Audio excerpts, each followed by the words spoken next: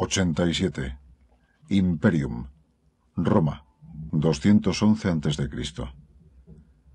Publio entró en su casa seguido de su hermano. Necesitaba silencio y reflexión. Cruzó con rapidez el vestíbulo y el atrio, donde estaban Emilia y su madre. La saludó con un leve cabeceo y enseguida pasó al peristilo y subió las escaleras. Ascendió por ellas hasta llegar al primer piso y por fin se detuvo apoyando sus manos en la barandilla porticada, contemplando el jardín de su casa. Lucio se había quedado atrás junto con su mujer y su madre. Sabía que su hermano entendía que necesitaba estar solo. Ahora mismo Lucio estaría contando a Emilia y su madre que su candidatura había sido aceptada por el Senado para salir en unas semanas rumbo a Hispania como procónsul. Imaginaba el dolor que esta decisión causaría en el corazón de su madre. Ella ya había perdido a un marido y a un cuñado en aquel terrible país. Ahora su primogénito iba a salir también para aquella tierra que tanta sangre había arrancado a su familia. ¿Cómo explicarle? ¿Cómo hacerle entender que tenía que hacerlo? Enfrentarse a la amargura de su madre le resultaba más temible que debatir con el Senado hasta persuadirlos de lo correcto de aquella decisión. Y luego quedaban sus propias dudas. ¿Y Emilia? Emilia le entendería. Se habían comprendido y querido y respetado desde el primer día. Estaba seguro de que Emilia le apoyaría. No sabía cómo, ni cuáles serían las palabras o las acciones de ella, pero sabía que todas irían encaminadas, de un modo u otro, a ratificar su decisión. Quizá Emilia podría ayudarle a reducir el dolor y el sufrimiento de su madre. Sí, sin duda, eso sería lo mejor. Emilia podría quedarse con su madre y servirle de consuelo. Desde el primer día que la trajo a casa, su madre había mostrado un afecto sincero por Emilia, a la que había adoptado casi como si de su propia hija se tratara. Pero aún quedaba lo peor de todo, sus propias dudas. Había hablado con persuasión ante el Senado y ante el pueblo. Había dado las mejores razones que había encontrado para conseguir el nombramiento de procónsul, para conseguir el permiso de dirigir una expedición en Hispania. Y sin embargo, ahora que lo había obtenido, se preguntaba si aquello tenía sentido, si no se trataba más bien de una locura de un jovenzuelo incontrolado al que le hervía la sangre demasiado pronto. ¿Cómo iba él a derrotar a los cartagineses allí donde ni la experiencia de su tío ni la inteligencia de su padre habían triunfado? ¿Qué podría traer de nuevo él a Hispania que pudiera mejorar los resultados de su padre y de su tío? El Senado le veía como un joven impetuoso, con arrojo, sí, pero falto de experiencia.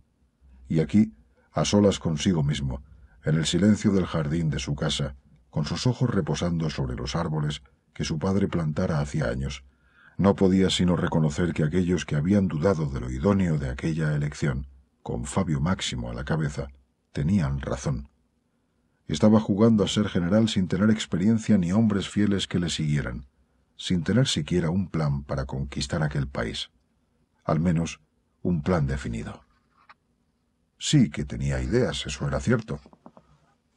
Había mantenido innumerables conversaciones con Mario, el mensajero que Marcio había enviado desde Hispania, con las horribles noticias sobre su padre y su tío. Este le había contado todo lo que sabía de Hispania, y había revisado uno a uno todos los planos y documentos que su padre había acumulado sobre Hispania y que guardaba en la biblioteca de la casa. Luego había reunido todos los planos que existían en Roma sobre aquel territorio, y los que no había podido conseguir los había mandado copiar. El tablinium y la biblioteca estaban repletos de ellos. Conocía Hispania, sus gentes, sus conflictos, sus ciudades por boca del mensajero y por boca de otros emisarios que fueron llegando después. Todos se detenían por respeto en casa de Publio Cornelio Escipión y le transmitían todo cuanto éste deseaba saber. Y tenía una intuición, una idea, una pequeña locura que había ido cobrando fuerza en su mente. No era aún un plan, era una idea para doblegar a los cartagineses de Hispania, o al menos para mantenerlos ocupados allí imposibilitando que enviaran refuerzos a Aníbal. Aquello sería suficiente, si no para derrotarlos por completo y conseguir la gloria y un triunfo, sí al menos para dar tiempo a que Roma se rehiciera y pudiera expulsar a Aníbal de la península itálica y eso era lo esencial. Después todo se podría conseguir. Pero ¿quién iba a estar tan loco de seguirle hasta Hispania, más allá de unos soldados inexpertos, reclutados a toda prisa y temerosos de aquel país, de sus gentes y de los cartagineses. No había nadie lo suficientemente loco como para aventurarse en aquel delirio que acababa de dar comienzo con su nombramiento como procónsul de Hispania, y menos si se le decía que su general sólo tenía veinticuatro años y que a fin de cuentas no era más que el hijo del cónsul, el hijo de un cónsul muerto. Los pensamientos de Publio se vieron interferidos por un gran estruendo de un tumulto de personas que irrumpían en la casa. Se oían gritos, voces confusas. De entre todas ellas destacaba el potente vigor de la voz de un decurión de las legiones de Roma, que Publio conocía bien. Le extrañaba que hubiera tardado tanto en aparecer. Cayo Lelio demandaba a voz en grito la presencia del pater familias de aquella casa. Publio los vio aparecer a todos en el jardín, su madre, su mujer, Lucio, los tres seguidos de unas veinte personas más, todos oficiales de diferentes legiones. Reconocía también a varios centuriones que habían combatido bajo sus órdenes, y en medio de todos, Cayo Lelio, que sin dudarlo se situó en el centro del jardín, y dirigiéndose a él directamente, tomó la palabra, mirando hacia la terraza del piso de arriba, donde estaba Publio apoyado sobre la barandilla. ¿Qué es eso de que el Senado te envía a Hispania como procónsul? Te dejo unos minutos a solas y montas una guerra por tu cuenta. ¿Estás loco? Hispania es una locura.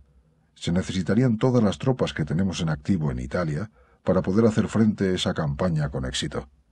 Aquí Lelio se detuvo y miró fijamente a los ojos de Publio, quien le mantuvo la mirada con intensidad, sin decir nada. Lelio comprendió lo definitivo de aquella absurda decisión de ir a España, pero antes de que pudiera decir algo, Lelio prosiguió hablando. Bien, sea, por Castor y Pollux y todos los demás dioses. Si tan loco estás, ¿qué es eso de no contar con tus amigos y tus oficiales? Y bueno, eso ya lo verás tú. Pero ¿cómo no hablas con Cayo Lelio y le comentas tus planes? Porque si crees, mi general, que puedes ir a aquel país sin Cayo Lelio, estás muy equivocado. Publio rió con carcajadas fuertes, poderosas, que pronto contagiaron a los presentes. La risa fue una buena terapia para que todos liberasen tensión. Más calmado, Publio respondió con preguntas a la interpelación de su viejo amigo. ¿Y por qué, si puede saberse, Publio Cornelio Escipión debe mantener informado a Cayo Lelio de sus movimientos, de sus decisiones o de sus planes? Todos miraron a Lelio, que mantenía fija la mirada en el joven edil. No dudó en su respuesta. Tú sabes muy bien por qué. Pero esto ya lo hemos hablado. Creo que estás equivocado, pero no seré yo quien discuta tus decisiones. Solo te informo de que si vas a Hispania, cuenta conmigo para seguirte. Pomponia, para sorpresa de todos, decidió intervenir. A mí también me habría gustado saber que mi hijo pensaba presentarse como candidato para ser elegido procónsul en Hispania, pero ya que sobre eso parece ser que ya nada puedo decir, sí que me atreveré a afirmar que, si has de ir a Hispania, Lelio debe acompañarte. Publio sintió el dolor de su madre con cada una de aquellas palabras que se clavaban en su corazón como esquirlas afiladas, pero lo que tenía que hablar con ella no podía hacerlo en presencia de tantas personas. Aquella debería ser una conversación privada. Decidió responder a Lelio de forma directa y de modo sutil, a su madre. En fin, mi buen Lelio, Pareces haber convencido a mi madre de lo necesario de tu compañía. Creo que no puedo contradecirla en esto. Si acompañarme es algo que haces de buen grado, bienvenido seas. Quedas formalmente invitado a venir a Hispania. Pero te advierto. Hizo una pausa y aquí cambió su tono de voz, que se tornó seria y firme al tiempo, que elevaba el volumen de la misma para que los presentes le pudieran escuchar bien. Todos los que queráis acompañarnos en esta aventura de recuperar el dominio de Hispania, sois bienvenidos, pero tened conocimiento de que no será ninguna empresa fácil. Los cartagineses dominan prácticamente por completo aquel territorio. Disponen de numerosas tropas, de tres ejércitos completos, y la mayoría de las tribus de la región les son leales.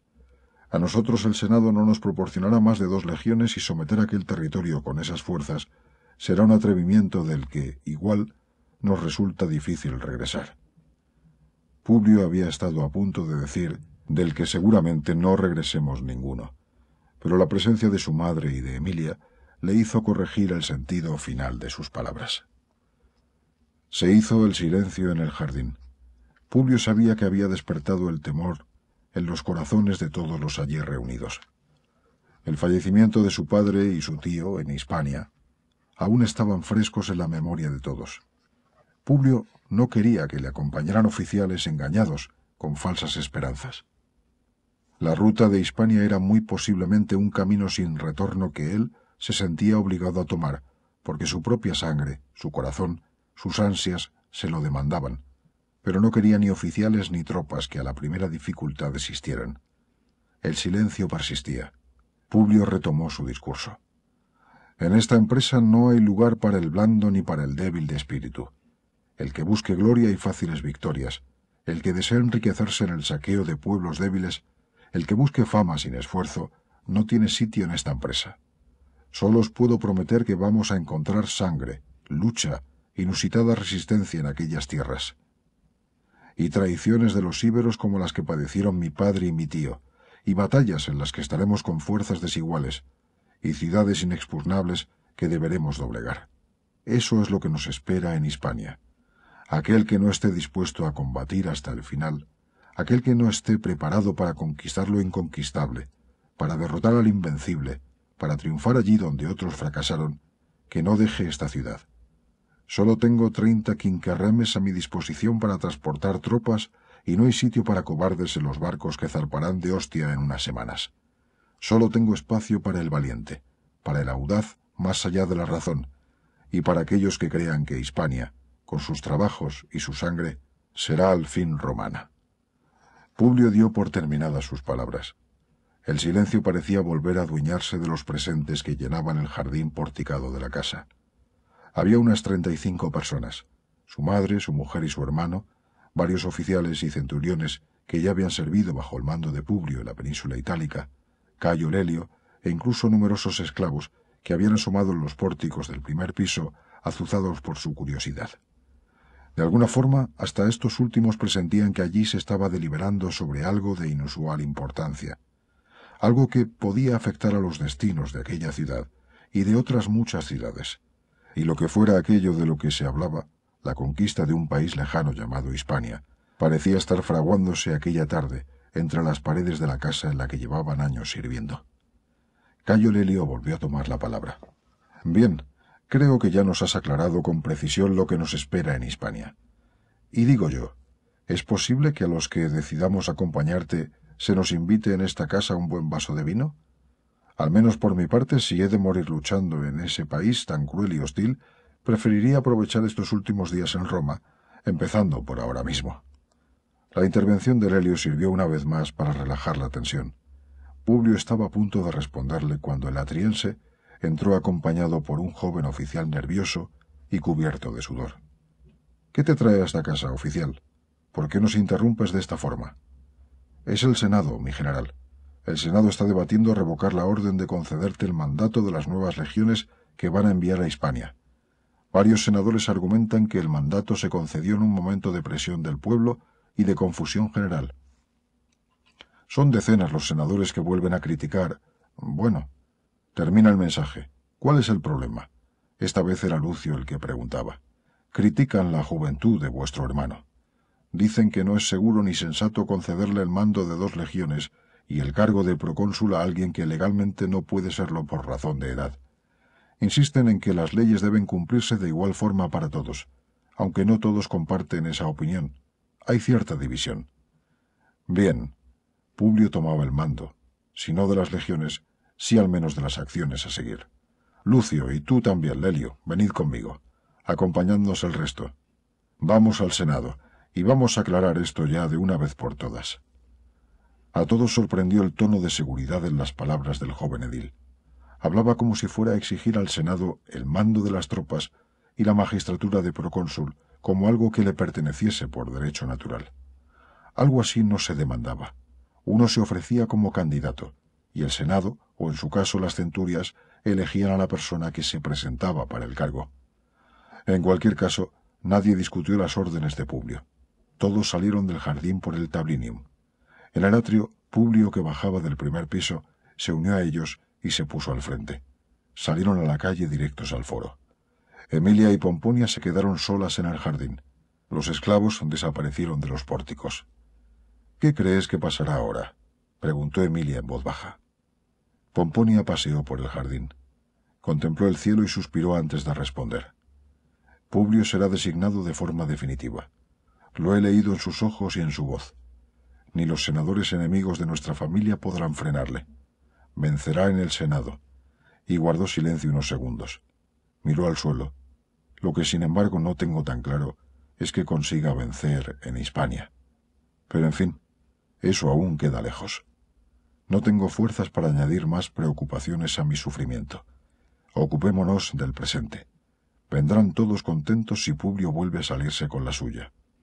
Ahí es como su padre. Tiene el mismo don de persuadir a los que le rodean. De eso tú sabes mucho, querida, aunque en tu caso no sé quién persuadió a quién. Y sonrió con cariño a su nuera. Emilia se ruborizó.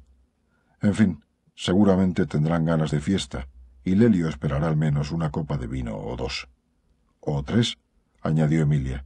Pero, ¿y si no lo consigue y revocan la decisión? Siempre es fácil guardar la comida y la bebida que se ha preparado para una celebración. Lo difícil es prepararlo todo si no se ha dispuesto con antelación. Pero volviendo a lo de la bebida, Lelio, si todo va bien, se tomará más de tres copas, seguro. Y las dos rieron. Pomponia agradeció la bendición de tener a alguien como Emilia a su lado. En un mundo de hombres, estos no se dan cuenta de las penurias por las que ellas pasan. Emilia se había convertido en su mejor aliada y en su mejor consuelo en aquellos días de luto y dolor. Tenemos que preparar un buen convite para esta noche. Tenemos mucho trabajo por delante, Emilia. Y abrazó a su nuera de la cintura al tiempo que llamaba a viva voz a los esclavos y empezaba a dar instrucciones. La marcha de la comitiva que acompañaba a Publio hasta el campo de Marte fue rápida y silenciosa. Al grupo de centuriones que había salido de la casa de los Escipiones se fueron uniendo otros simpatizantes que ya estaban alertados del cambio de decisión en el Senado.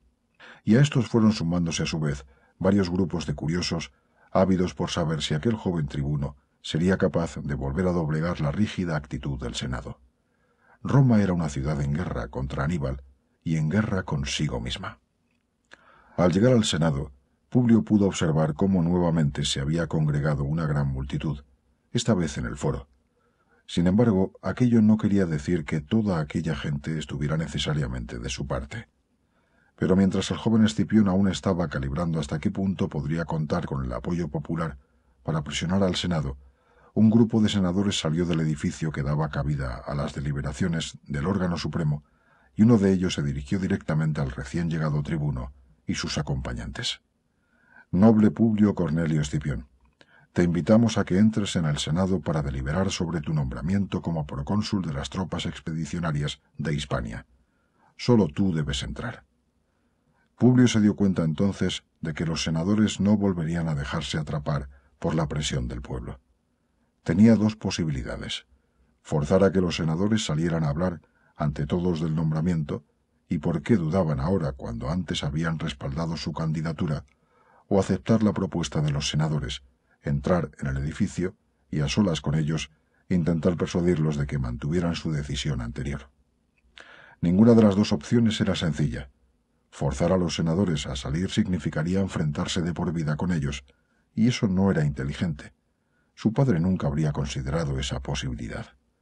Además, no estaba claro que el pueblo fuera necesariamente a volver a apoyarle, si los senadores empezaban a hablar en su contra con infinitos argumentos que ahora, con más sosiego, habrían podido preparar de antemano.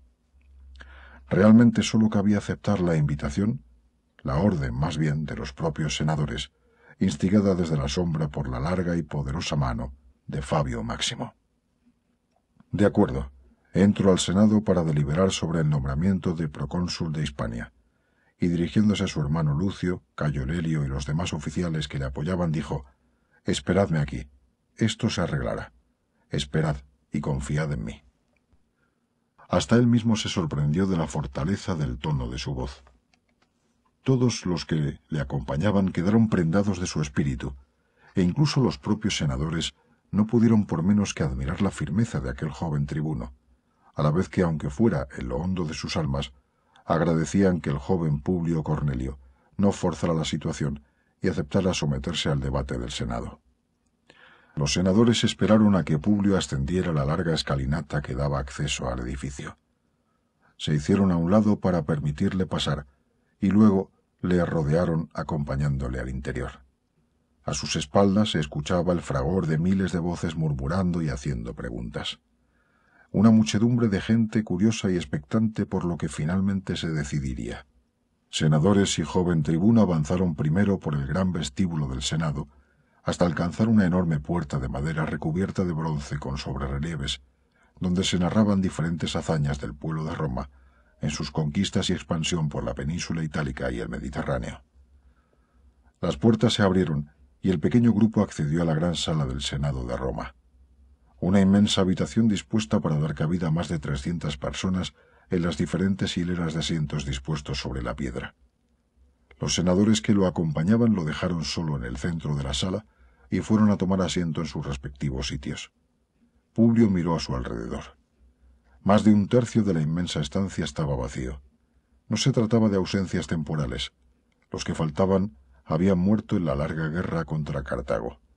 Muchos de ellos en el desastre de Canae.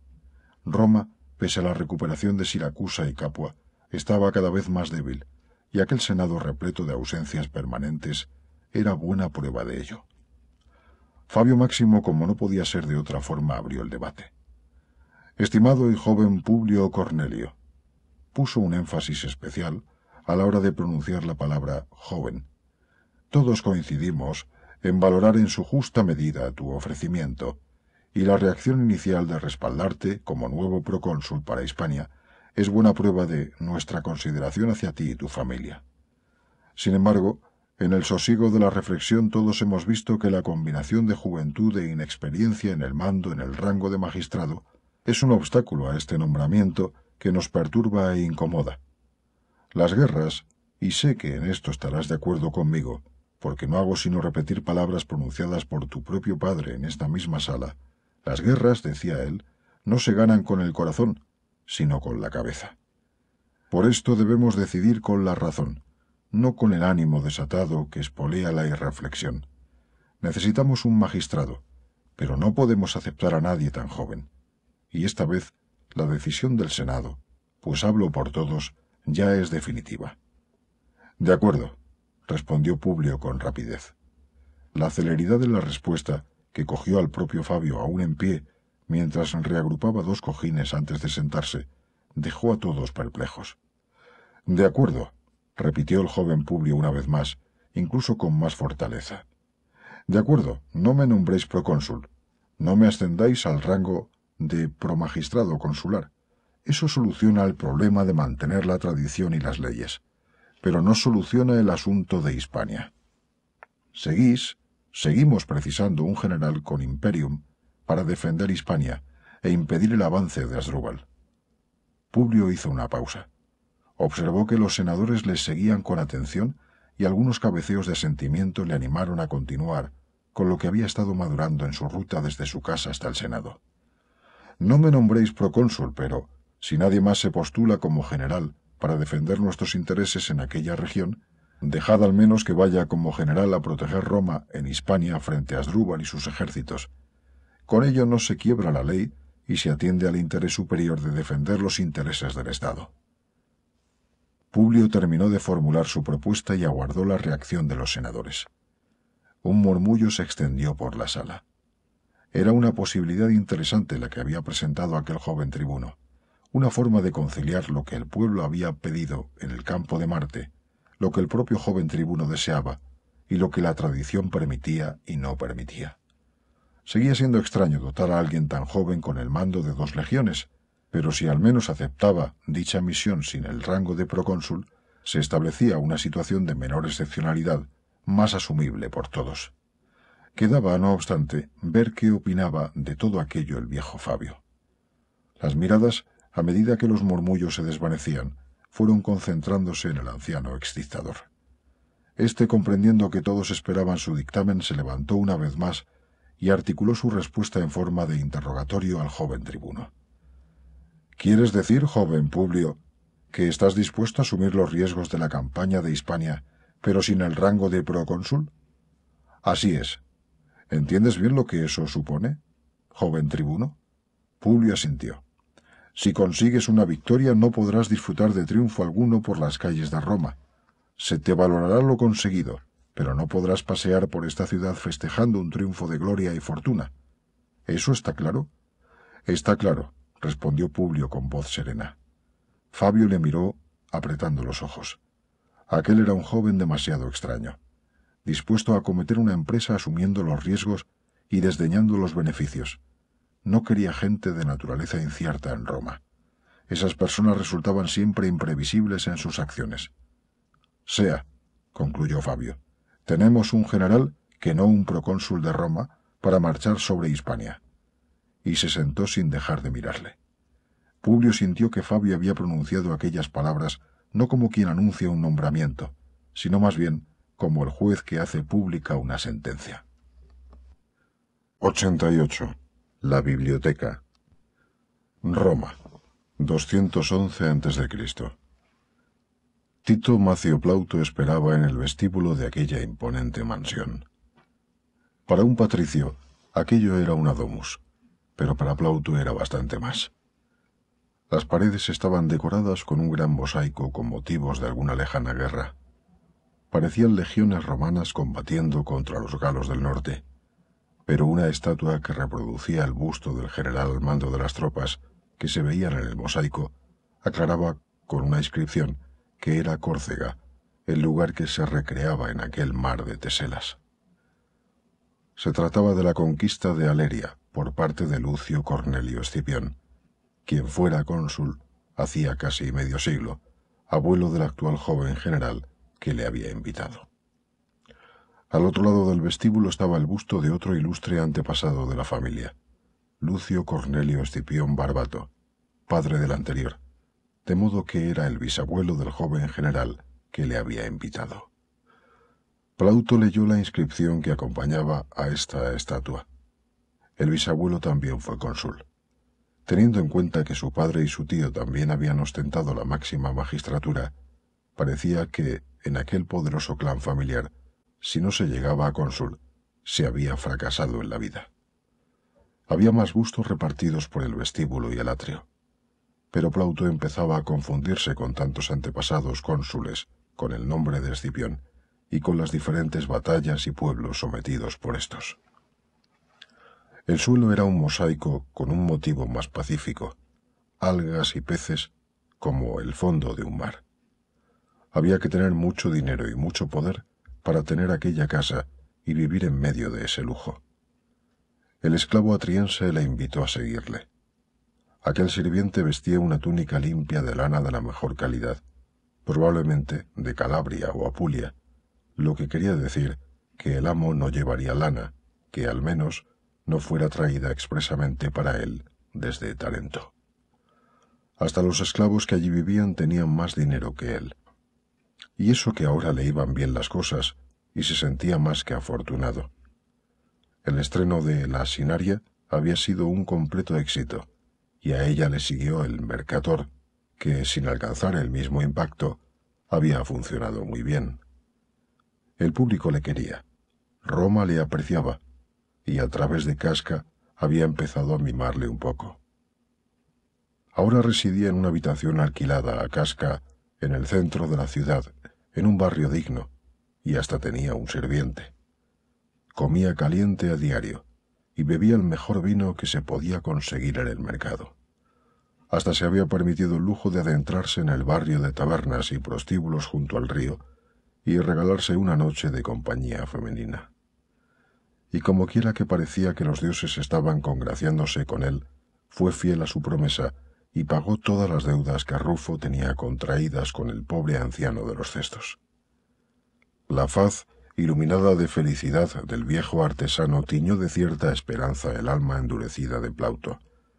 Pero a los pocos días, pese a las comodidades y la satisfacción de sus necesidades y deseos más primarios, Tito Macio Plauto volvió a rodearse de su gruesa coraza de escepticismo, cultivada en las penurias de su vida.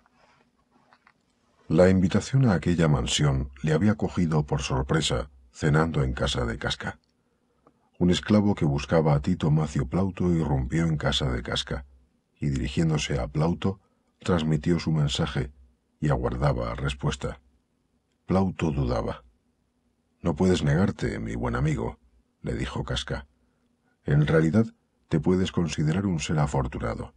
Pocos son los que entran en esa casa invitados por el Pater Familias, y más ahora que ha recibido el mando de dos legiones para partir a Hispania. Plauto asintió y se dirigió al paciente esclavo. Dile a tu amo que acudiré a la invitación, y le costaba pronunciar algunas palabras, decir algunas cosas que no sentía.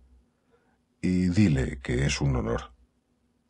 El esclavo asintió y partió. ¿Por qué te cuesta aceptar la invitación de un patricio? Un patricio que ha sido edil de Roma, que es admirado por todos y que pese a su extrema juventud ya es general. ¿O es algo personal en contra de los escipiones? No, no es nada personal. De hecho, fue él el que te brindó la oportunidad de estrenar tu obra cuando actuaba como edil de Roma. Lo sé, respondió Plauto, aunque retrasó el estreno hasta el fin de año. ¿Y le guardas rencor por ello? A mí me sorprendió que tan siquiera permitiera estrenar tu obra. El texto de un completo desconocido jugándose él su prestigio en el éxito de las obras que contrata. Entre otras muchas cosas, y el teatro no es la más importante y tú y yo lo sabemos. Además, tú me defendiste, según me comentaste. Oh, sí, es cierto. Eso te dije. Y es verdad que lo hice. Pero no me sobrevalores, aunque he de reconocer que adulas mi vanidad con semejante reconocimiento. Pero no, no ha nacido la persona que persuada a ese joven Escipión con cuatro palabras, por muy buena retórica que se tenga, si no encaja lo que se le sugiere en sus planes. A las pruebas me remito. Sus enfrentamientos con el propio Fabio Máximo no hacen sino subrayar lo que digo. No, mi querido amigo, contrató tu obra porque buscaba comedias, aceptó mi oferta y no la de la competencia porque yo le ofrecí más comedias y la tuya iba en el lote. Luego el éxito de tus obras le ha dado la razón en su elección, pero no tomó ninguna determinación por mis palabras, por muy elocuentes que éstas pudieran llegar a ser. Es un hombre enigmático. A mí no me lo parece, respondió Plauto, tomando un sorbo del vino que acababa de traer una esclava. Es un patricio, es rico, es poderoso, ejerce su poder, tiene ambición y persigue la gloria y con toda probabilidad más poder. Mientras, miles de personas mueren en una guerra interminable. Es posible que sea así, pero hay cosas que no encajan en ese patrón. Creo que estamos ante alguien más complejo. ¿Por qué? Verás, amigo Plauto, ha conseguido imperio militar sobre dos legiones, pero el grado de procónsul que se le concedió inicialmente en el campo de Marte ante todo el pueblo y con el apoyo de la plebe le fue revocado con posterioridad en el Senado. Algo he oído de esa historia, pero mis datos son confusos. Encantado de aclarártela. Eso y lo que quieras, siempre que sigas proveyéndome de buenas obras con las que engordar mis arcas y mi cuerpo. Y Casca se palpó con complacencia su prominente estómago. Las esclavas, mientras, traían fruta, cerdo asado, queso y caldo de verduras. Casca sonrió exultante. Plauto devolvió una sonrisa más tenue. Estaba preocupado porque no tenía buenas ideas para una nueva obra y sabía que Casca esperaba algo pronto. Había pasado años en aquel molino para producir una gran obra. Ahora se le pedía una cada cuatro o cinco meses. Era un ritmo abrumador, insostenible. Verás, continuó Casca, hablando mientras devoraba un pedazo de pierna de cerdo asado, adobado en una salsa espesa que goteaba sobre el suelo. Una vez nombrado procónsul se reunió el Senado y Fabio Máximo soltó una diatriba contra la idea de romper la tradición y permitir que alguien tan joven accediera a una magistratura del grado de procónsul. Como sabrás, muchos anhelan dicho honor y pocos son los elegidos. Otros senadores una vez ya alejados del tumulto de la plebe, secundaron su moción, de modo que se llamó a tu joven amigo, digo amigo ya que te invita a su casa. Plauto sacudió la cabeza ante la ironía de Casca. Este último, divertido por la incomodidad de su huésped, continuó con la explicación sin dejar de masticar la comida. Bueno, pues el joven tribuno acude al Senado y se le hace saber que no se le puede permitir que acceda al grado de procónsul, y en suma, partir para Hispania con el mando de las legiones asignadas. Y te preguntarás, ¿qué hace nuestro hombre? ¿Y bien? Y por favor deja de comer un minuto mientras me explicas todo esto. Ah, sí, disculpa.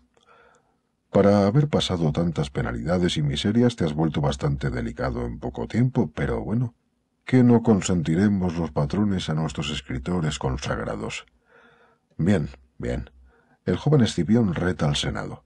Les dice que ante todo el pueblo le han concedido el permiso y las legiones para marchar hacia Hispania, y que si le revocan el mando, esto será difícil de explicar, pero que está dispuesto a sugerir una alternativa que satisfaga al pueblo, al Senado y a él mismo. Imponente, ¿verdad? Y con tan solo veinticuatro años. Pero como tu joven amigo... Por favor, deja de llamarle mi amigo. Por Castor y Polus, ¿de acuerdo?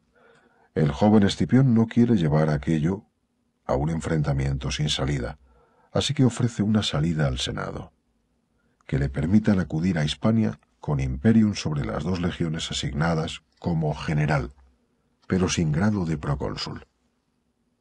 De esa forma, se establece una situación excepcional, pero no se transgrede la costumbre de la edad en lo relacionado con el consulado y el proconsulado. Ya. ¿Y qué decide el Senado al final? El Senado acepta. El propio Fabio Máximo se muestra de acuerdo, de modo que la discusión concluye con acuerdo general. Muy bien. Acude a Hispania sin rango de magistrado máximo. ¿Qué tiene eso que ver con que ese Escipión no sea como otro patricio cualquiera?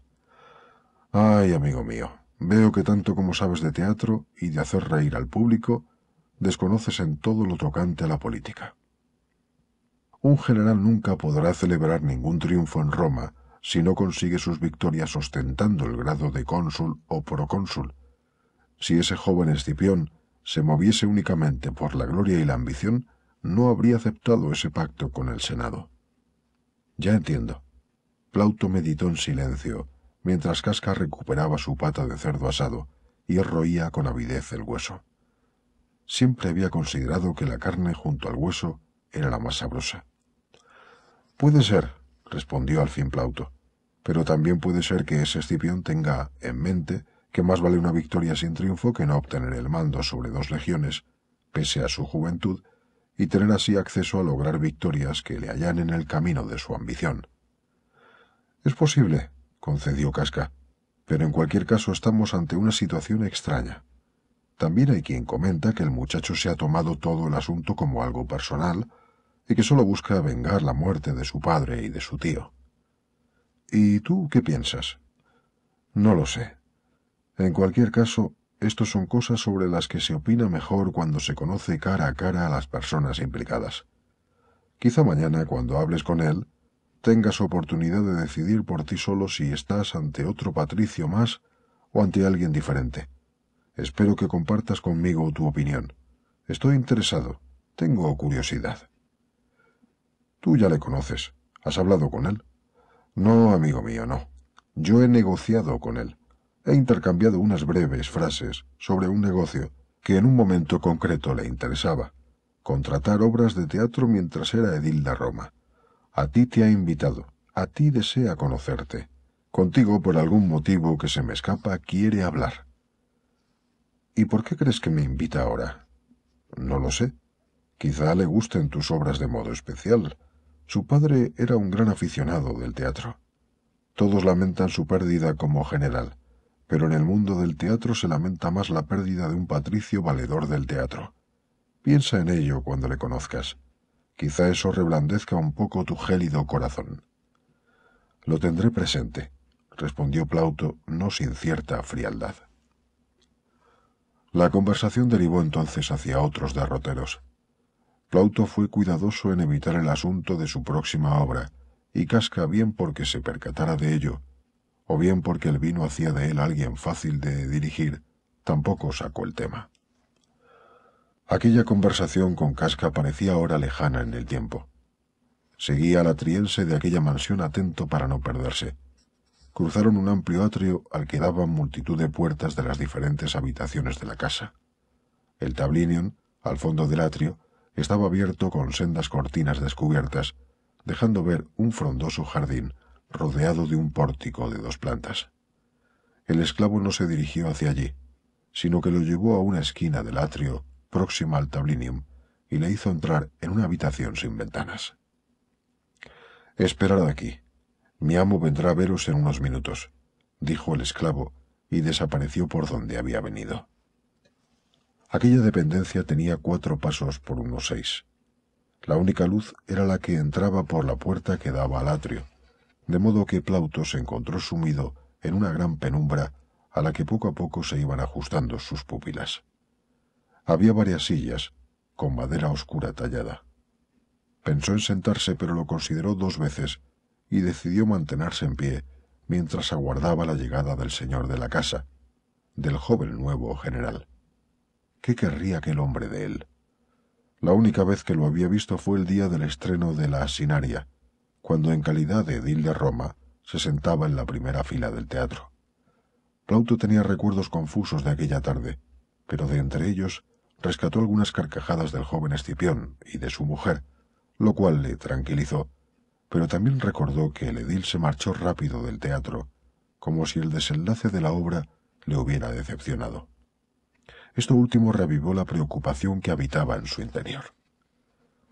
Sus ojos ya se habían habituado a la tenue luz de la estancia, y se percató de que las paredes estaban llenas de armarios con pequeños estantes, y que en cada uno de estos había gran cantidad de cestos de donde sobresalían rollos de diverso tamaño y color. Se acercó a uno de los armarios y leyó algunos de los nombres que estaban escritos en los extremos de los rollos.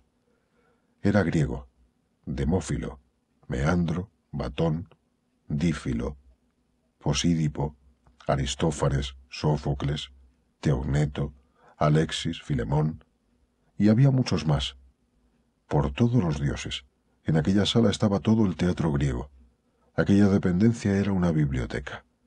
No, para ser precisos, estaba en la mejor biblioteca a la que nunca jamás había tenido acceso. En casa de Rufo había varios volúmenes de interés que Praxíteles había traído consigo desde su tierra, en la Magna Grecia, y Casca tenía una colección notable que le había sido útil para su segunda obra, pero aquello, esa sala era otro mundo. Siguió observando con atención y en otro armario encontró varias traducciones al latín de los originales griegos y también obras de autores contemporáneos, poesías de Quinto Enio y obras de Nevio y del mismísimo Livio Andrónico. En el armario de obras latinas se entremezclaba la literatura con tratados sobre agricultura y planos de diferentes regiones. Y un cesto, no dos, parecían estar dedicados a obras históricas y tratados militares de autores que desconocía. ¿Te gusta nuestra pequeña biblioteca? La voz del recién llegado le sobresaltó y Plauto dio un respingo. Al girarse vio ante sí a un hombre joven, alto, delgado, con el pelo muy corto, bien afeitado, vestido con una larga toga blanca. Disculpa, no era mi intención sorprendente así. Soy Publio Cornelio Escipión. Tú eres Tito Macio Plauto, ¿no es así? Así es, respondió Plauto sin añadir mi señor o ningún otro apelativo de respeto. Estaba absorbido, es cierto, por la colección de obras que aquí tenéis. ¿Sí? ¿Te parece entonces una buena colección? Es una biblioteca magnífica, al menos en la parte que acierto a valorar. Veo que tenéis casi todo el teatro griego y latino y excelentes selecciones de poesía. De la parte histórica y militar no puedo opinar. Sí, lo normal es disponer de los tratados históricos y poco más. Alguna traducción latina de un buen clásico griego, como este. Publio cogió un rollo del armario de volúmenes latinos. Es la traducción de Livio Andrónico de la Odisea. Creo que el original de Homero está en el otro armario. En fin, con este volumen mi padre nos enseñó a leer latín de pequeños. Publio hablaba recordando el pasado. a mí y a Lucio, mi hermano pequeño. Nos sentábamos en esas sillas, y él paseaba mientras escuchaba cómo leíamos, o al menos cómo lo intentábamos. Nos corregía sin necesidad de mirar el texto. Se lo sabía de memoria. Luego fue cuando contrató al bueno de Tíndalo, que nos instruyó en el griego, la historia. Bueno, pero eso no viene al caso. Lo que quería decir es que mi padre no era un hombre al uso, y puso un gran empeño en ampliar su colección, incorporando decenas de volúmenes procedentes del extranjero. Le apasionaba la poesía y en especial, sí, por encima de todo, el teatro. Por eso todos estos textos y esos rollos que aquí ves. Plauto asintió sin decir nada. Publio le miró estudiándole. Tito Macio, eres hombre de muy pocas palabras para alguien que las sabe usar tan bien cuando escribes. Plauto dudó antes de responder. Estaba claro que algo debía decir. Veréis, estoy un poco confuso en lo que se refiere a mi presencia aquí y ahora. Entiendo. La vida te ha hecho desconfiado. ¿Has tenido una vida difícil? Tito Macio. Depende de lo que entienda por difícil. Publio había dejado pasar por alto la tácita insolencia de que aquel escritor se dirigiese hacia él sin ninguna indicación de respeto. Lo aceptaba como una excentricidad propia de su profesión, pero empezaba a irritarle el hecho de que a aquel hombre le costase tanto dar una respuesta directa y clara. Se sentó, pero no invitó a Plauto a que hiciese lo mismo. ¿Por qué no me dices en qué ha consistido tu vida y ya juzgaré yo si ha sido difícil o no? Plauto consideró sentarse en la otra silla, pero detectaba ya cierta tensión y no estimó oportuno estirar más cuerda de la paciencia de aquel patricio. Servidumbre, comercio, ruina, hambre, mendicidad, palizas, ejército, derrotas, nuevamente mendicidad, semiesclavitud y siempre miseria, hasta hace poco hasta que aceptasteis el estreno de mi primera obra, lo cual os agradezco. Publio le miraba en silencio. Había sido un resumen conciso pero intenso. Una vida dura, sin duda, y había sido un primer reconocimiento de aprecio por su parte hacia una acción suya, la de aceptar el estreno de su obra. ¿Por qué no tomas asiento? Plauto aceptó sin decir nada. Lo correcto habría sido declinar por considerarse inferior o aceptar dando gracias. Sentarse sin decir más era altanería. Publio meditaba si debía aceptar aquella forma de trato con aquella persona o echarlo de casa y no dedicar más tiempo a ese asunto. El peso del amor por la literatura que su padre le había inculcado pudo más. ¿Quieres vino? Plauto asintió. Publio dio un par de palmadas. Un esclavo entró y recibió las instrucciones oportunas. Veo que me va a costar sacarte las palabras. Eres un hombre difícil de trato para alguien que vive de hacer reír a la gente. No soy ningún bufón. Ah, es eso. Publio le comprendió entonces. Se sentía incómodo por tener que venir siguiendo una invitación que recibida por alguien de su clase era como recibir una orden, y por encontrarse ante alguien que parecía estar esperando gracias con las que solazarse en su tiempo de ocio. El vino llegó y ambos bebieron el licor mezclado con un poco de agua. Publio confirmó que aquella rudeza estaba clavada, al contrario que en el caso de Helio, en el corazón de aquel hombre, no en su tosco cuerpo. No te he llamado para que me hagas reír, Tito Macio. Te he llamado porque esta biblioteca no es muy usada y menos lo será con mi marcha a Hispania. Solo mi madre, mi mujer y mi hermano acceden a ella con alguna frecuencia, y de ellos solo mi madre es una ávida lectora. Lucio y Emilia prefieren otros entretenimientos. A mí me gusta leer, y pienso llevarme conmigo algún volumen de teatro y de filosofía, y desde luego la mayor parte de los tratados militares y de geografía. Pero el resto se quedará aquí. Mi padre pasó años recopilando todos estos volúmenes, y la verdad que ahora se queden aquí, sin ser leídos, sin que nadie valore lo que aquí hay, me duele. Es como si algo que hizo mi padre no valiera para nada, o para muy poco. No puedo devolverle la vida, y entre tú y yo, no tengo muy claro que pueda vengar su muerte con las escasas tropas que me dan. De hecho, dudo que retorne vivo de Hispania. Si algún día pronto me atraviesa una lanza cartaginesa o una espada íbera, me ayudaría a llevarme al otro mundo la idea de que la colección de mi padre es leída y apreciada por otras personas. Quizá pienses que es algo sentimental y absurdo. Según la vida que me has resumido, estas preocupaciones te deben parecer superfluas, casi triviales. Plauto escuchaba con atención. Aquel hombre le estaba hablando de igual a igual, de sus sentimientos más profundos, pero aún no sabía dónde quería llegar. No, no es superfluo lo que uno necesita para vivir con paz de ánimo, y cada uno tenemos derecho a necesidades distintas, respondió Plauto. Gracias, dijo Publio. Mi idea era que alguien que sabe escribir y apreciar el teatro, alguien como tú, pudiera acceder a esta biblioteca con toda libertad siempre que quisiera para leer o consultar cualquiera de estos volúmenes cuando lo desease.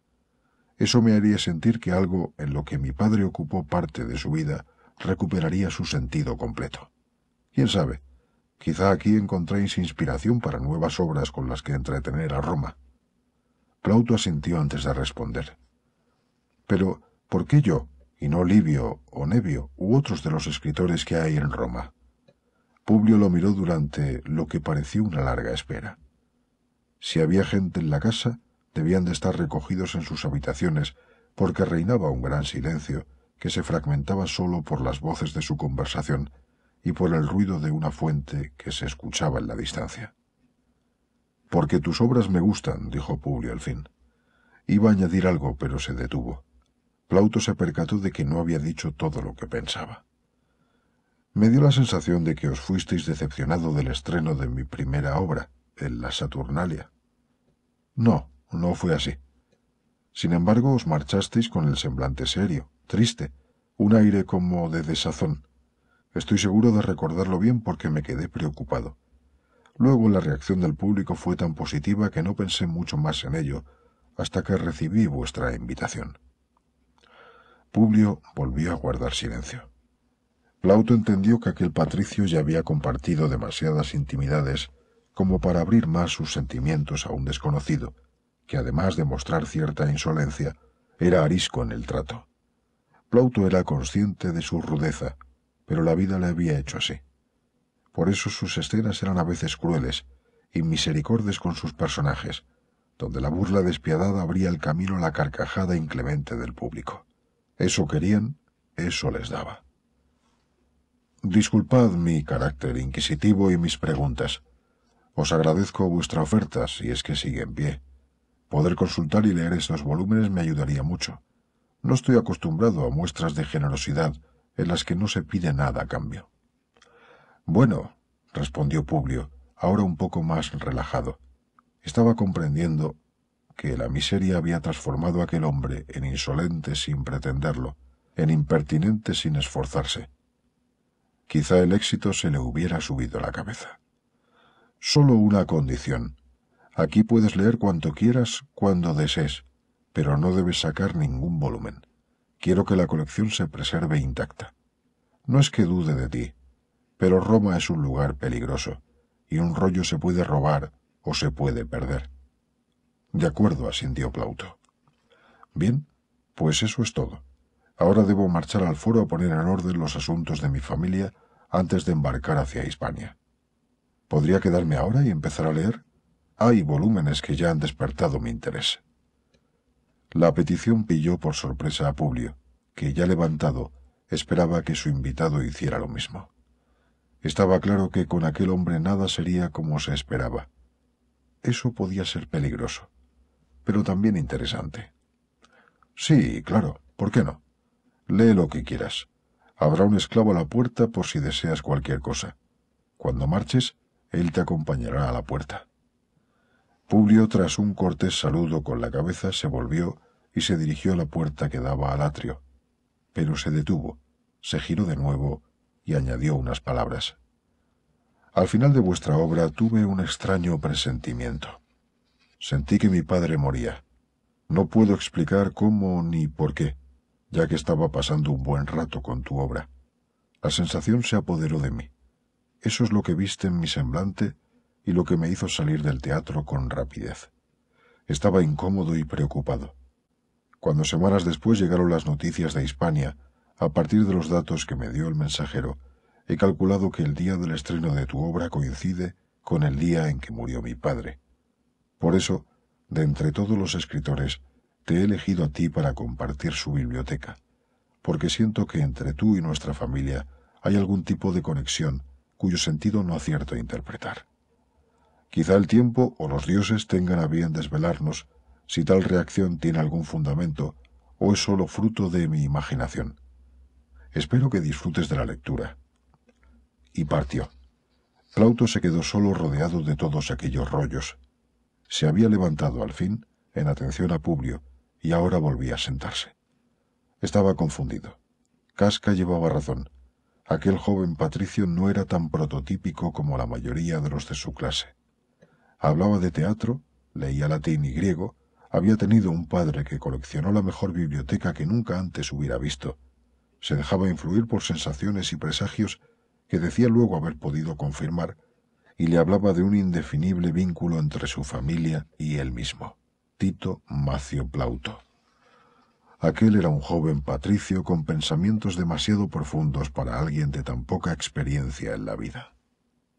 Quizá había sido injusto al juzgar a alguien por su condición.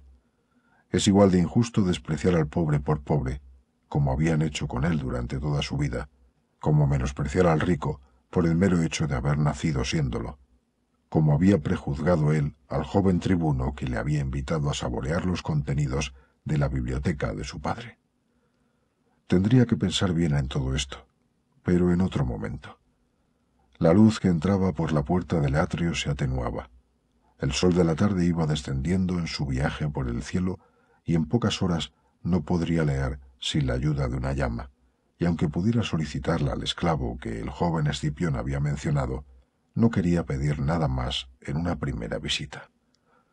Regresó junto al armario donde estaba la mayor parte de los escritores griegos y buscó las obras que le habían llamado más la atención, y de entre todas ellas seleccionó una que iba sin título, con el simple sobrenombre de Hilaro Tragedia, firmada por un autor que desconocía, Rintón.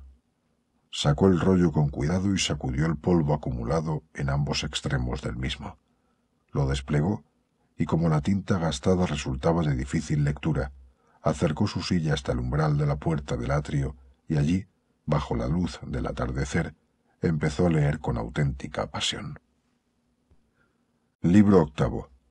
En busca de la esperanza. In me omnis espes mi est. Solo en mí mismo está toda esperanza. Terencio. Formio. 139. 89. Rumbo a Hispania. Puerto de Ostia, 210 a.C. En la proa del barco Publio sintió el viento del mar resbalando por la piel de su rostro.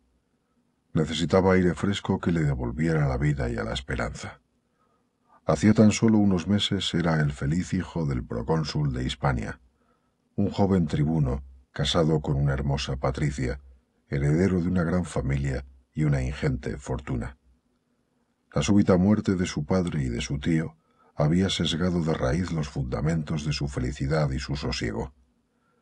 Llevaban en guerra muchos años, es cierto, y había visto la muerte de cerca, en Tesino y también en otras batallas, pero desde la caída de su padre y de su tío, su mundo se desmoronaba a pedazos. Roma había llegado a ser asediada por el mismísimo Aníbal, que se había permitido pasear apenas a unos pasos de las puertas de la ciudad del Tíber.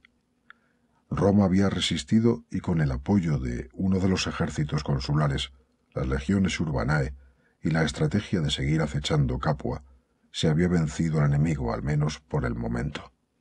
También se había recuperado Capua, pero qué lejos estaban esas victorias de las que aprendió cuando estudiaba con Tíndaro bajo la atenta vigilancia de su padre, cuando se le instruía sobre las conquistas en territorios de los galos, los ligures o los piratas de Iliria, las épicas batallas contra el rey Pirro o la gran victoria sobre Cartago hace años, que dio paso a la expansión de Roma por el Mediterráneo. ¿Dónde había quedado todo aquello? La Roma que le enseñaron y la Roma en la que vivía ahora no tenían nada que ver. Ahora se luchaba por recuperar lo que ya se tenía y se había perdido, o por defender la mismísima capital de la República. Las fuerzas que se enviaban al exterior para acometer campañas militares más allá del mar eran escasas, insuficientes, porque los recursos se consumían en la guerra de supervivencia que Aníbal había traído consigo a la península itálica. Los resultados hablaban por sí solos. Su padre y su tío muertos, el protectorado ilirio acosado por Macedonia, la Magna Grecia en manos de Aníbal y los galos campando con libertad y abierta hostilidad por el norte.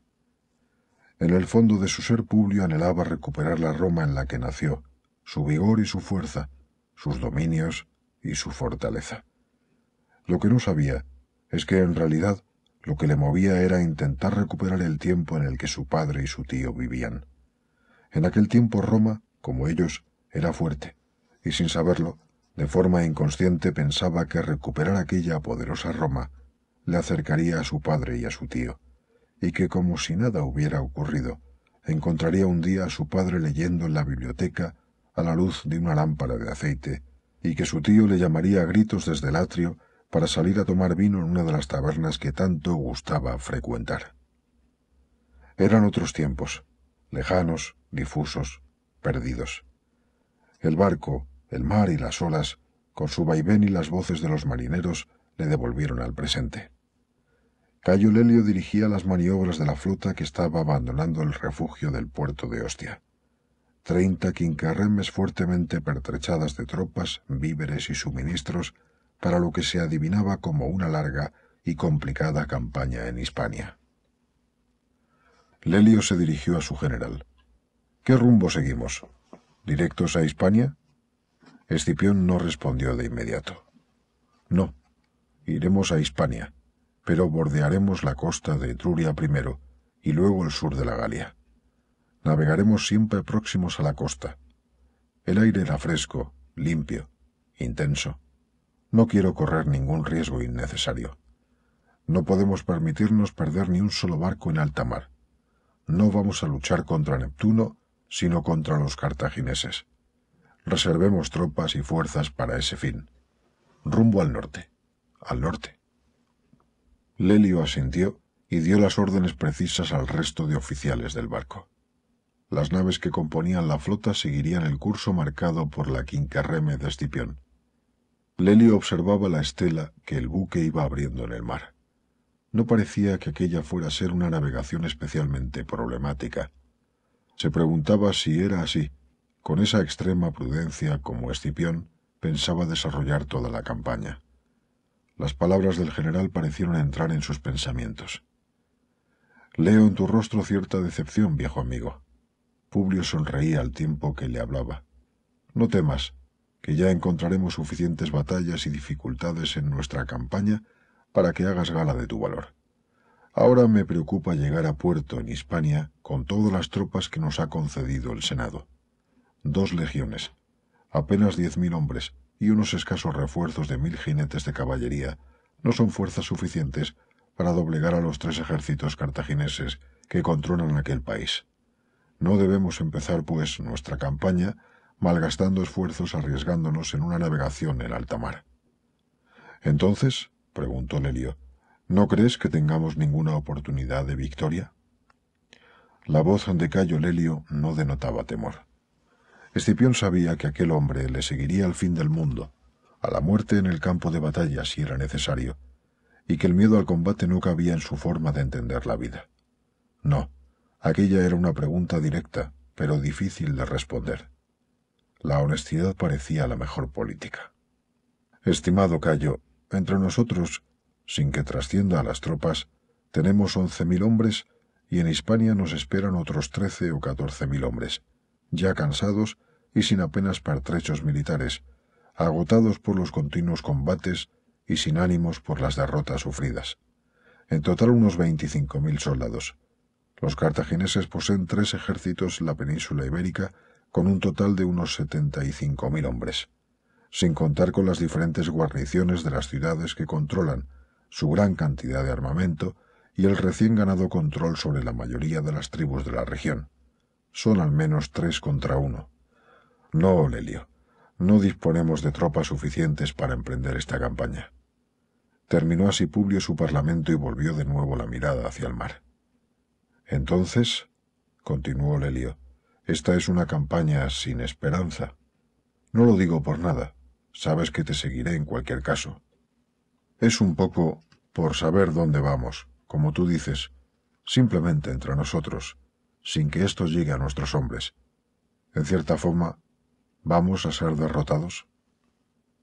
Publio volvió a tomarse unos segundos antes de responder. Lelio se mantuvo en silencio, respetando los momentos de reflexión del joven general. Bueno, dijo al fin Publio, no necesariamente, no. Tengo mis planes. Hay alguna posibilidad de victoria. No muchas, pero alguna, y sobre ella trabajaremos. Quizá no de victoria, pero sí de crearles bastantes problemas a los cartagineses. Y con esto le dio una palmada en la espalda a su recién nombrado almirante de la flota, y le volvió a sonreír. Una sonrisa limpia que iluminaba el rostro pulcramente rasurado del general, y que sin saber bien por qué, infundía confianza infinita. Ganaremos, Cayo Lelio, venceremos. Los dioses están de nuestra parte, especialmente Neptuno, especialmente Neptuno. En su momento recordarás estas palabras y me entenderás, si todo va bien. Y lanzó un profundo suspiro. Si no va bien, tendrá que ser en el otro mundo donde me reproches mi equivocación. Ahora voy a ver cómo está Emilia. Que yo sepa nunca ha navegado, y no sé cómo le estará sentando el vaivén de las olas. Yo prefería que se quedara en Roma con mi madre, pero no ha habido manera de persuadirla. Es casi tan testaruda, o puede que incluso más que yo. Avísame cuando creas que es conveniente que atraquemos para pasar la noche. Y con esto se alejó de su lugarteniente y se dirigió al camarote donde le esperaba su joven esposa. Una vez en el interior del barco y a medida que se acercaba a la estancia reservada para el general de las legiones de Hispania, fue escuchando el lloriqueo de una niña que Publio enseguida reconoció. Emilia puede que resistiera el oleaje, pero estaba claro que su pequeña hija Cornelia no lo llevaba tan bien. Deberían haberse quedado en Roma acompañando a su madre, pero cuando buscó la ayuda de Pomponia para que la convenciera de que lo más oportuno era que se quedase en la ciudad y esperase allí su vuelta, las cosas no salieron tal y como Publio había pensado. Recordaba la conversación y aún se sorprendía. Madre, decía él, ya nervioso ante la tozudez con la que Emilia se mantenía en su idea de seguirle a Hispania. Por Hércules, hazla entrar en razón. Su sitio es aquí contigo y con la pequeña Cornelia. Díselo por todos los dioses. Su madre estaba reclinada en su triclinium a la sombra de uno de los olmos que crecían en el jardín de la casa. El ruido de la fuente que manaba en el centro la relajaba. Se pasaba allí tardes enteras en silencio a veces con Emilia y su pequeña nieta, en ocasiones a solas, leyendo algún rollo de la biblioteca o simplemente meditando. Allí, en esa plaza, tenía los mejores recuerdos de su marido. Allí celebraron su boda y allí vieron cómo Publio primero y luego Lucio daban sus primeros pasos. Su hijo ahora, después de tanto tiempo, tenía una disputa doméstica con su mujer. La familia seguía su curso, pese a todo, pese a la guerra y las ausencias que ésta, cruel, insensible y tremenda, iba sembrando a su paso. No, hijo, empezó Pomponia. Siento contradecirte, pero en este punto estoy de acuerdo con Emilia. Si ella está dispuesta a acompañarte a Hispania, debe hacerlo. El lugar de una mujer está junto a su marido. Y si quieres saber aún más, Publio, la única decisión de la que me lamento en esta larga vida es la de no haber acompañado a tu padre y a tu tío a Hispania. Habría podido disfrutar más tiempo de su compañía y de su afecto. Dudé, pensé que era mejor quedarme con vosotros, pero a veces pienso que me he hecho demasiado cómoda, y una campaña militar no es lugar para comodidades, eso es cierto. Pero tú tienes la fortuna de tener una esposa joven, sana y fuerte, y que además quiere acompañarte. Debe ir. Publio se quedó mudo. Emilia sonreía satisfecha. En fin, dijo el joven general. Espero tener más éxito con los cartagineses que en casa. Está claro quién gobierna de puertas para adentro. Pero pongo una condición. Las dos mujeres escuchaban atentas. Emilia me acompañará y supongo que con ella vendrá Cornelia, pero solo hasta Tarraco. Allí estableceremos el campamento militar sede de las legiones a mi mando, pero cuando parta hacia el norte, hacia el interior o hacia el sur en busca del enemigo, Emilia permanecerá en Tarraco, por su propia seguridad y por la de la niña. Solo allí siento que puedo proporcionar a mi familia un mínimo de seguridad. Aquel es un territorio de frontera, rebelde a Roma en su mayor parte y atestado de enemigos. Hasta Tarraco. Esa es mi condición. Emilia miró a su marido y luego a Pomponia. La madre de Publio asintió. De acuerdo, dijo Emilia. Hasta Tarraco. Voy a prepararlo todo y desapareció por el tablinium para pasar al atrio, y de allí a las habitaciones de ella y su marido. Tenía un montón de cosas que envolver y embalar antes de partir. Publio se quedó a solas con su madre. Dudó antes de hablar, pero al fin se decidió. Pensaba que a ti te gustaría que se quedase contigo. Emilia y tú os lleváis muy bien. Sería un gran consuelo para ti tenerla. Lo sé, y es cierto pero por encima de mi comodidad está tu matrimonio. Emilia es una buena esposa. No podrías haber encontrado a nadie mejor. Cuando la conocí, reconozco que me pareció demasiado aventurada, atrevida incluso, pero intuyo que en la vida que vas a llevar es ese el tipo de esposa que necesitas. Debe ir contigo, y no se hable más del tema. Además, Lucio se queda conmigo. En él tendré el consuelo y el apoyo necesario. Y tú haz el favor de cuidarte. No te digo que no luches, eso sería absurdo en medio de esta guerra y en tus actuales circunstancias. Solo te pido que no pongas en peligro tu vida sin sentido. Roma se está quedando sin hombres valientes, que además sean inteligentes, y esta familia también. Así que haz lo que tengas que hacer, pero sé siempre precavido. Ya sabes lo que decía tu padre sobre la guerra. Publio asintió. Sí, madre, el propio Máximo me lo recordó en el Senado hace poco. Una batalla se puede ganar con el corazón, pero una guerra solo se gana con la cabeza. Bien, veo que escuchaste a tu padre, y que Máximo también, aunque nos deteste. Cuanto más recuerdes de las enseñanzas de tu padre, más lejos llegarás. Y bueno, por otra parte es justo admitir, en favor de tu tío, que cuanto más recuerdes de su adiestramiento con la espada, más posibilidades hay que vuelvas con vida. En momentos como este lamento haber gritado a Neo. Sus costumbres y sus debilidades me irritaban, pero sé que en ti puso su mejor empeño. Aprovechalo. Publio, sé que soy tu madre y que en calidad de tal puedes pensar que lo que digo es más fruto del afecto que de la inteligencia. Pero en esta casa, como en casa de cualquier otra madre, mi labor fundamental es la de observar y callar. Te he visto crecer y te aseguro que por algún designio de los dioses en ti se ha forjado lo mejor de tu padre y de tu tío. Por ello sé que hay esperanza para ti, para nuestra familia y para Roma. Sé fiel a ti mismo y lo demás vendrá por sí solo. Y ahora vete a vigilar a tu mujer o necesitarás una tirreme solo para todo lo que a esa niña se le ocurra llevarse. Publio se quedó un momento contemplando a su madre, pero se mantenía reclinada en su butaca, haciendo un ademán con su mano para que la dejara sola. El joven general la dejó y se volvió despacio para marchar en busca de su mujer. Ahora, varias semanas después, al abrir la puerta del camarote vio a Emilia sosteniendo a la pequeña Cornelia en sus brazos y meciéndola. —¡Shh! Pequeña, shh, le decía al oído, y la niña ahogaba entre sollozos su llanto. Son las olas, ¿no? preguntó en voz baja Publio, sentándose al lado de su mujer en la cama del camarote. Emilia asintió. Es pequeña, pero se acostumbrará, dijo ella. ¿Y tú? ¿Cómo llevas el oleaje? inquirió el joven general. Bien, no te preocupes por mí. Y mira, ¿ves? Se ha dormido. Está cansada. Son muchas emociones para alguien tan pequeño. Publio se quedó mirando cómo su mujer tendía a la pequeña Cornelia en la cama. Emilia llevaba una túnica ceñida al cuerpo que dejaba adivinar las suaves curvas de su pequeña figura, con unos hombros semidescubiertos, desnudos, de tez ligeramente oscurecida por el sol. Al inclinarse sobre la cama, su larga trenza de cabello negro azabache caía sobre las sábanas. Publio sintió sensaciones que nada tenían que ver con el mar, con la guerra o con aquel viaje.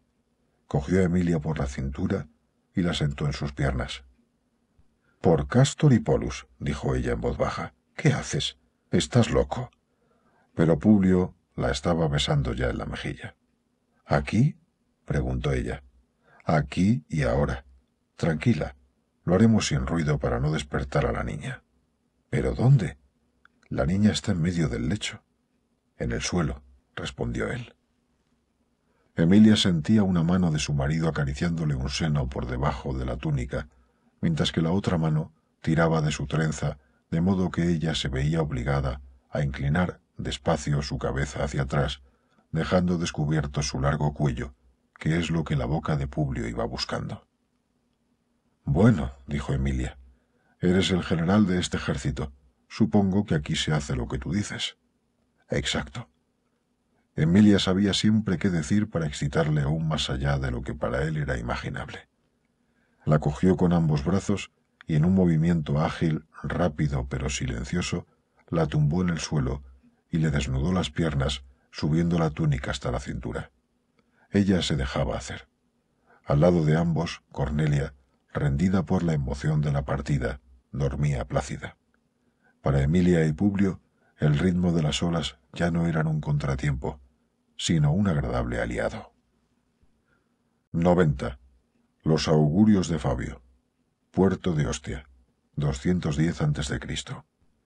Fabio observaba la partida de la flota desde el puerto de Ostia. A su lado el joven Catón oteaba el horizonte marino protegiéndose los ojos con la palma de su mano apoyada sobre la frente. Bien, Volvamos a Roma, dijo Fabio Máximo. Nos hemos deshecho ya de ese impetuoso joven que navega rumbo a su fin, pero tenemos muchas cosas de las que ocuparnos aún. ¿No volverá entonces? preguntó Catón. Quería saber más de los planes de su mentor. Fabio le miró como sorprendido.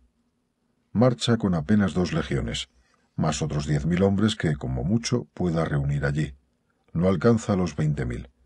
Los informes son que en Hispania hay tres ejércitos púnicos de entre 25.000 y 30.000 hombres cada uno, con mercenarios íberos que conocen bien el territorio, y todos veteranos de una larga guerra.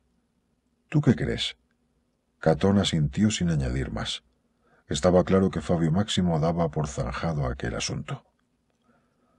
Ahora lo que me preocupa es mantener las arcas del Estado con suficientes recursos, Hemos tenido que reducir de 23 a 21 legiones las fuerzas en activo, y no tenemos dinero para remeros. Tendremos que persuadir a las familias importantes de Roma para que aporten fondos extraordinarios, empezando por los cónsules. ¿Y Marcelo y Levino aceptarán? preguntó Catón. Fabio no dudó en su respuesta. Por supuesto, son hombres nobles. Eso me obligará a poner también algo de mi parte pero todo tiene un precio esta vida. Esta tarde veré a los cónsules. Tengo un plan. Marcio Porcio Catón le miró atento. Caminaban por los muelles, escoltados por una decena de fornidos esclavos al servicio de Fabio. El viejo senador, adulado por la aguda atención de su interlocutor, cedió a la vanidad y desveló parte de su estrategia. Alejado el Escipión, que pronto será aniquilado en Hispania, el resto de la estrategia consiste en enviar a Claudio Marcelo contra Aníbal.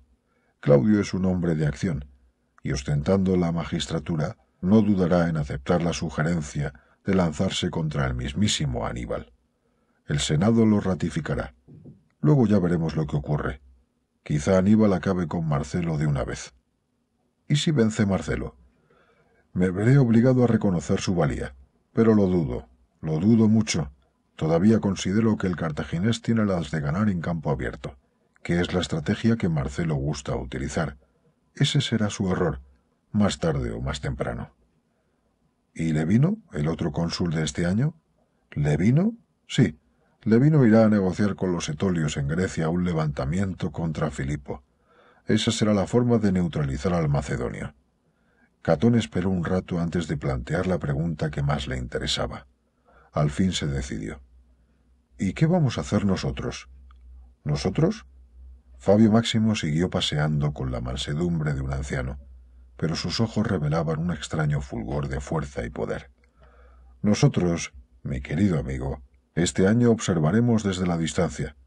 Este año serán los demás los que jueguen la partida. Al año siguiente, después de que todos se desgasten, será cuando entremos en acción. El año siguiente, ya lo verás, en el sur, ya pronto, en el sur. 91. Lucio Marcio Septimio. Hispania. 210 a.C. Lucio Marcio Septimio esperaba bajo el cálido sol de Iberia con mil soldados a sus espaldas la llegada del nuevo general romano de Hispania. Un joven de tan solo veinticuatro años ostentaba tal honor. Tan joven que, por razón de su edad, Fabio Máximo y otros senadores habían insistido en negarle el nombramiento de procónsul. Un joven con imperium militar sin magistratura. Marcio escupió en el suelo. Sin duda Roma estaba trastornándose. Los senadores debían de estar tan abrumados por la guerra contra Aníbal en territorio itálico que cada vez estimaban en menor importancia lo que ocurría en Hispania. Marcio miró el horizonte del camino que transitaba paralelo a la costa. Aún no se vislumbraba polvo en la distancia. Mejor, no tenía prisa. Aquel joven tendría que haber llegado ya, pero claro, un joven patricio de su condición y alcurnia no debía de estar acostumbrado al polvo de los caminos ni a las grandes marchas. Aunque era un Escipión, Publio Cornelio Escipión, hijo de cónsul, hijo y sobrino de los anteriores procónsules de Hispania, bajo los que Marco había servido. Hombres valientes, reconocía Marcio para sí. Hombres valerosos y aguerridos que durante varios años supieron conducir la guerra en Hispania con habilidad hasta el regreso de Asdrúbal, el hermano de Aníbal, acompañado de otros dos temibles generales cartagineses, Magón y Giscón. Aquellos tres generales unidos acabaron con los dos procónsules e hicieron trizas el ejército romano en Iberia. Marcio paseaba en silencio. Detrás de él, los mil hombres uniformados, firmes, en perfecta formación, aguardaban la llegada del nuevo general. Marcio se volvió hacia sus soldados.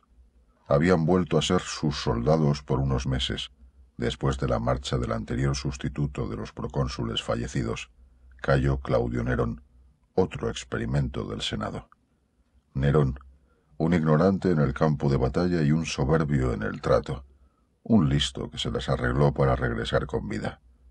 Era hábil político, alguna vez conseguirá victorias de renombre, pero no con las condiciones de Hispania, donde había un legionario por cada tres cartagineses. No, eso no era para ese Claudio Nerón. Marcio solo recibió humillaciones desde su llegada. Si no es por el desastre que suponía para Roma, Marcio se habría alegrado de cómo jugó con él Asdrúbal en la campaña del año pasado. Nerón marchó igual que vino, con las manos vacías. Solo era un patricio en busca de gloria fácil, y pronto comprendió que Hispania era un lugar demasiado complicado para el éxito. Desde entonces, nada. Roma callaba y no llegaban ni nuevos procónsules ni refuerzos. Marcio recordaba aquel invierno frío guardando como podían los pasos del Ebro, intentando mantener a los cartagineses al sur, buenos hombres sin apenas pertrechos y sin mando. Era cierto que los soldados le respetaban, pero también sabían del poco apoyo que había en Roma a las fuerzas de estas tierras y el desánimo se apoderaba de ellos.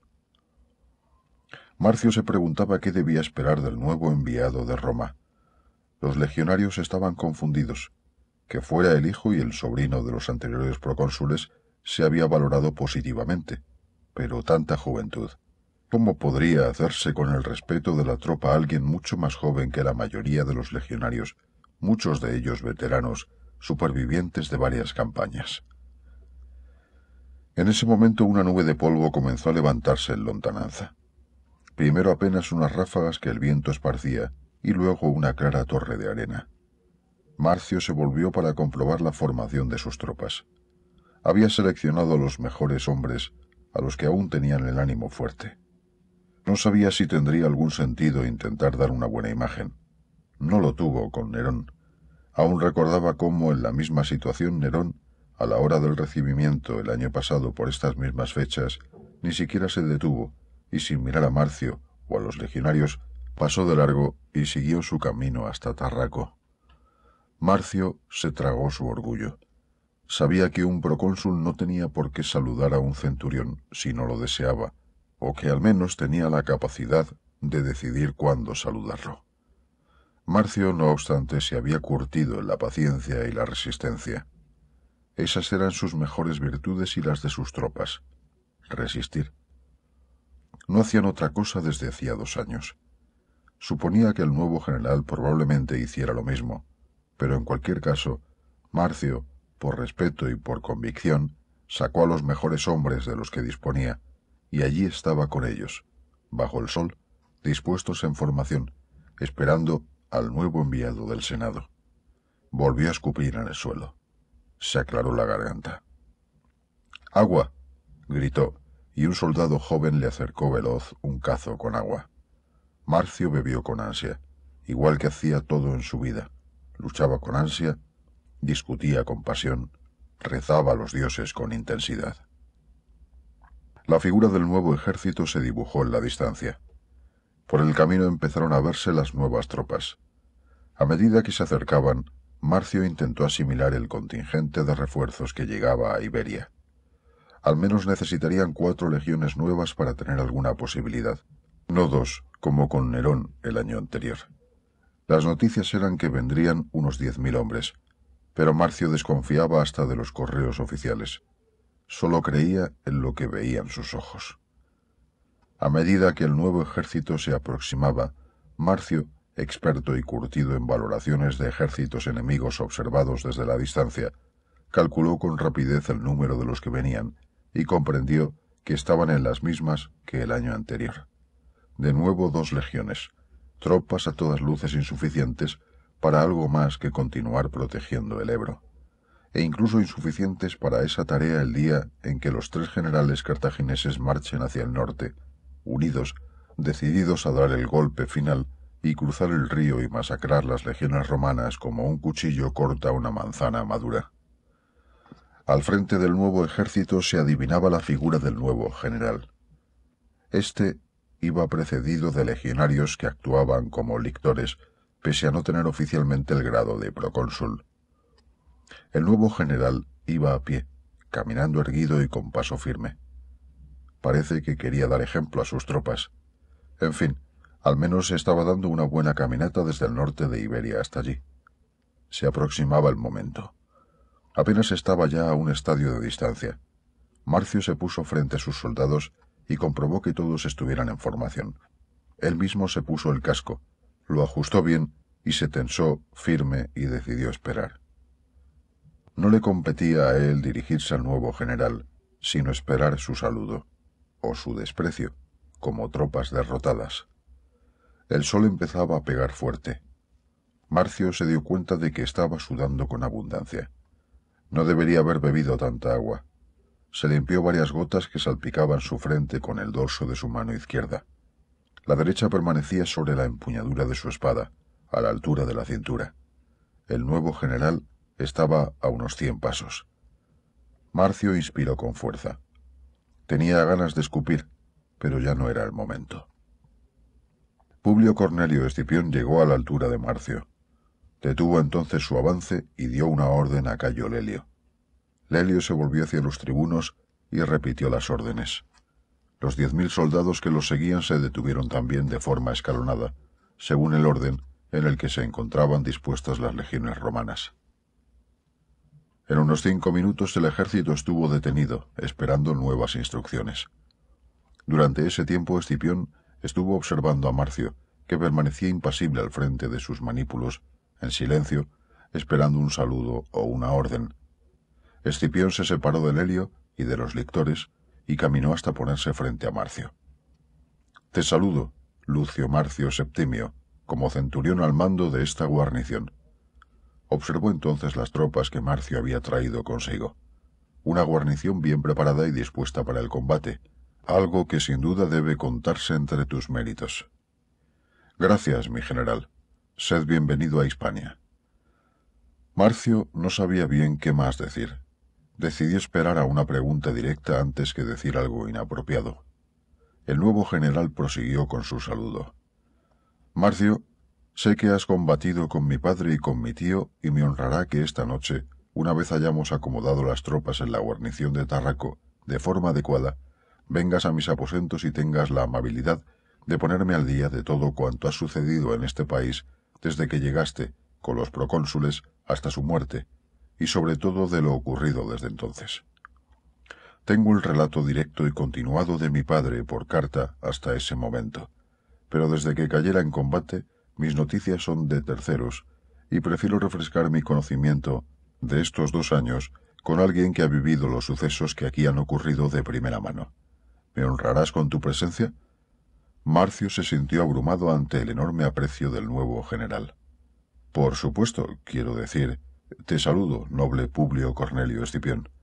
Para mí será un honor poder transmitir lo poco que mi entendimiento acierta a comprender de esta región y de los avatares de la guerra contra los cartagineses en este país hostil y cruel. Bien, pues hay mucho trabajo por hacer. Publio miró al cielo. Diría que el sol parece más inmisericordia en este país que en Roma. Pero dejémonos de menudencias y prosigamos la marcha. Marcio, ven a mi lado, junto a Cayo Lelio, mi almirante de la flota en el mar y jefe de la caballería en tierra. Y te lo ruego, actúa como guía en estas tierras que tú conoces mejor que nosotros. Soy todo oídos. Marcio obedeció.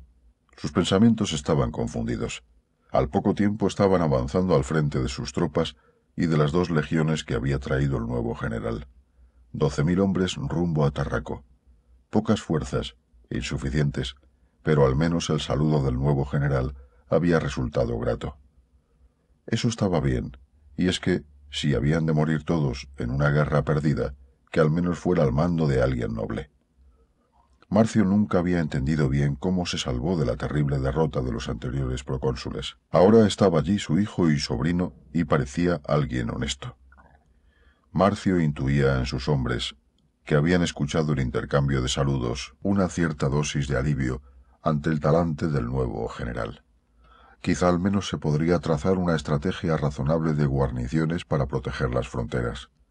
Eso ya sería algo. Era una idea sobre la que Marcio había estado meditando. Una empalizada al lado norte del Ebro que mantuviera a los cartagineses al sur, o que los obligase a luchar contra los vaceos en el interior si querían alcanzar los Pirineos. El tiempo y los dioses dictarían su veredicto sobre lo que debía hacerse en el futuro. Eso pensaba Marcio. Lo que desconocía era que aquel joven general que cabalgaba a su lado estaba decidido primero a transformar el presente, y luego a interferir en el futuro. 92. Una tragicomedia. Roma, 210 a.C. Casca caminaba nervioso, con pasos rápidos de un lado a otro del atrio de su casa. Sus brazos estaban cruzados por detrás de la espalda, aunque soltaba una de sus manos de cuando en cuando para poner énfasis en sus palabras. Pero tú sabes lo que dices, Tito. Tu éxito ha venido con las comedias. ¿Por qué cambiar ahora? Aníbal acaba de derrotarnos en Erdónea. Más de trece mil hombres han muerto. El cartaginés acaba de masacrar dos legiones enteras con sus mercenarios y sus elefantes africanos. La gente ha perdido a muchos amigos y seres queridos. Hay luto constante en la ciudad y el pueblo busca, necesita divertimento, distracción, evadirse de la guerra y sus sufrimientos. Eso es lo que la gente anhela y también los ediles. ¿Y tú ahora me vienes con que quieres hacer una tragedia? Deja las tragedias para Andrónico, Nevio, Enio, y tú ocúpate, céntrate en lo que sabes hacer bien. ¿Una tragedia? Por todos los dioses. Una tragicomedia, corrigió Plauto, reclinado en su triclinium sin inmutarse demasiado por la irada reacción de su patrón. Ya había anticipado algo parecido. No es lo mismo. Empieza con la palabra tragedia, ¿no? Para mí es lo mismo y para el público también lo será. Será divertida. Por Hércules. Tito, en una tragedia intervienen los dioses, ¿o es que en la tuya no será así? Claro, intervendrá los dioses. Su papel es esencial en la trama de la obra. Entonces, ¿es que propones que nos riamos de los dioses? No, por supuesto. Nos reiremos con los dioses, precisó Plauto. Ten cuidado, amigo mío. Por criticar a los patricios más de un autor se ha metido en problemas. No quiero pensar lo que pueda ocurrirte si te metes con la religión y los dioses de Roma. No son tiempos para bromear con según qué cosas. No te preocupes, lo tendré presente. Casca detuvo su continuo ir y venir frente a su protegido. ¿Que no me preocupe? Escucha, Tito, te cuido, te alimento, sufrago tus debilidades y lo hago a gusto. Además generas pingües beneficios para mis arcas, lo admito. Tus obras han traído un aire fresco a Roma, y me resulta simpático, de veras. Pero no puedes arruinar una prometedora carrera por un capricho. No es un capricho, es una idea meditada. Seguiré haciendo comedia, pero este proyecto me interesa. Es algo distinto, y tengo unas fuentes muy novedosas. Atraerá la atención. Sé que irán a criticarme, a hundirnos, pero gustará, estoy seguro. ¿Qué fuentes son esas? Platón. ¿El filósofo? preguntó Plauto con incredulidad. No, el cómico. Ah, Casca desconocía que hubiera más de un Platón. Estaba perdido. Y unas obras de Filemón y Difilo. Ya, bueno, eso está mejor. Estos autores ya le sonaban más a Casca. ¿Y Ritón? ¿Quién? No lo conoces. Ha desarrollado una técnica de combinar lo cómico y lo trágico. Sus obras son hilarotragedias. Casca echó un profundo suspiro. Cuanto más me cuentas, menos me gusta lo que oigo. Si lo vas a hacer, hazlo. Pero que sepas que es en contra de mi criterio, y así te lo recordaré cuando fracases. Y por Castor y Pollux no quiero saber nada más de todo esto. Si llego a saber que el acceso a la biblioteca de ese Escipión iba a traer estas consecuencias, ya habría buscado la forma de mantenerte alejado de allí. Cambiando de tema, comentó Plauto, ese Escipión, como llamas al nuevo general de Hispania, llevaba razón. Es alguien difícil de clasificar. Fui con todos mis prejuicios contra las clases altas, y si bien en él encontré cierta altanería propia de su clase, he de reconocer que, para sólo veinticuatro años, habiendo perdido a su padre y a su tío, y teniendo que asumir el mando de dos legiones para una expedición suicida, se comportaba con una seguridad y un aplomo que no dejaron de sorprenderme. Y parecía saber algo más de teatro de lo que suelen saber los patricios. Es lástima su marcha a Hispania. No podemos permitirnos el lujo de perder a más adeptos al teatro influyentes y poderosos. En eso estoy de acuerdo, respondió Casca algo más sosegado. Se sentó en su triclinium, pero aún sin recostarse. Ese joven patricio va directo a su fin, no entiendo ni cómo ha aceptado la empresa. El pueblo confía demasiado en heroicidades. Les encanta la imagen del hijo que acude a vengar la muerte de su padre, pero luego no le dan los medios suficientes. La muerte de ese joven general en Hispania sí que reúne todos los mimbres para una tragedia. ¿Ves? Ya tenemos bastantes ejemplos a nuestro alrededor de tragedias como para que tú te esfuerces en crear más. ¿No vas a cambiar de opinión? Plauto sacudió la cabeza. En fin, dijo Casca, que traigan vino. El licor amortiguará mi desasosiego y templará un poco mis nervios. Dio un par de palmadas y dos esclavos acudieron con sendas jarras de agua y vino, dos copas y una pequeña mesa. ¿Y has pensado en un nombre para tu obra, tragedia, comedia o lo que tengas a bien que al fin sea? Anfitruo, respondió Plauto. Ya. ¿Y qué dioses van a salir en ella? Mercurio y Júpiter.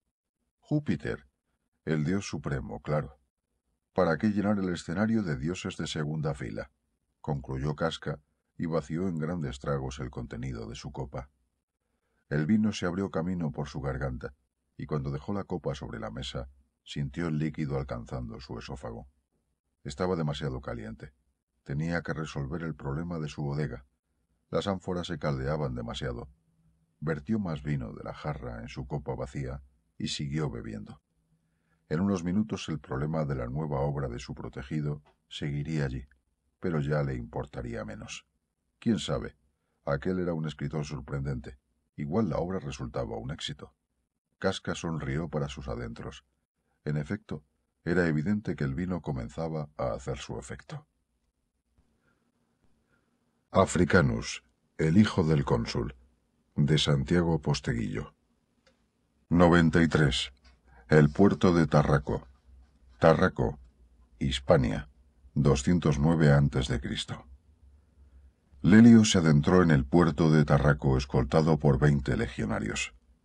Atravesaron todas las instalaciones dedicadas a la flota romana y se dirigieron al puerto pesquero de la ciudad. Decenas de pequeñas embarcaciones amarradas de forma desordenada flotaban mecidas por el mar. Una multitud de personas caminaba entre los diferentes puestos de venta de pescado. Compradores, pescadores y curiosos se apartaban del camino del almirante de la flota romana. Los pescadores mantenían una excelente relación con las tropas extranjeras establecidas en aquella ciudad, que habían transformado en capital de sus dominios en Hispania. Gracias a las legiones romanas, allí establecidas, comercializaban cuatro veces más pescado que antes de la llegada de los romanos. Estos eran buenos para su negocio, pero pese a ello, los pescadores desconfiaban y se mantenían distantes de los legionarios, limitándose a negociar con los cuestores de las legiones, con los que acordaban las cantidades de pescado a vender y el precio de los diferentes productos que traían de sus salidas al mar. Lelio llevaba extrañas órdenes aquella mañana que le obligaban a romper esa distancia entre pescadores y tropas romanas. El veterano legionario avanzó entre los puestos escudriñando con su mirada a los vendedores. Muchos de estos eran los propios pescadores que, una vez en tierra, vendían el pescado que habían capturado por la noche y al amanecer. Normalmente, en unas horas, habían vendido toda su mercancía y aprovechaban entonces para recoger sus puestos y retirarse a sus hogares durante unas horas para comer y descansar antes de emprender una nueva salida al mar al caer la tarde. Algunos desaparecían durante días, alejándose de Tarraco rumbo al sur, navegando por la costa en busca de marisco y pescado, que abundaba más en los caladeros del delta del Ebro, o más al sur, en la desembocadura del río Sucro. Se rumoreaba que ocasionalmente algunos se aventuraban a navegar hasta llegar a costas de pleno dominio cartaginés, navegando ocultos en la noche esquivando naves de guerra y buques piratas que costeaban por aquel territorio. Estos últimos eran una mezcla de pescadores y aventureros que regresaban con especies extrañas y sabrosas que se comercializaban a buen precio y cuya venta acompañaban de relatos fabulosos de sus incursiones en las tierras del sureste de la península. Uno de estos pescadores era Ilmo, un hombre de unos treinta años, moreno de cabellos y de tez oscurecida por el sol y curtida por la brisa del mar. Un hombre alto y fuerte cuya potente voz destacaba sobre la del resto de pescadores de Tarraco. Cuando Elmo llegaba con su carga, una multitud de curiosos y jovenzuelos se arremolinaba alrededor de su barco, ansiosos unos por adquirir su mercancía, y ávidos los otros por escuchar sus historias de piratas, cartagineses en guerra y extraños sucesos. ¿Qué había de cierto y cuánto de invención en los relatos de Ilmo? Era algo difícil de saber.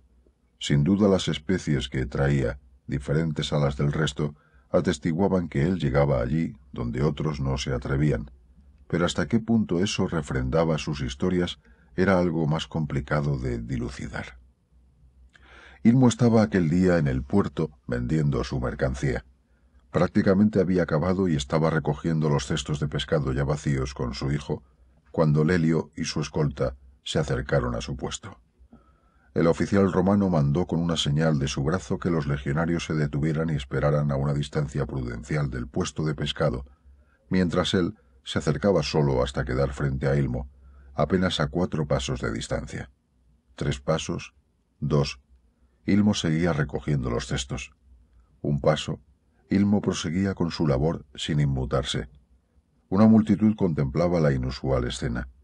El almirante de la flota romana en un puesto de venta de pescado, incluso aunque fuera el puesto de Ilmo, al que se suponía que tantas cosas extrañas le acontecían, no dejaba por ello de sorprender el interés que un hombre romano de tanto poder pudiera tener por aquel pescador aventurero.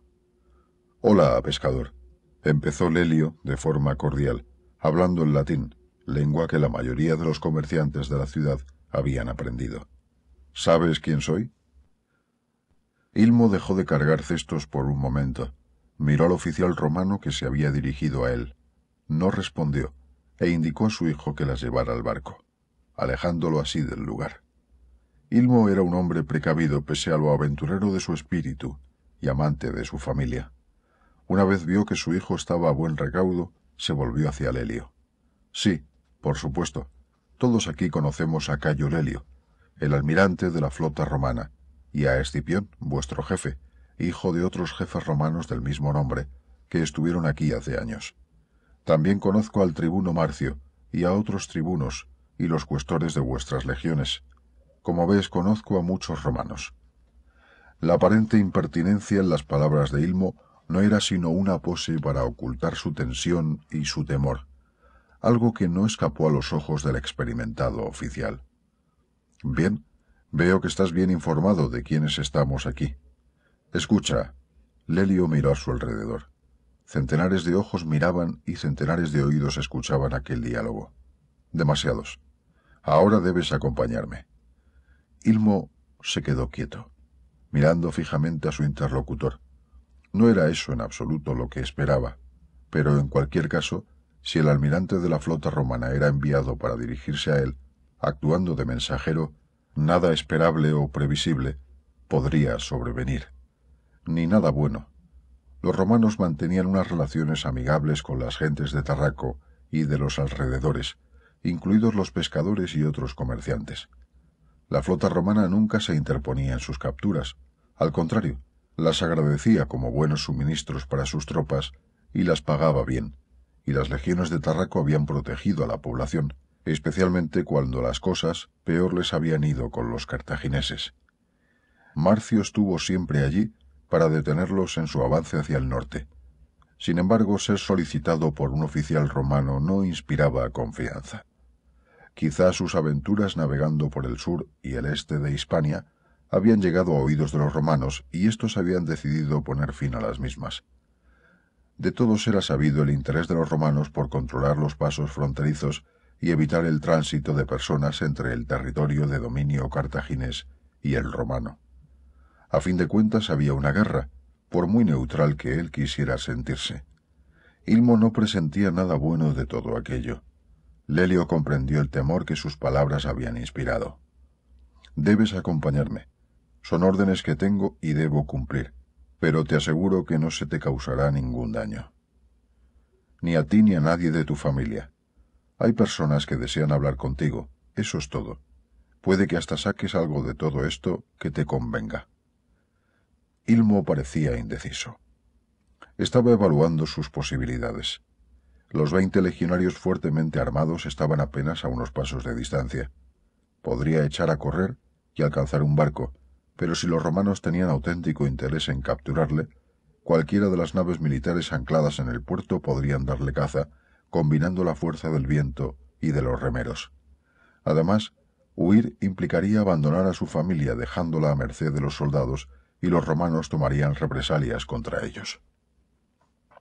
Se me ha autorizado a anticiparte que, si colaboras, continuó Lelio, se te recompensará generosamente. ¿Generosamente?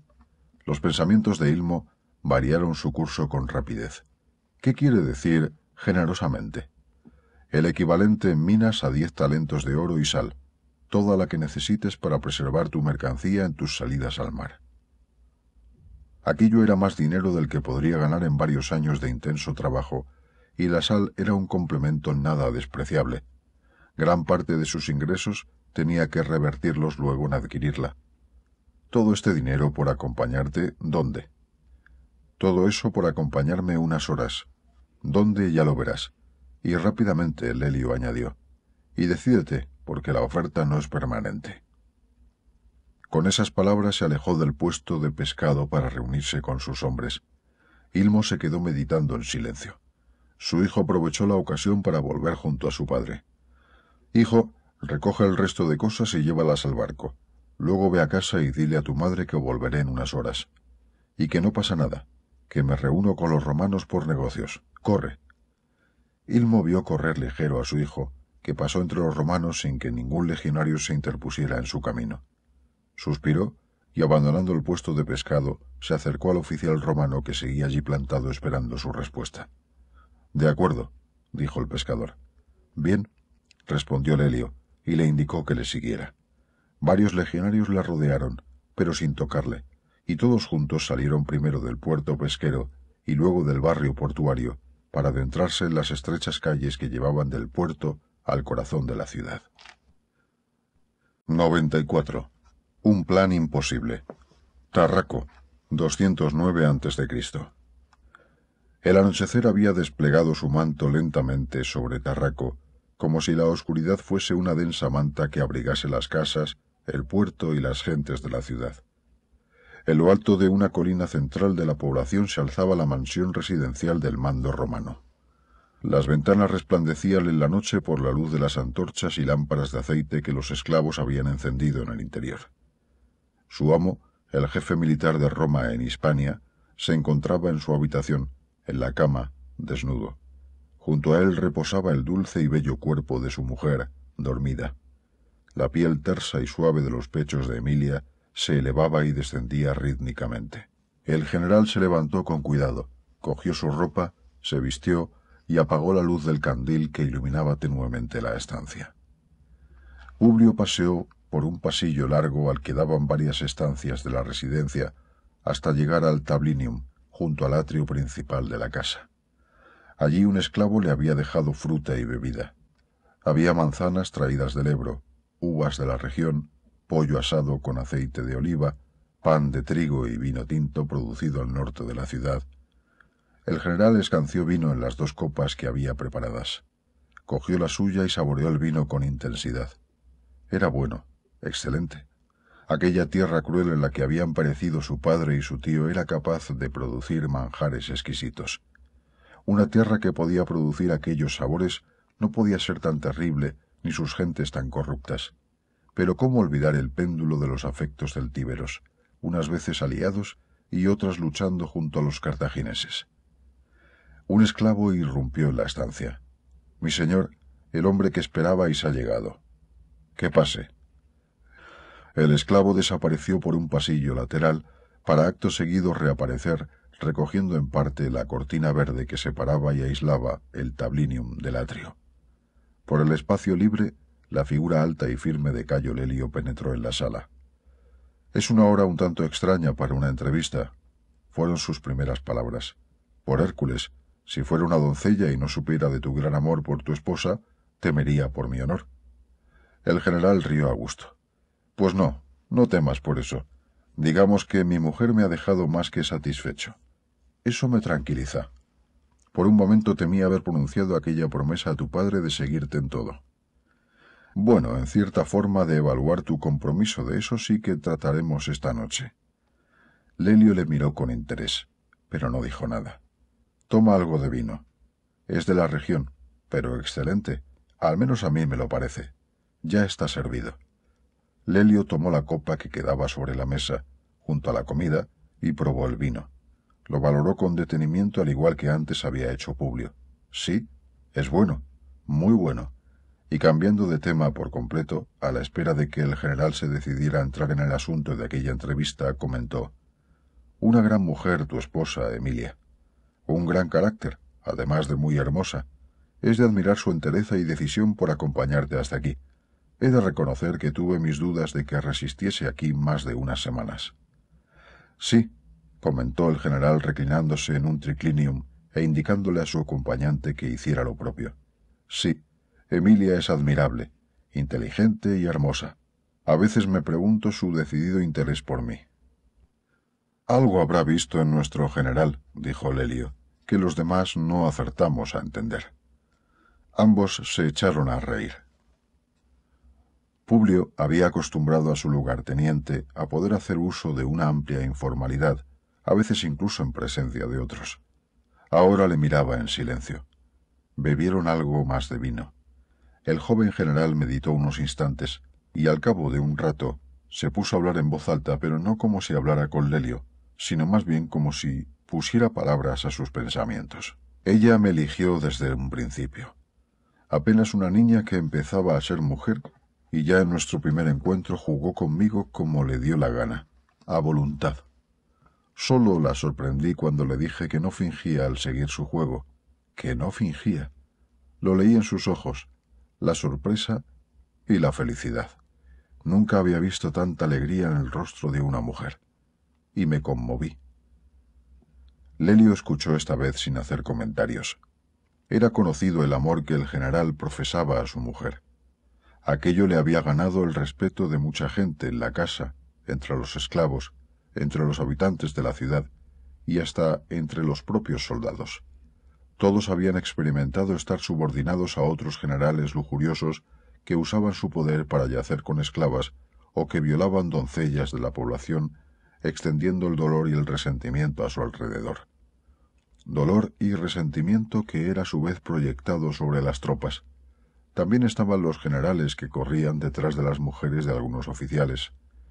Un centurión romano podía ser muy desafortunado si tenía una esposa hermosa, aunque algunos utilizaban a sus mujeres para conseguir ascensos inmerecidos en agradecimiento a los servicios prestados por sus bellas esposas pero eso también creaba resentimiento entre otros oficiales.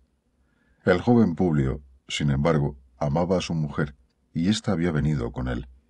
Si el general era lujurioso o no, era algo que quedaba en la esfera de su vida privada, pues en todo caso lo sería con su mujer, y a ésta se la veía feliz, resplandeciente, hermosa en la residencia del general, cuando paseaba por las calles de la ciudad o cuando se aventuraba por el puerto explorando curiosa la población capital de los dominios sobre los que gobernaba su marido.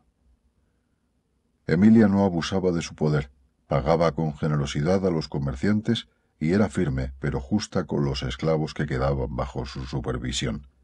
No era proclive a infligir castigos corporales y todos atendían sus requerimientos con interés. Se había hecho popular y respetada, y con ello había ampliado la reputación de su marido como gobernante discreto. Bueno, bueno, dijo el joven Publio, como despertando de un sueño. Mi buen Lelio, estarás ahí preguntándote si te he hecho venir a estas horas de la noche para hablarte de mi vida conyugal. En fin, estoy seguro de que habrá algo más, pero, si se me permite, mientras haya vino tan bueno como este, no me importa el tema del que se hable. Incluso si no tengo que hablar yo, tampoco me importa. Ya. Publio sonrió, y él mismo tomó un poco más de vino, rebajado con algo de agua. Pero no, te he hecho venir para explicarte los planes que tengo para esta campaña. Lelio le miró y parpadeó tres veces. Bueno, esos planes ya nos los explicaste esta mañana, igual que ya hablaste a las tropas de las dos legiones. Vamos al sur y al interior, a Carpetania, a encontrarnos con el primero de los tres ejércitos cartagineses de Hispania. No dividiremos nuestras fuerzas, la marcha será rápida, marchas forzadas, para sorprender al ejército de Asdrúbal, el hermano de Aníbal, antes de que sea informado y antes de que pueda ser asistido por ninguno de los otros dos ejércitos cartagineses, el de Giscón, que está en Lusitania, donde desemboca el Tajo, o el de Magón, que está al sur, cerca de los pilares de Hércules. Tras derrotarlos evaluaremos cuál es la situación para ver si regresamos o seguimos nuestro avance contra otro de los ejércitos.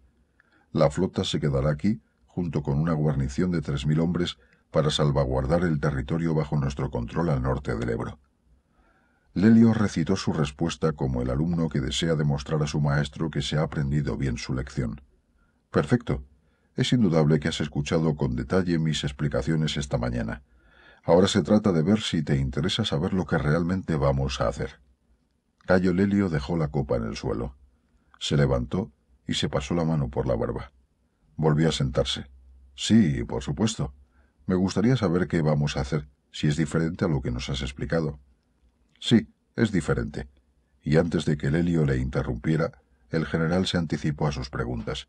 Pero no quiero que nadie lo sepa, excepto tú. Confío en ti, en tu discreción y en tu lealtad. Y además... Además... Además te necesito. Sin tu ayuda el plan no puede realizarse. Y bien, también me gustaría tener tu opinión. Mi lealtad y mi honor son tuyos. Sabes que puedes contar conmigo para lo que sea. Te escucho. Soy todo oídos. Esa era la respuesta que Publio estaba esperando para desvelar a Cayo Lelio su auténtico plan de guerra. Todo oídos, al igual que esta ciudad entera. Muchos celtíberos nos son leales solo en apariencia. Los cartagineses poseen espías en todas partes. Por eso mi interés por mantener ocultas mis auténticas intenciones. Vamos a ir al sur, pero no al interior. No vamos a luchar contra ninguno de los tres ejércitos que los cartagineses tienen en la península ibérica. Lelio le miró con decepción y sorpresa. Entonces aquí habían venido desde Roma. ¿Para qué aquel largo viaje y para qué todas aquellas permanentes maniobras durante el invierno? A los soldados no les gustaría nada aquello. Sé lo que estás pensando, dijo Publio. Lo leo en tus ojos, pero antes de juzgar, te ruego que me escuches hasta el final. Lelio no estaba en absoluto convencido, pero asintió con la cabeza. Publio prosiguió con la exposición de la situación. Tengo información confidencial que me ha llegado esta semana desde Roma. El correo oficial, sí, dijo Lelio. Marco Valerio Mesala ha realizado una incursión por la costa africana siguiendo las instrucciones del cónsul Levino y ha traído noticias desalentadoras para nuestros objetivos. Los cartagineses están reclutando más mercenarios y el líder númida, Masinisa, el hijo de la reina Gaia, se ha unido a estos con cinco mil hombres, muchos de ellos jinetes, y su destino es cruzar a Hispania las próximas semanas para unirse con Asdrúbal. Como jefe de la caballería, supongo que sabes lo que eso significa. Lelio tragó saliva un par de veces. El vino se le había subido un poco a la cabeza, pero, de pronto, el efecto embriagador y relajante del licor había desaparecido para dejar paso a una pesada sensación de mareo. Gaia y su hijo. Claro, los cartagineses se han aprovechado de la división en Numidia. Como Sifax está con nosotros, han recurrido a Gaia y su hijo Masinisa. Seguro que la recompensa por ayudarlos a derrotarnos será la posterior cooperación de los cartagineses para acabar con el poder de Sífax, al que castigarán por su apoyo a Roma. Con los númidas de Masinisa la superioridad de los cartagineses será total. Ya no tendremos ninguna posibilidad. Debemos atacar ya, antes de que lleguen esos refuerzos. Exacto, confirmó Publio. Sus ojos brillaban en la penumbra de la luz de las lámparas de aceite. Además, están preparando en Cartago una nueva flota para lanzar una gran contraofensiva sobre Sicilia y recuperar el terreno perdido. Y el nuevo enfrentamiento entre Marcelo y Aníbal cerca de Numistrón no ha servido para nada. El cartaginés permanece con sus posiciones en Apulia. Y no solo esto, sino que varias de las colonias latinas se han rebelado, hartas de que Roma no haga otra cosa sino pedir más y más soldados y se ha llegado a tal situación que se ha recurrido al oro de los templos sagrados para financiar las legiones que Aníbal obliga a tener en activo de modo permanente. No podemos permanecer aquí sin hacer nada. Pero hace un momento has dicho que no vamos a atacarlos. Eso no es cierto. He dicho que no creo que debamos atacar a ninguno de sus tres ejércitos. Lelio le miraba confundido. El joven general decía primero una cosa y luego otra. Hay más objetivos en la península ibérica, Lelio, además de sus ejércitos. Publio se levantó y fue junto a la mesa, desplegó un mapa de Hispania y con la mano indicó a Lelio que se acercara. Este se levantó y fue junto a la mesa. Iremos por la costa en una marcha de seis o siete días hasta alcanzar este punto. Este y no otro es nuestro objetivo. El dedo del general se había posado sobre un nombre. Cartago Nova, o Cart Adas, como la llamaban los púnicos, la capital cartaginesa de Hispania. Lelio se tomó unos segundos antes de formular su respuesta a semejante idea. Esa ciudad, empezó al fin hablando despacio, midiendo sus palabras, no quería contradecir al joven general que tan claro parecía tenerlo todo. Es una ciudad inexpugnable. Tardaremos meses en conquistarla. Será un asedio largo y costoso en vidas, los cartagineses acudirán con sus ejércitos en auxilio de la ciudad, nos rodearán y acabarán con todos. No, no si se conquista la ciudad en seis días. ¿Seis días? Eso es imposible. Imposible. Pero Lelio leyó en la mirada de su general que aquel era el plan, le gustase o no, que aquello era lo que iba a hacerse y que buscaba su colaboración, su lealtad para acometer aquella empresa con fe ciega en las posibilidades del proyecto. Lelio concluyó entonces sus comentarios con concisión. Es una locura, pero te acompañaré y seguiré tus órdenes hasta el final. Lamento no haberlo sabido antes. Deberíamos haber construido maquinaria de asedio, catapultas, torres, escorpiones. Ese material nos habría retrasado en nuestra marcha, aunque es cierto que parte de esas máquinas las podríamos haber transportado por la costa. Pero quedaba otro problema irresoluble. No entiendo, dijo Lelio. Si nos hubiéramos puesto a construir maquinaria para un asedio, los cartagineses habrían sido informados, seguro, más tarde o más temprano. Y se habrían preparado. Construir máquinas de asedio habría delatado en parte nuestro objetivo. De esta forma solo esperan una batalla en campo abierto, ejército contra ejército. Eso llegará, pero no ahora. Los cogeremos por sorpresa. Sí, pero sin armas para un asedio, sin todo lo necesario para conseguir nuestro objetivo, no nos hacen falta esas armas. La seguridad del joven general resultaba casi infantil para el veterano Lelio. Publio se alejó de la mesa y se volvió hacia la ventana. Se vislumbraba el puerto bajo la tenue luz de la luna. La gente dormía en Tarraco. Expiró el aire despacio. Había confirmado la lealtad de Lelio. Ante una locura de plan, su segundo en el mando mantenía su palabra de seguirle allí donde se encaminara. Se volvió hacia Lelio, que permanecía absorto mirando el plano. Hacía varios minutos que había olvidado su copa de vino. Bien. ¿Me seguirás, pese a que creas que el plan es una locura? Lelio volvió a sentir con resignación sin convencimiento, pero disciplinado. Eso me congratula. Pero quiero explicarte más cosas, no quiero que te vayas de aquí pensando que sigues a un loco. Aún me queda algo de cordura, viejo amigo. Avanzaré con las tropas hasta Cartago Nova, y en siete días estaremos junto a las murallas, pero al mismo tiempo quiero que tú conduzcas nuestra flota por mar hasta el mismo lugar. Quiero además que las tropas sepan que la flota nos acompaña. La idea es que Cartago Nova caerá en seis días, antes de que empiecen a llegar refuerzos cartagineses. No me mires así. Ya sé que no crees en ello. Por eso, precisamente, por si mi plan fallara, que no fallará, las tropas podrían ser embarcadas y así regresaríamos a Tarraco por mar. En el caso de que los ejércitos púnicos se lanzasen sobre nosotros y de esta forma no ponemos en peligro las legiones en una batalla desigual, en el caso de que Asdrúbal aparezca con dos o tres de sus ejércitos. La flota nos acompañará y reforzará el asedio en, digamos, el plan de ataque, pero si éste falla, la flota será nuestra salvaguardia. Como verás, te propongo un plan propio de un loco, pero vamos a jugar sobre seguro. Si sale mal, nos vamos.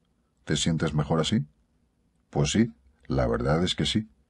Lelio no ocultaba ni en su voz ni en su rostro el alivio que aquella explicación había llevado a su ánimo. Disponer de la flota daba un margen de maniobra importante para una posible retirada. De esta forma el plan de ataque sigue pareciéndome una locura, pero he de reconocer que el plan de retirada es muy razonable, aunque algo me dice que por alguna razón que desconozco, estás prácticamente seguro de que el plan de ataque saldrá bien.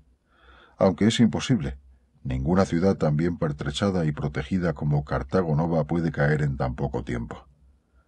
Aníbal estuvo ocho meses para doblegar a Sagunto, y luego no pudo con Nola, cuando ésta la defendía a Marcelo, y Marcelo tardó años en conquistar Siracusa, y Tarento cayó por traición, y Capua tuvo que ser asediada años y por fuerzas cuatro veces superiores a las que disponemos aquí.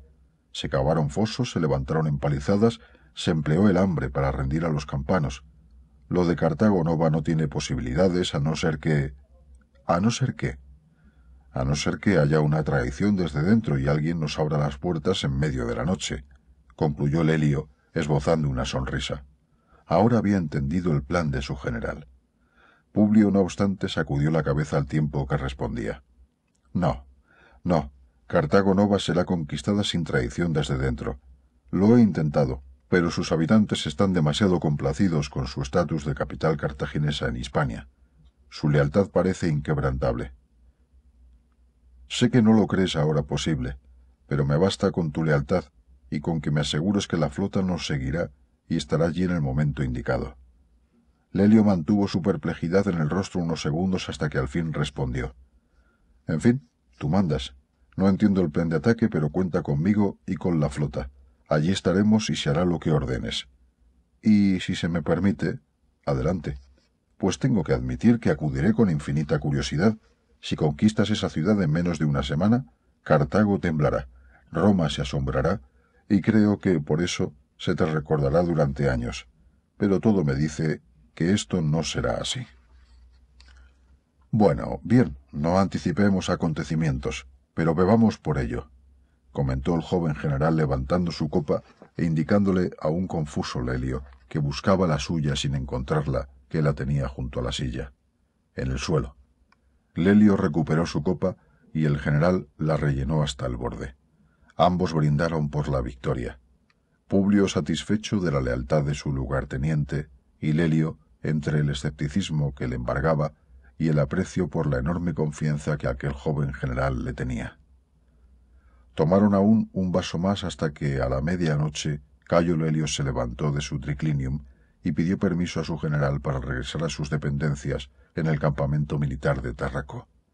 Lelio marchó en silencio y salió con sigilo por una de las puertas laterales que daban acceso a la casa del general en jefe de las tropas romanas en Hispania. Nadie le vio salir.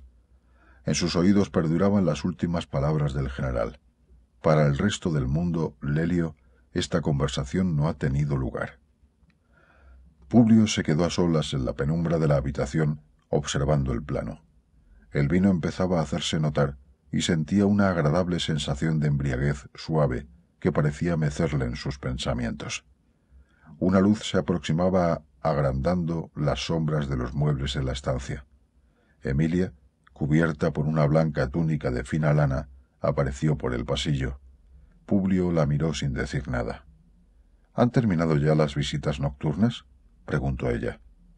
Publio, sin abrir la boca, asintió con la cabeza. Ella entonces extendió la mano sin entrar en la estancia.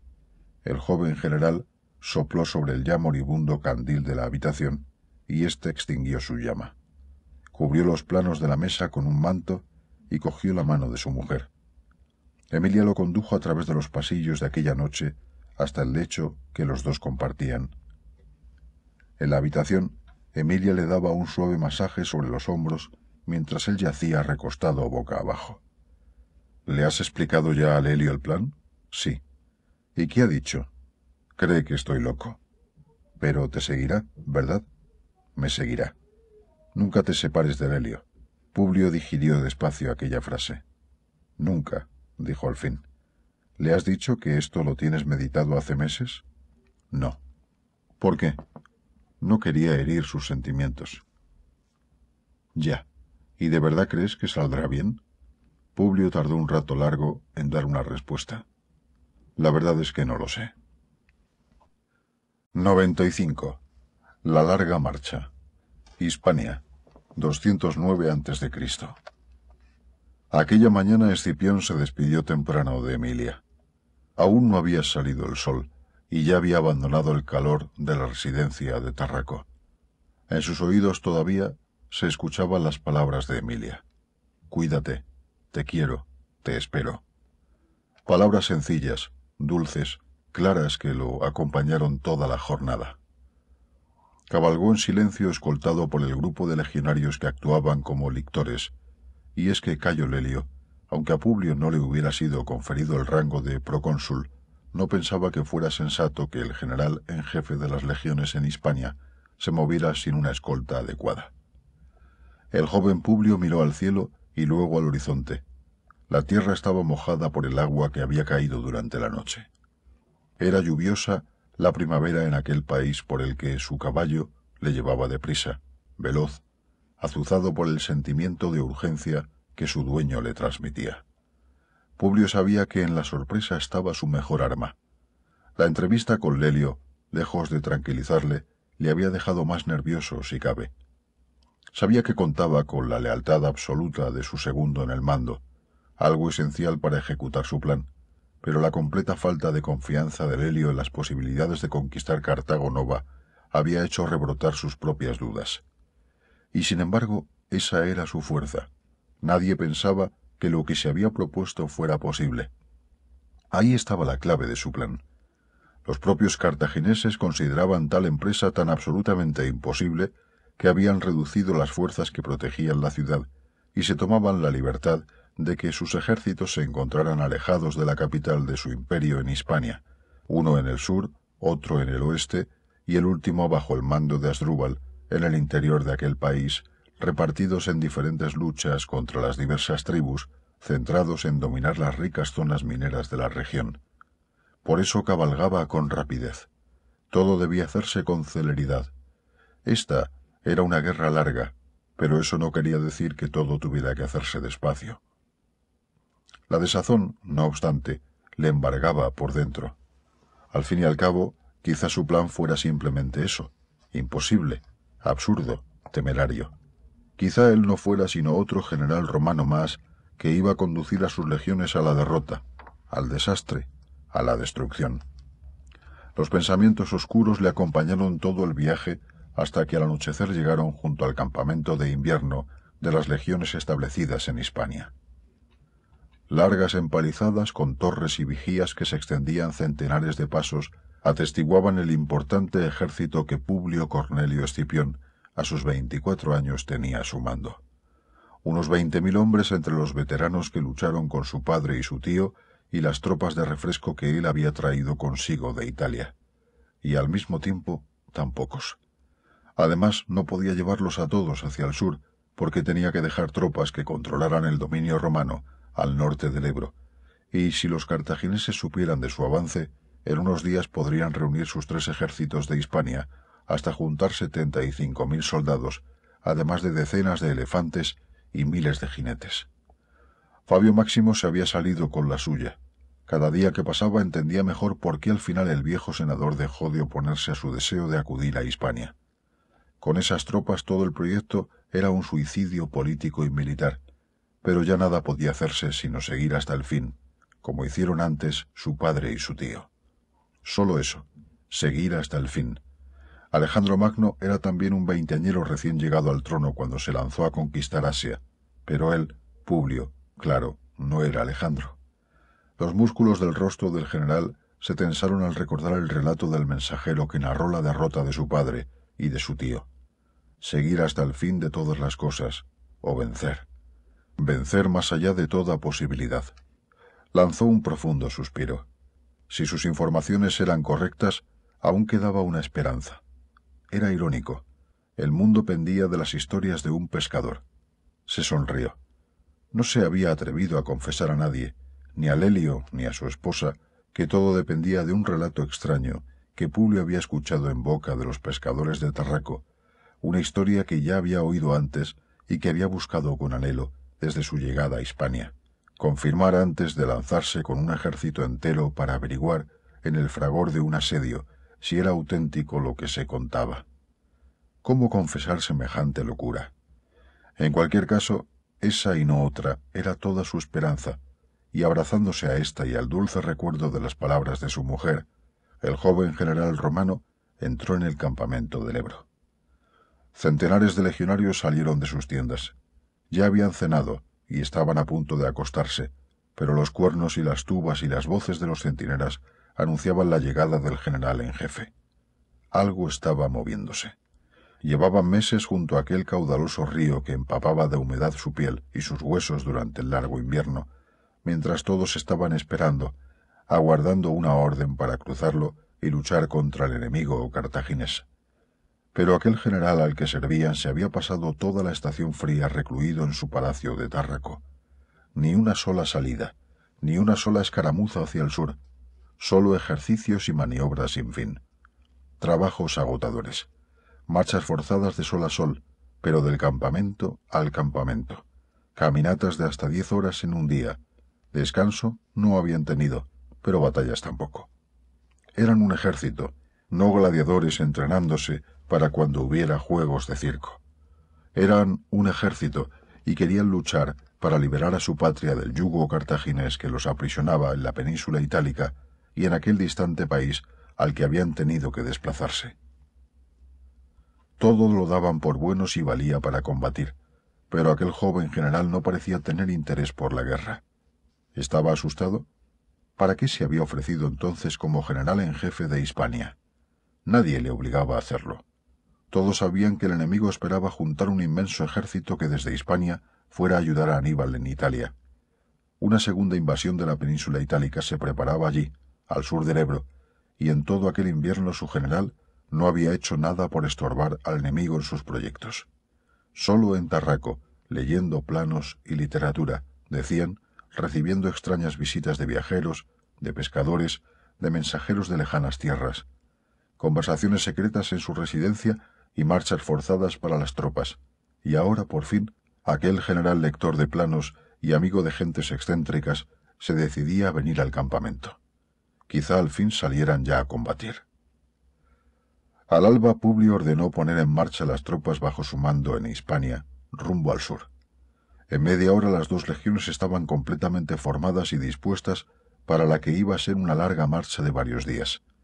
Los soldados estaban preparados y con deseos de partir para combatir. Había que defender Roma, y Roma empezaba allí, en el Ebro. Eso les había dicho el joven general en un breve discurso para encender los ánimos. Luego se procedió con los sacrificios de varios bueyes para asegurarse la bendición de los dioses en aquella campaña que iban a emprender. Terminados los rituales en honor de Marte, y aunque nadie entendía muy bien, también en honor a Neptuno, por orden expresa del general, se inició el movimiento de las tropas. En una hora las tropas cruzaron el Ebro, pasando sobre el puente de madera que los zapadores habían reparado durante los meses de enero y febrero, después de que fuera dañado en los últimos combates con Asdrúbal, y avanzaron rápidamente hacia el territorio cartaginés. Por delante, a modo de avanzadilla, atentos y vigilantes, se desplazaban los grupos de exploradores que el general había ordenado que en todo momento precedieran al grueso del ejército. No quería encuentros por sorpresa con los africanos, ni, igual de peligroso, emboscadas de tribus hostiles a Roma. Publio marchaba a pie, con la misma impedimenta que cualquier otro legionario, trasladando con el mismo esfuerzo que sus subordinados la carga que le tocaba, esto es, casi veinticinco kilos entre armas, víveres, utensilios de cocina, ropa y mantas. Al mediodía el cansancio era patente en las tropas. Llevaban prácticamente seis horas de marcha con apenas breves pausas de pocos minutos para beber y recuperar fuerzas. Aún estaban lejos del objetivo que el general se había marcado para ese día, cuando Publio ordenó que las legiones pararan y comieran con sosiego durante una hora. Los soldados ingirieron el rancho con ansia y descansaron un poco, pero enseguida, a la hora marcada, la marcha se reinició, y así hasta bien entrada la tarde. Esa noche las legiones acamparon frente a un pequeño barranco seco. No se levantó un campamento con empalizadas, lo que dejaba claro que el general tenía previsto proseguir con el avance al día siguiente. Publio se dejó caer en el lecho de su tienda. Estaba rendido, agotado, exhausto, como muchos de sus hombres. Sin embargo, sabía que no podía desfallecer. Debía dar ejemplo. Se entretuvo en repasar sus planes para el asedio de la ciudad hacia donde, sin saberlo los soldados, dirigía sus tropas. ¿Cómo reaccionarían cuando vieran aquellos muros? O, antes que eso, ¿resistirán la marcha que aún restaba? ¿Resistiría él? Publio suspiró casi dormido, vencido por el agotamiento. Resistirán, pensó. Resistirán todo lo que su general aguante. La clave era resistir él. Esa noche no habría lectura, ni las siguientes tampoco. Llevaba consigo el tratado sobre la amistad y algunas otras lecturas de Aristóteles en rollos que su propio padre le había regalado y que él había querido traerse como auténticos tesoros escogidos entre las estanterías de su biblioteca. Recordó a Plauto. ¿Visitaría aquel escritor la biblioteca? ¿Le será útil? Era un hombre tosco, duro, áspero, muy lejos de lo que él esperaba de un escritor, y con hostilidad hacia los patricios. Eso resultó evidente. Si eso empezase a traslucir en sus obras, Tendría problemas. Problemas. Sonrió. Él sí tenía uno, y bien grande. Cartago Nova, con murallas de cinco metros de altura o más. Al amanecer seguirían. Tenían que hacer unos sesenta kilómetros al día. Una locura. Firmes, raudos, hacia el sur. Se quedó dormido. Al día siguiente las tropas vislumbraron la ciudad de Sagunto, pero Publio no se detuvo. Las murallas aún permanecían semiderruidas por el largo asedio de Aníbal y sólo algunos supervivientes habían regresado después de que su padre y su tío la reconquistasen. Con la muerte de ambos, muchos habían vuelto a refugiarse en el interior del territorio por miedo a que los cartagineses volvieran a fijarse en ellos. Permanecía así, medio en ruinas, una ciudad fantasma, memoria del origen de aquel conflicto que tenía ya a Cartago, Roma, Numidia, Macedonia, la Galia cisalpina y otros pueblos y territorios en una larga guerra de final incierto. Bordearon la ciudad por la ladera este de la fortaleza, aproximándose a la costa. Desde allí las tropas se sorprendieron al ver una inmensa flota de barcos que de inmediato reconocieron como la suya propia. Los soldados hablaron entre sí. Su general había hecho que la flota acompañara a las tropas en su avance hacia el sur. Aquello solo podía augurar que el general se había decidido por una confrontación en toda regla con los cartagineses. En la pausa del mediodía los legionarios comentaban el hecho al tiempo que descansaban de otra marcha agotadora que sabían aún debía continuar por la tarde. Quinto Terebelio, centurión de la cuarta legión, había terminado su rancho y desde la ladera de la montaña en la que estaban detenidos observaba la flota navegando lentamente hacia el sur. Un legionario más joven le interpeló. Mi centurión, no entiendo por qué tenemos que ir a pie cuando podríamos avanzar tranquilamente por la costa, cómodamente a bordo de nuestra propia flota. Quinto respondió sin mirarle, señalando los barcos. ¿Acaso no ves cómo de hundidos navegan esos barcos? Es evidente que van llenos de provisiones, de armamento, de pertrechos de todo tipo. Vamos a una campaña larga contra los cartagineses, legionarios, y en los barcos no cabe el material y las tropas al mismo tiempo. Y que yo sepa, ni el armamento ni las provisiones caminan, así que el general ha optado por que caminen sus legionarios. Claro que a lo mejor tú habrías optado por algo diferente. Concluyó el centurión y se echó a reír. El resto del manípulo acompañó las carcajadas de su centurión. Había buen ambiente pese al cansancio acumulado. ¿O es que te apuntaste a la legión para que te llevasen de paseo? concluyó Quinto Terebelio, volviendo a reír de forma exagerada, doblando su cuerpo y dándose palmadas en la pierna. Terminó la pausa y de nuevo se reinició la marcha hacia el sur. Alcanzaron aquella noche un pequeño emplazamiento de edetanos, junto a la desembocadura de un río poco caudaloso. Los nativos habían desaparecido ni se enfrentaban con los romanos ni los ayudaban, solo buscaban evitar problemas y no verse obligados a apoyar a unos o a otros. Publio observaba cómo el cansancio había hecho mella en el cuerpo de sus legionarios, pero no en su espíritu. Eso le daba esperanzas aún de salir victorioso de aquel proyecto. Aquella segunda noche volvió a caer derrotado por el sueño. Esta vez no repasó planes de ataque. Una dulce sonolencia le abrazó con decisión de forma que cuando aún pensaba que apenas acababa de cerrar los ojos, sintió que alguien le sacudía el brazo levemente. El joven general se sobrecogió y veloz se abalanzó sobre su espada para hacer frente al enemigo que le sorprendía en la noche. Pero al abrir los ojos, una luz poderosa que venía de detrás de aquel hombre que se le había acercado en la noche le cegó. Lo siento, mi general, pero ha amanecido, y sus instrucciones eran proseguir el avance al alba. Sé que está cansado, pero ordenó que le despertásemos con la luz del nuevo día si usted no se levantaba. No quería sorprenderle de esta forma. Era uno de los lictores que le escoltaban por orden del helio. El soldado había retrocedido sobre sus pasos al observar cómo el general había reaccionado con violencia, blandiendo su espada. Publio bajó el arma y se llevó la mano libre al rostro, deslizando sus dedos sobre las cejas y los párpados cerrados. Estaba agotado. Guardó silencio unos segundos mientras intentaba sacudirse de encima el cansancio y la sorpresa. Ya había pasado la noche. Apenas le parecía que hubieran pasado unos minutos desde que se había acostado y sin embargo ya era de día. Un nuevo día. Un nuevo día de marcha. Has hecho bien. Si me duermo otra mañana haz lo mismo que hoy, y hazlo antes de que amanezca, respondió el general. Pero no me vuelvas a tocar al despertarme. Llámame a viva voz. No sea que acabe matándote una de estas mañanas. Sí, mi general. Lo siento. El legionario iba a seguir disculpándose, pero una sonrisa y un gesto con la mano, como quitando importancia a lo sucedido por parte de Publio, frenaron sus palabras. Le llamaré a viva voz, mi general, concluyó, y salió de la tienda. Al salir le esperaban otros lectores. Uno de ellos preguntó al que salía de la tienda. ¿Está bien? Sí, y añadió, casi me hiere con la espada. Se ha sobresaltado al despertarse y ha debido de creer que le atacaban. Es ágil el general, muy ágil, y se alejó para transmitir a los tribunos las órdenes de poner en marcha las tropas. El resto de lictores se quedó ponderando las palabras de su compañero. Les gustó.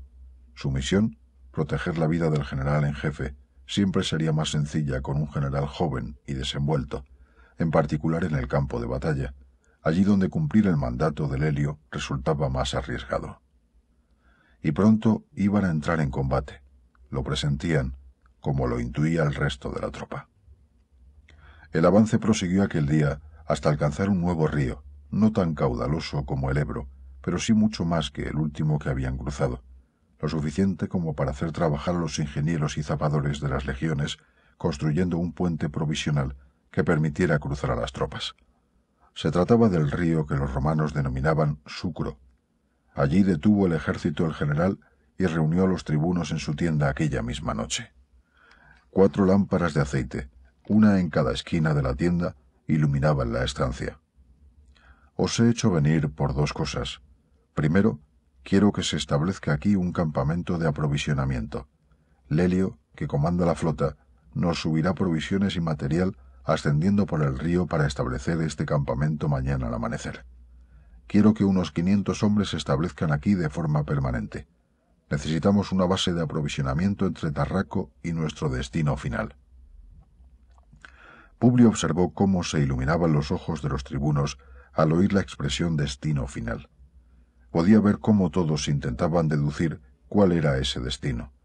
Los veía calculando distancias y como si alguno había interferido por un segundo que Sucro estaba equidistante entre Tarraco y Cartago Nova, no podía sin embargo dar crédito a la idea y negaba la cabeza en completo desacuerdo con la conclusión a la que había llegado. Los ojos de sus oficiales se volvían indecisos sobre la superficie del plano hacia el interior de Hispania. Todo subrayaba que ni sus propios oficiales podían pensar que aquel fuera el objetivo diseñado, pese a llevar varios días avanzando hacia él. Cuanto menos lo podrían sospechar los cartagineses. La cuestión fundamental ahora era, no obstante, si podrían resistir aquel ritmo. El segundo tema que me interesa es saber el estado de ánimo de las tropas con relación a la marcha. Entre los tribunos estaba Lucio Marcio, a quien el general había ascendido en razón a su experiencia y veteranía en la guerra. Fue este el que resumió el sentir de todos. En general el desánimo empieza a hacer mella.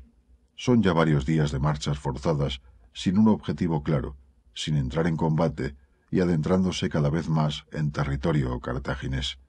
Solo la visión de la flota que nos acompaña en el avance ha supuesto un pequeño refuerzo para la moral, cuando la vislumbraron a la altura de Sagunto pero incluso ese refuerzo moral pierde impacto a medida que el agotamiento se apodera cada vez más de la tropa. Bien, Marcio. Esta noche en la cena quiero que se reparta vino entre los soldados, hasta dos vasos, no más, y saldremos mañana una hora y media más tarde. Pero el avance prosigue. En los mismos términos, marchas forzadas a toda velocidad, hacia el sur, por la costa. Miró alrededor. Había varias preguntas en los ojos de aquellos oficiales, pero como él no daba pie a más intervenciones, ninguno se atrevía a hablar. Echaban de menos a Lelio. Con él siempre se podía conversar, y él sí tenía confianza para dirigirse al general en cualquier momento. Algunos miraron a Lucio Marcio para ver si éste se atrevía a preguntar algo más acerca del objetivo final de aquel rápido avance. Pero Marcio tenía su mirada clavada en el plano. Publio observó lo que miraba y se percató de que él sí observaba fijamente el punto que en el mapa marcaba la ubicación de Cartago Nova. Los tribunos empezaron a salir de la tienda para organizar el trabajo de levantar el campamento que debía establecerse en aquel lugar como base de aprovisionamiento para un objetivo que aún desconocían, según había ordenado el general. En la tienda Lucio Marcio retrasó su salida. Se detuvo y se volvió hacia su general. Sí, Marcio, ¿tienes alguna pregunta? Marcio fue a hablar, pero se lo pensó dos veces y negó con la cabeza. No, mi general, no quiero meterme donde no me llaman. Haces bien, respondió Publio con tal seguridad y decisión que Marcio se puso firme, se llevó la mano al pecho y se despidió. Buenas noches, mi general. Solo se permitió añadir algo. Y que los dioses os guíen en vuestras decisiones. Con esto se dio la vuelta y salió de la tienda. Publio se quedó a solas, en silencio, mirando de nuevo el plano. Marcio sabía dónde se dirigían. Dudaba. Como Lelio, como él mismo, pero no dirá nada. Se mantendrá leal. Quizá había querido advertirle de lo imposible de la empresa, pero no le tenía suficiente confianza y no querría que sus palabras se tomasen como una indisciplina. Más dudas que añadir a las que Publio ya sobrellevaba. Tendría que acostumbrarse. Esta batalla la tendría que ganar solo con su confianza en sí mismo y en contra de los pensamientos de todos, incluidos el enemigo y sus propios hombres. Si perdía, regresaría a Roma igual que Nerón. Su carrera política truncada y sin un valedor como Fabio, al que Nerón sí podría recurrir, y lo que era peor, sin haber mermado el poder de Cartago en Hispania. Pero ¿y si contra todo pronóstico lograba su objetivo? Tendría entonces lo que todo general anhela, no una victoria, no, eso es algo trivial, sino la fe ciega de sus hombres, lo que otorgaba a un general poder más allá de su cargo. El reparto de vino y el anuncio de una hora y media extra de descanso para el día siguiente surtió el efecto deseado. Los legionarios se sintieron premiados por su esfuerzo, y con el efecto dulce del vino durmieron aquella noche sin albergar demasiado rencor hacia un general que los conducía ya varios días a marchas forzadas hacia el interior de un territorio dominado por fuerzas enemigas que ellos sabían eran infinitamente superiores en número. El vino con su cadencia de atrevimiento, los hizo sentirse más seguros, sosegó sus ánimos y aplacó su creciente cansancio. Al día siguiente el avance prosiguió desde Sucro hasta alcanzar las proximidades de una pequeña colonia griega. Los romanos se mantuvieron alejados de la población para no comprobar o forzar la lealtad de sus habitantes. Una noche más y un nuevo amanecer que los siguió conduciendo hacia el sur, atravesando montañas que descendían hasta la costa y desembocaduras de pequeños ríos y barrancos prácticamente secos. Con la caída del sol llegó de nuevo el alto. Los legionarios se agruparon en torno a las pequeñas hogueras que se les permitía encender con sus cuencos y su comida para cenar entre comentarios que con el cansancio acumulado habían ido derivando de las bromas y las risas a las quejas y reclamaciones. Aquella era sin duda ya para todos los de aquel ejército la marcha más dura que nunca jamás hubieran realizado. Ahora entendían algo del porqué de aquellas largas jornadas de maniobras durante el invierno. Su general les había hablado bravamente antes de partir, pero en aquel discurso y en los sacrificios de los dioses se había hablado sobre todo de combatir, de luchar contra los ejércitos cartagineses y no de caminar durante días de sol a sol a toda velocidad hasta la misma extenuación. ¿Dónde quería llevarlos aquel general? ¿Dónde quería luchar? ¿O es que simplemente deseaba pasearse por todo el territorio evitando al enemigo? Quinto Terebelio estaba en uno de esos grupos. Había terminado su comida y escuchaba las cada vez más frecuentes quejas de los legionarios a su mando. Tenía su cuerpo cruzado de cicatrices, una barba densa y una frente arrugada, aunque sin ceño marcado. Con sus manos gruesas, toscas, blandía un largo palo con el que removía las brasas del fuego, haciendo que pequeñas pavesas chisporroteasen hacia el cielo oscuro de la noche. Por Hércules, dijo, ya está bien. Esto es una legión romana, no un grupo de putas chillonas lloriqueando por esto o por aquello. Aquí Quinto puso voz fingida de mujer, como los actores en el teatro. Ay, ay, dadme un poco más de dinero. Hoy no, estoy agotada. Los hombres rieron a gusto. Aquí no hay sitio para débiles. El que no sea capaz de resistir unos días de marchas forzadas no debería haberse alistado en una legión de Roma. Más aún, no debería ser romano. Una vez se calmaron las carcajadas, uno de los legionarios se dirigió a su centurión. Sí, pero ¿para qué este avance? ¿A dónde nos conduce el general? Cada vez estamos más lejos de nuestra base en Tarraco. ¿Qué sentido tiene adentrarse tanto en territorio enemigo y que lleguemos todos agotados a combatir? ¿Y qué sentido tiene? Pero Quinto Terebelio interrumpió las quejas de su soldado. Silencio. Nosotros somos legionarios, y los legionarios no establecen los planes de combate. Si el general ordena que se siga hacia el sur, se sigue y punto. Aquello pareció acallar ligeramente las quejas, pero Quinto observó que aún murmuraban entre sí varios hombres, de forma que se decidió, se levantó y habló con fuerza para que todo su regimiento le escuchara bien. Escuchadme todos. Yo tampoco entiendo el sentido de estas marchas.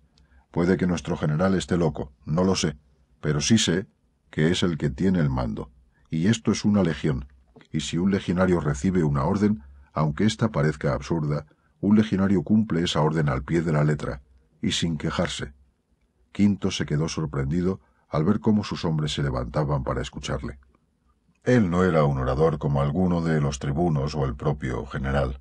Se extrañó de que sus palabras impactaran tanto como para que los hombres se pusieran en pie para escucharle pero de pronto una intuición le dijo que había algo más que sus palabras en aquel gesto de respeto de sus legionarios. Se volvió y se encontró de cara con Publio Cornelio Escipión, a tres pasos de distancia, rodeado de sus lectores. Quinto se preguntaba cuánto tiempo había estado escuchando el general. O sea que mis órdenes son las de un loco. ¿Es eso lo que estabais explicando a vuestros legionarios? La voz de Publio resonó potente entre todos los presentes. Quinto Terebelio no supo qué responder. Ese no había sido el sentido de sus palabras, pero antes de que pudiera decir algo, el general insistió. Te he hecho una pregunta, centurión, y espero respuesta. Quinto Terebelio maldijo su mala fortuna, a la diosa del mismo nombre, y ya de paso a algún otro dios más que le vino a la mente. No era eso lo que había querido explicar a sus soldados, sino que había que obedecer al general al mando, aunque no se entendiera bien el sentido de sus órdenes. Sí, eso debía decir. Yo, mi general, intentaba explicar que hay que obedecer las órdenes, que la legión es lo fundamental. Ya. ¿Y para eso es necesario insultar al general al mando llamándole loco? Quinto Terebelio deseó que los dioses lo fulminasen allí mismo. Nuevamente guardó silencio, pero sabía que tenía que decir algo. Yo no soy un orador, Solo sé cumplir órdenes. Lo siento, mi general. Solo valgo para luchar. Publio dibujó en la comisura de los labios el esbozo de una sonrisa cargada de incierta intención. No, no eres un orador, pero en lo de luchar no te preocupes, que averiguaré personalmente si realmente vales para ello. Los hombres se echaron a reír. También lo hicieron algunos de los hombres al mando del propio centurión. El joven general observó cómo el centurión sentía vergüenza y cómo reprimía sus sentimientos y su orgullo. Publio se adelantó y se acercó a los legionarios que reían.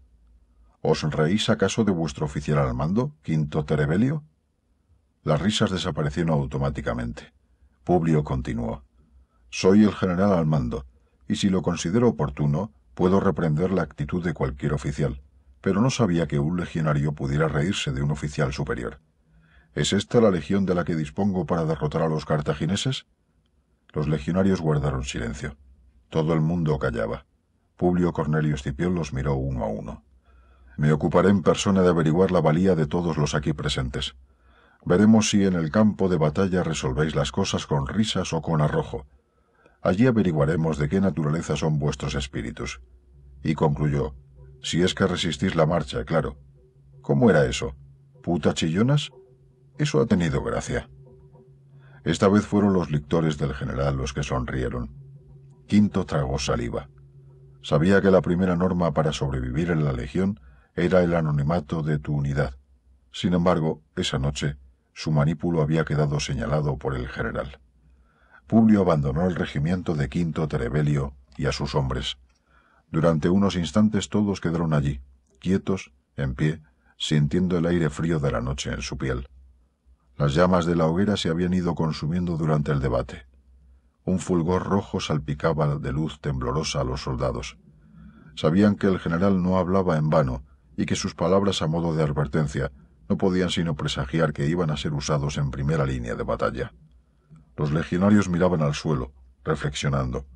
Me ocuparé de averiguar la valía de todos los aquí presentes, había dicho. Al final, Quinto expiró largo y profundo. Sin saberlo, llevaba un minuto conteniendo la respiración.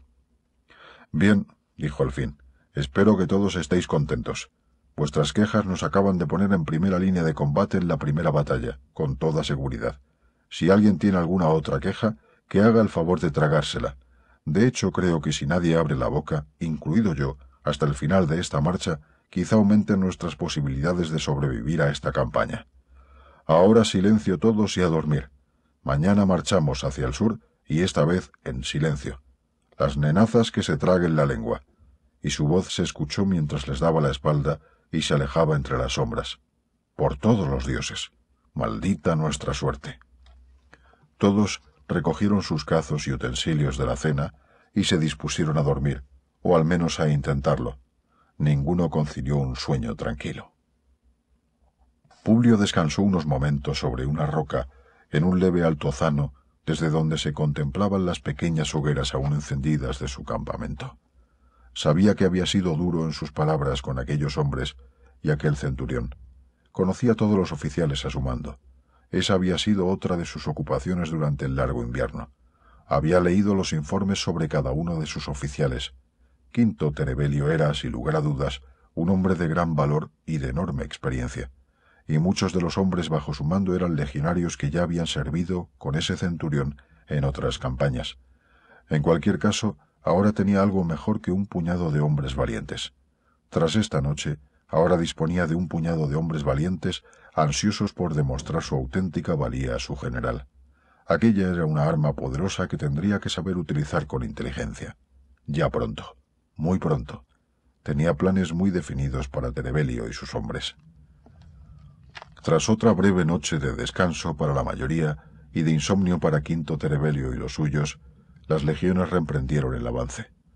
El agotamiento se extendía de forma generalizada entre todos, las conversaciones mermaban y en los intervalos para reponer fuerzas los legionarios se ocupaban de comer en silencio, sin bromas, sin apenas comentarios.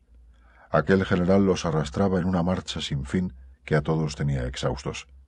Pero una legión es un hervidero de murmullos y murmuraciones, y todo se sabía en cuestión de unas horas.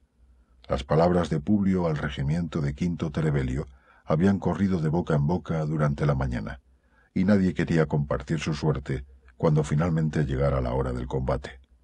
Así pasó un nuevo día de marcha y una nueva noche. En el mar, Cayo Lelio oteaba el horizonte iluminado por el sexto amanecer desde que partieran de Tarraco. No había hablado con Publio desde que salieron. Así habían quedado al poner en marcha el ejército y la flota.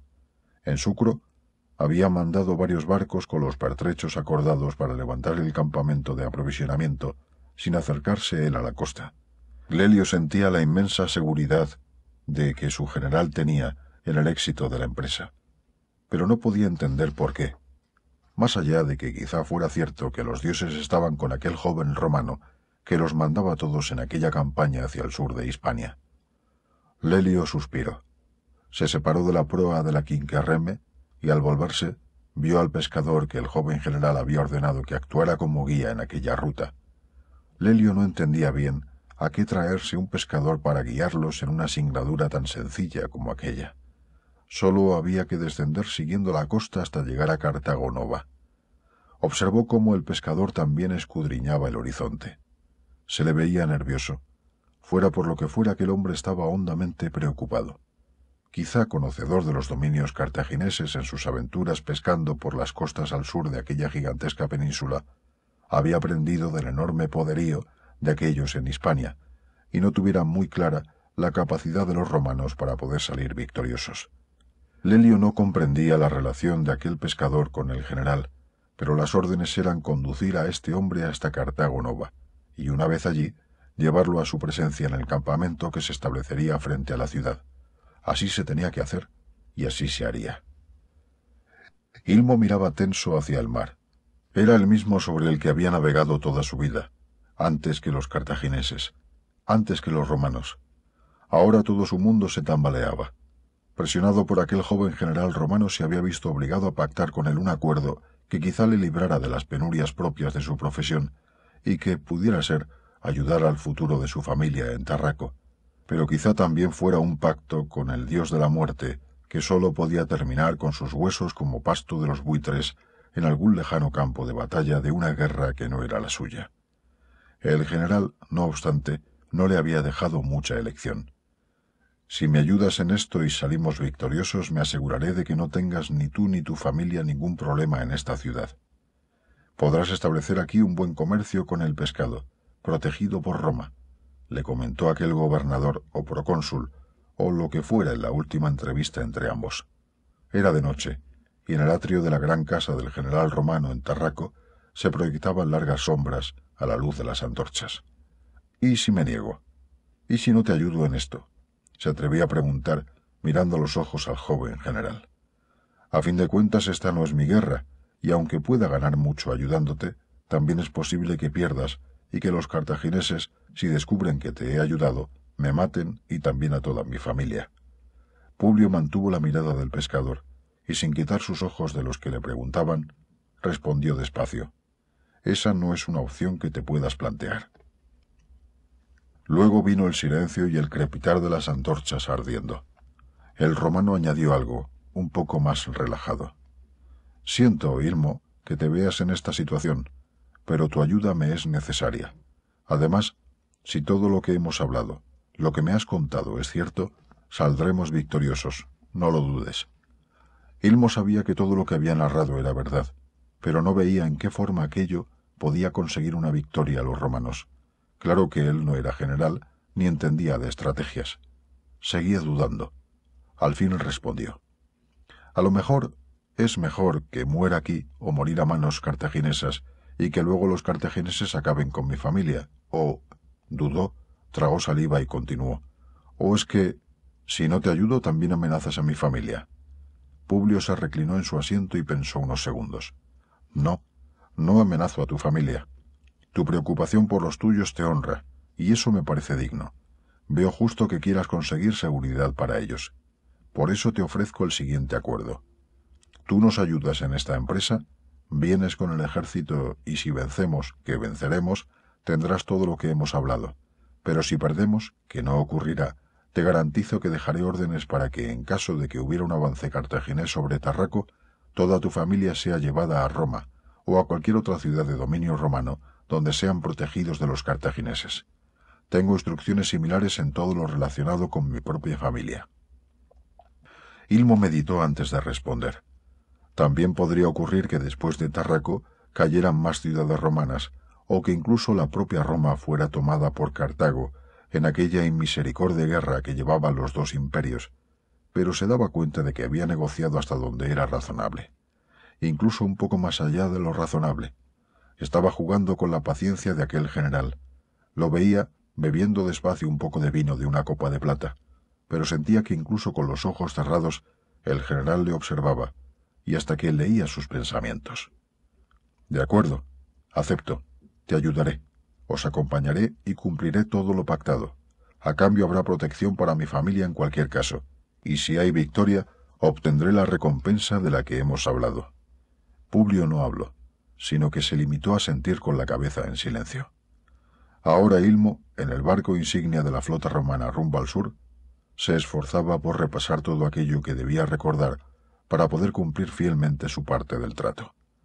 Estaba seguro de casi todo, pero a medida que se acercaban al destino final, las dudas comenzaban a atenacerle. No había estado tantas veces en Cartago Nova. Su memoria, no obstante, era excepcional. Si navegaba por un sitio recordaba todo, las rocas, los cabos, las corrientes, solo que nunca le había ido su vida y la de toda su familia en ello. 96. El plan de Fabio. Tarento, 209 a.C. Fabio Máximo había sido reelegido cónsul por quinta vez. Nadie había conseguido la magistratura tantas veces desde tiempos inmemoriales. Pocos eran también los senadores que alcanzaban los setenta y cuatro años de edad, en plenas facultades físicas y mentales. Fabio había transformado la resistencia en un arte, y nadie parecía poder superarle en dicha disciplina.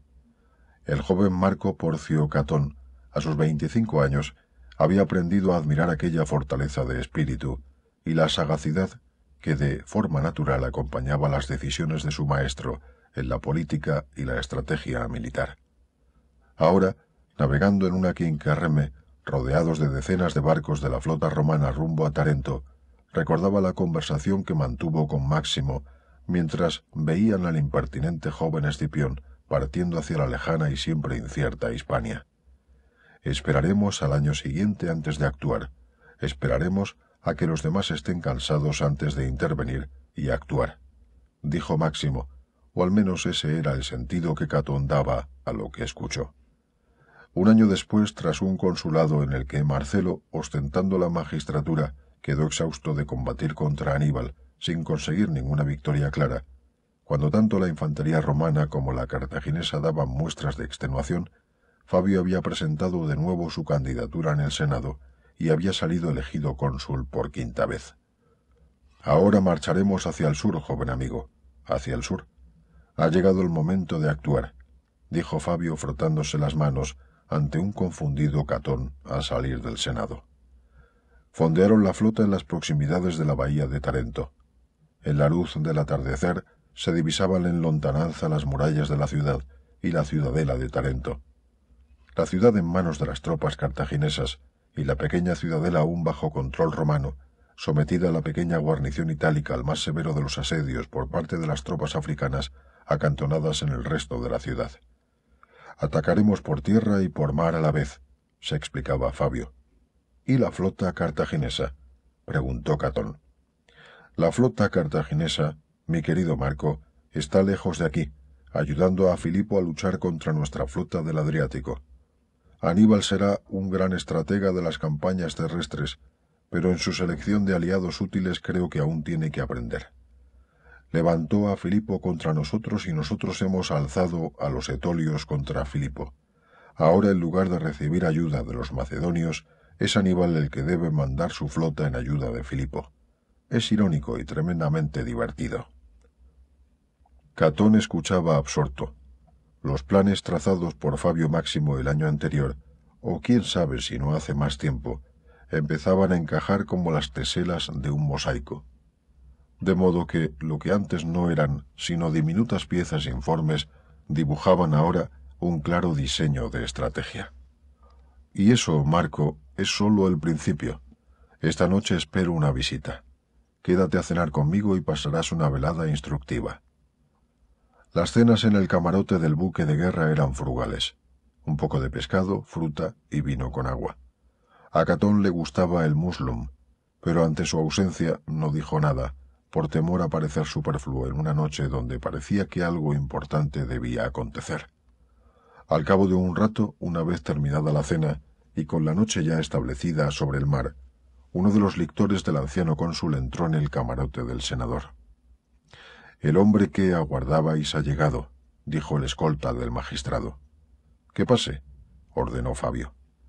Un hombre de unos treinta años, no muy alto, algo encogido de hombros, tez oscura, barba desaliñada y mirada furtiva entró en el camarote. Saludó al cónsul con una reverencia y se quedó en pie sin saber bien qué más hacer para mostrar sus respetos ante aquel alto dignatario del Estado que se había interesado por sus servicios durante los últimos meses. Marco, te presento a Régulo. Régulo es un brucio leal a Roma. Su historia es interesante. ¿No es así, Régulo? comentó Fabio con condescendencia. Catón observaba a aquel hombre y no podía evitar sentir algo sospechoso en aquellos ojos nerviosos, incapaces de mirar a su interlocutor, quizá por humildad, quizá por ocultar algo. Era muy improbable que su nombre auténtico fuera Régulo, y menos siendo de la región del Brutium, en el sur de la península itálica. Pero tampoco era de extrañar que un brucio, que se manifestara favorable a la causa romana, adoptase un sobrenombre romano para hacer patente donde estaba su, al menos, supuesta lealtad.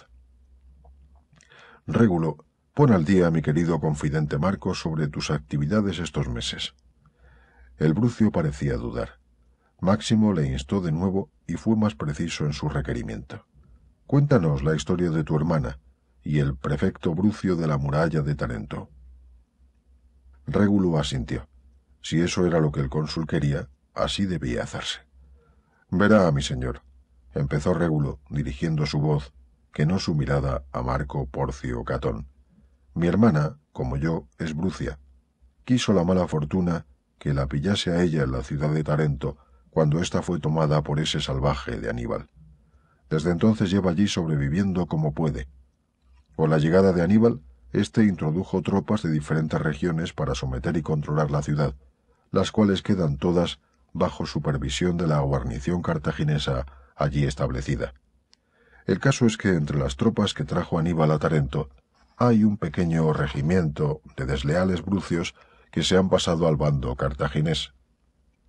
Aquí Régulo estuvo a punto de escupir en el suelo para subrayar con aquel gesto su desprecio por aquellas tropas de su propia región, pero se lo pensó dos veces y se contuvo. El caso es que el prefecto al mando del regimiento Brucio se enamoró de mi hermana, y poco menos puede decirse que ésta le maneja a su antojo. Tengo a través de mi hermana ganada la voluntad de este prefecto, y con ello un sector de la muralla, aquel que está bajo su custodia, y de sus tropas brucias por la noche, parte del sector oriental de la ciudad junto a la puerta temenida. Catón volvió sus ojos hacia Fabio. El viejo cónsul, como un anciano zorro, sonreía con placidez, transpirando plena satisfacción por cada uno de los poros de su arrugada piel. Estaba claro que se deleitaba en el disfrute de una fácil, próxima y gran victoria. Era una noche cerrada, sin luna. Los legionarios habían desembarcado más allá del puerto, en la costa norte de Tarento, a un kilómetro de las murallas. Marcharon con tiento, a ciegas casi, pues el cónsul había ordenado que no se encendieran antorchas. Para los soldados el único referente para orientarse eran las luces que proyectaba la propia ciudad desde lo alto de sus murallas y torres. Así llegaron a situarse a apenas quinientos pasos de Tarento, y a esa distancia, ocultos tras una arboleda de encinas, aguardaron en silencio la señal de ataque. Fabio Máximo contemplaba las enormes murallas. Era imposible tomar aquella ciudad si no era por engaño o traición, como en su momento hiciera Aníbal, aliándose con un sector de los tarentinos descontentos con el trato de Roma. Bien, ahora era su turno. No será una larga espera, dijo el cónsul en voz baja. Catón, al abrigo de los árboles, asintió y como si el viejo cónsul estuviera haciendo una exhibición de sus cualidades de augur, un gran estrépito de voces y golpes de espada llegó hasta ellos procedente del interior de la ciudad. Adelante, por Castor y Polus, marchad, ordenó el cónsul a los tribunos. En un instante, una legión completa con sus cuatro mil efectivos empezó a avanzar hacia la muralla. A medida que se acercaban a los muros, se discernía cómo el tumulto de voces y golpes provenía de la ciudadela por un lado, donde aún resistía atrincherada la guarnición romana que los cartagineses nunca habían llegado a derrotar, y por otro lado, de los barrios de la ciudad antigua, próxima a la ciudadela y alejada de la muralla. Los brucios parecen estar haciendo bien su papel, comentó Catón. Fabio Máximo no dijo nada. El avance de las tropas prosiguió hasta alcanzar el sector oriental de la muralla, bajo la custodia del manípulo de Brucios de Régulo. Era cierto. Estos parecían estar cumpliendo bien las órdenes. En coordinación con el escándalo que los romanos de la guarnición de la ciudadela estaban generando, pequeños grupos de brucios estaban promoviendo altercados con las tropas cartaginesas en diversos puntos de la ciudad. En ese momento sonaron las trompas y cuernos que anunciaban el ataque de la flota romana por el norte. La confusión entre los defensores de la ciudad aumentó. Los oficiales cartagineses, en medio de un completo desconcierto, intentaban poner orden. En cuestión de minutos se recurrió a las tropas africanas de la muralla oriental para defender el puerto de la flota romana y dar respuesta a las armas arrojadizas que llovían desde la ciudadela. También se internaron varios centenares de hombres en la ciudad antigua para restablecer allí el control de la situación. La muralla oriental quedó entonces bajo el control de los brucios de Régulo en su sector central solo bajo la supervisión de algunos pequeños grupos de cartagineses en los extremos norte y sur de la misma. Las tropas de Fabio Máximo alcanzaron el punto de muralla convenido junto a la puerta teménida. Los legionarios lanzaron sus escalas y empezaron a trepar con diligencia. Los que llegaban a lo alto del muro eran ayudados por los hombres de Régulo. Todo marchaba a la perfección, hasta que un grupo de cartagineses del sector norte apareció patrullando por lo alto de la muralla. Una vez endigerido lo que sus ojos estaban viendo, dieron la voz de alarma y se lanzaron sobre brucios y romanos a un tiempo. Pero era tarde para detener al enemigo en su acción nocturna. Ya había ascendido por la muralla un manípulo completo de romanos, y apoyados por los brucios, no tardaron en dar buena cuenta de la pequeña patrulla de diez soldados cartagineses. La mitad murieron a espada, el resto fue despeñado desde lo alto del muro hacia el exterior de la ciudad. Los cuerpos de los cartagineses fueron recibidos con carcajadas entre los legionarios romanos que sus oficiales reprimieron con severidad. Aún no se había tomado la ciudad y tenían órdenes de mantener silencio hasta que se consiguiese tomar la puerta temenida. En el interior las acciones se atropellaban. En unos minutos los romanos descendían hacia la necrópolis de Tarento, dentro ya del recinto amurallado. Los legionarios se deslizaban con cuidado, intentando que sus sandalias no desvelasen su presencia antes de haber conseguido su objetivo. El estruendo y el griterío que llegaba a sus oídos desde la ciudadela, el puerto y la ciudad antigua, eran sus mejores salvoconductos. La puerta teménida, como el resto de accesos a Tarento, estaba protegida por tropas africanas e íberas, todos veteranos del ejército que Aníbal había traído consigo desde Hispania y que habían compartido con aquel el paso de los Pirineos, el Ródano, los Alpes y las grandes victorias de los primeros años. Eran hombres hechos a la guerra. Uno de los íberos que oteaba hacia el interior, preocupado por el ataque romano en el sector norte, se sentía especialmente incómodo. Era absurdo intentar tomar la ciudad por el puerto. Todo lo absurdo le molestaba, desde siempre. Vio algo que le llamó la atención. Sombras, figuras oscuras que parecían desplazarse sobre las viejas tumbas griegas en la necrópolis que se extendía entre la puerta temenida y la zona norte de la ciudad, donde estaban los templos de aquellos dioses extraños para él. ¿Quién se aventuraría por entre aquellas tumbas en medio de la noche y mientras los romanos atacaban por el norte? Fue a llamar a sus compañeros, pero sintió un premonitorio silbido y se agachó con rapidez, con la agilidad y los reflejos adquiridos en decenas de batallas. Las flechas surcaban el cielo y vio cómo herían a dos de sus compañeros de guardia. ¡Alarma! gritó y desefundó su espada de doble filo. El resto de la pequeña guarnición salió en armas. Eran una veintena de fornidos soldados dispuestos a morir. La batalla se libró junto a la puerta teménida en el interior del recinto amurallado. Los veinte íberos y africanos se enfrentaron contra los ochenta legionarios del manípulo romano que había cruzado la necrópolis. Cualquiera hubiera apostado por el fácil éxito de los romanos, pero estos eran tropas recién reclutadas de entre unas colonias latinas ya empobrecidas y sin apenas hombres preparados que ofrecer ya a Roma. Muchos eran demasiado jóvenes, y todos menos el centurión que los comandaba, inexpertos. Cada africano se batía con dos o tres legionarios a un tiempo. Los íberos hacían como que retrocedían para separar a los legionarios del grupo central de enemigos y así combatir con ellos de forma aislada. Tres africanos y seis íberos habían muerto y el resto estaba con heridas o, en el mejor de los casos, solo magullado. Pero habían resistido la primera cometida de los romanos que habían perdido a más de treinta hombres. El centurión se afanaba en rehacer las filas del manípulo para preparar una nueva embestida, pero en los ojos de sus hombres estaba escrito el miedo. Apenas habían entrado en combate antes, y desde luego aquellos enemigos no parecían ser como el resto de los mortales. ¿De dónde venían aquellos soldados que en plena inferioridad numérica se batían a muerte hasta el final con un vigor y una destreza inimaginables? Aquellos legionarios eran desafortunados al tener su primer combate de importancia contra veteranos de las tropas de Aníbal. El centurión ordenó que atacaran de nuevo, pero sus hombres dudaban.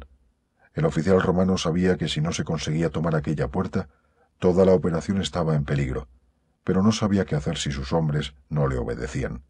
Los africanos e íberos permanecían en pie, heridos, desangrándose algunos, pero protegiendo la puerta, sin moverse, sin ceder un ápice de terreno. En ese momento una espesa nube de flechas llovió desde lo alto de la muralla. Varios africanos cayeron atravesados y los íberos decidieron que aquello ya era demasiado, y se adentraron en la necrópolis en busca de refuerzos con los que regresar. Los africanos se volvieron hacia el origen de la lluvia de flechas. Antes de morir, alcanzaron a divisar a los soldados brucios apuntándoles con sus arcos. sólo la traición pudo llevárselos por delante. La puerta teménida se abrió de par en par. Sus inmensos goznes resonaron en la noche húmeda. Fabio Máximo, cónsul de Roma, arropado por sus lictores y por una legión de romanos, entró en la ciudad de Tarento. Allí se detuvo para contemplar el paso de sus tropas hacia el interior de la que ahora era su ciudad. Dejó el resto de las acciones en manos de sus tribunos. Estos se adentraron con el grueso de las tropas a marchas forzadas, cruzando primero las tumbas griegas y luego hasta el foro, sin detenerse en los templos de Perséfone o de Cora y Dionisio. Apenas encontraron oposición hasta llegar al foro. Allí se libró el mayor de los combates de aquella noche. El grueso de la guarnición cartaginesa, avisada por los íberos que habían sobrevivido a la lucha en la puerta teménida, avanzaba para cortar el paso a los invasores, pero estos ya estaban con miles de hombres en el interior de la ciudad. Los cartagineses lucharon con bravura, igual que lo habían hecho sus compañeros de la puerta, que había sido traicionada. Pero cuando parecía que daban muestras de resistir, los romanos empezaron a acceder a la ciudad por el puerto, toda vez que sus fortificaciones apenas si tenían ya defensores al tener estos que ocuparse de los romanos que estaban en el interior de la ciudad. Además, después de aquel infinito encierro, las puertas de la ciudadela se abrieron y la guarnición romana superviviente al asedio cartaginés de aquellos años salió para cooperar con el resto de atacantes para doblegar a sus enemigos. Fabio Máximo, sentado sobre una tumba griega, dio una orden con voz suave, casi imperceptible. Que pase la segunda legión. Catón, que permanecía a su lado, transmitió la orden a los tribunos. Una segunda legión penetró en la ciudad, y aquello dejó de ser una batalla para transformarse en una de las mayores carnicerías de aquella guerra. ¿Qué hacemos con los que se rindan? Preguntó un tribuno al cónsul. Fabio Máximo, sin levantarse, respondió con sosiego. Matadlos a todos. El tribuno asintió. ¿Y con los tarentinos? ¿Qué hacemos con los habitantes de la ciudad? Aquí el cónsul meditó unos segundos. Bueno, dijo al fin. Parecían estar a gusto, demasiado a gusto bajo dominio cartaginés. Nada hicieron para ayudar a nuestras tropas acantonadas en la ciudadela. Matad a placer. El tribuno iba a marcharse, pero le quedaba una duda. No sabía si debía preguntar más. El cónsul se incomodó ante la incapacidad de aquel oficial para ponerse manos a la obra. ¿Mujeres y niños también? preguntó cabizbajo el tribuno, con tiento, en voz baja. Quinto Fabio Máximo se levantó de la tumba sobre la que estaba sentado. Habló en voz alta y potente de modo que le escuchase aquel impertinente tribuno y el resto de oficiales que le acompañaban.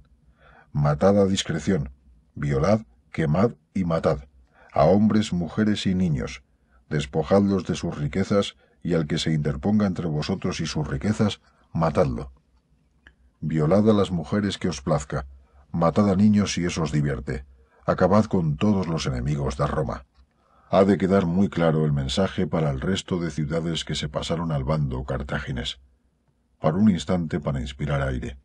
La edad le mermaba sus capacidades. Se dio cuenta de que, aunque se le escuchase igual, no le veían todos. Subió entonces a lo alto de la tumba, y desde allí concluyó su discurso, sus órdenes, esta es la noche de la ira de Roma.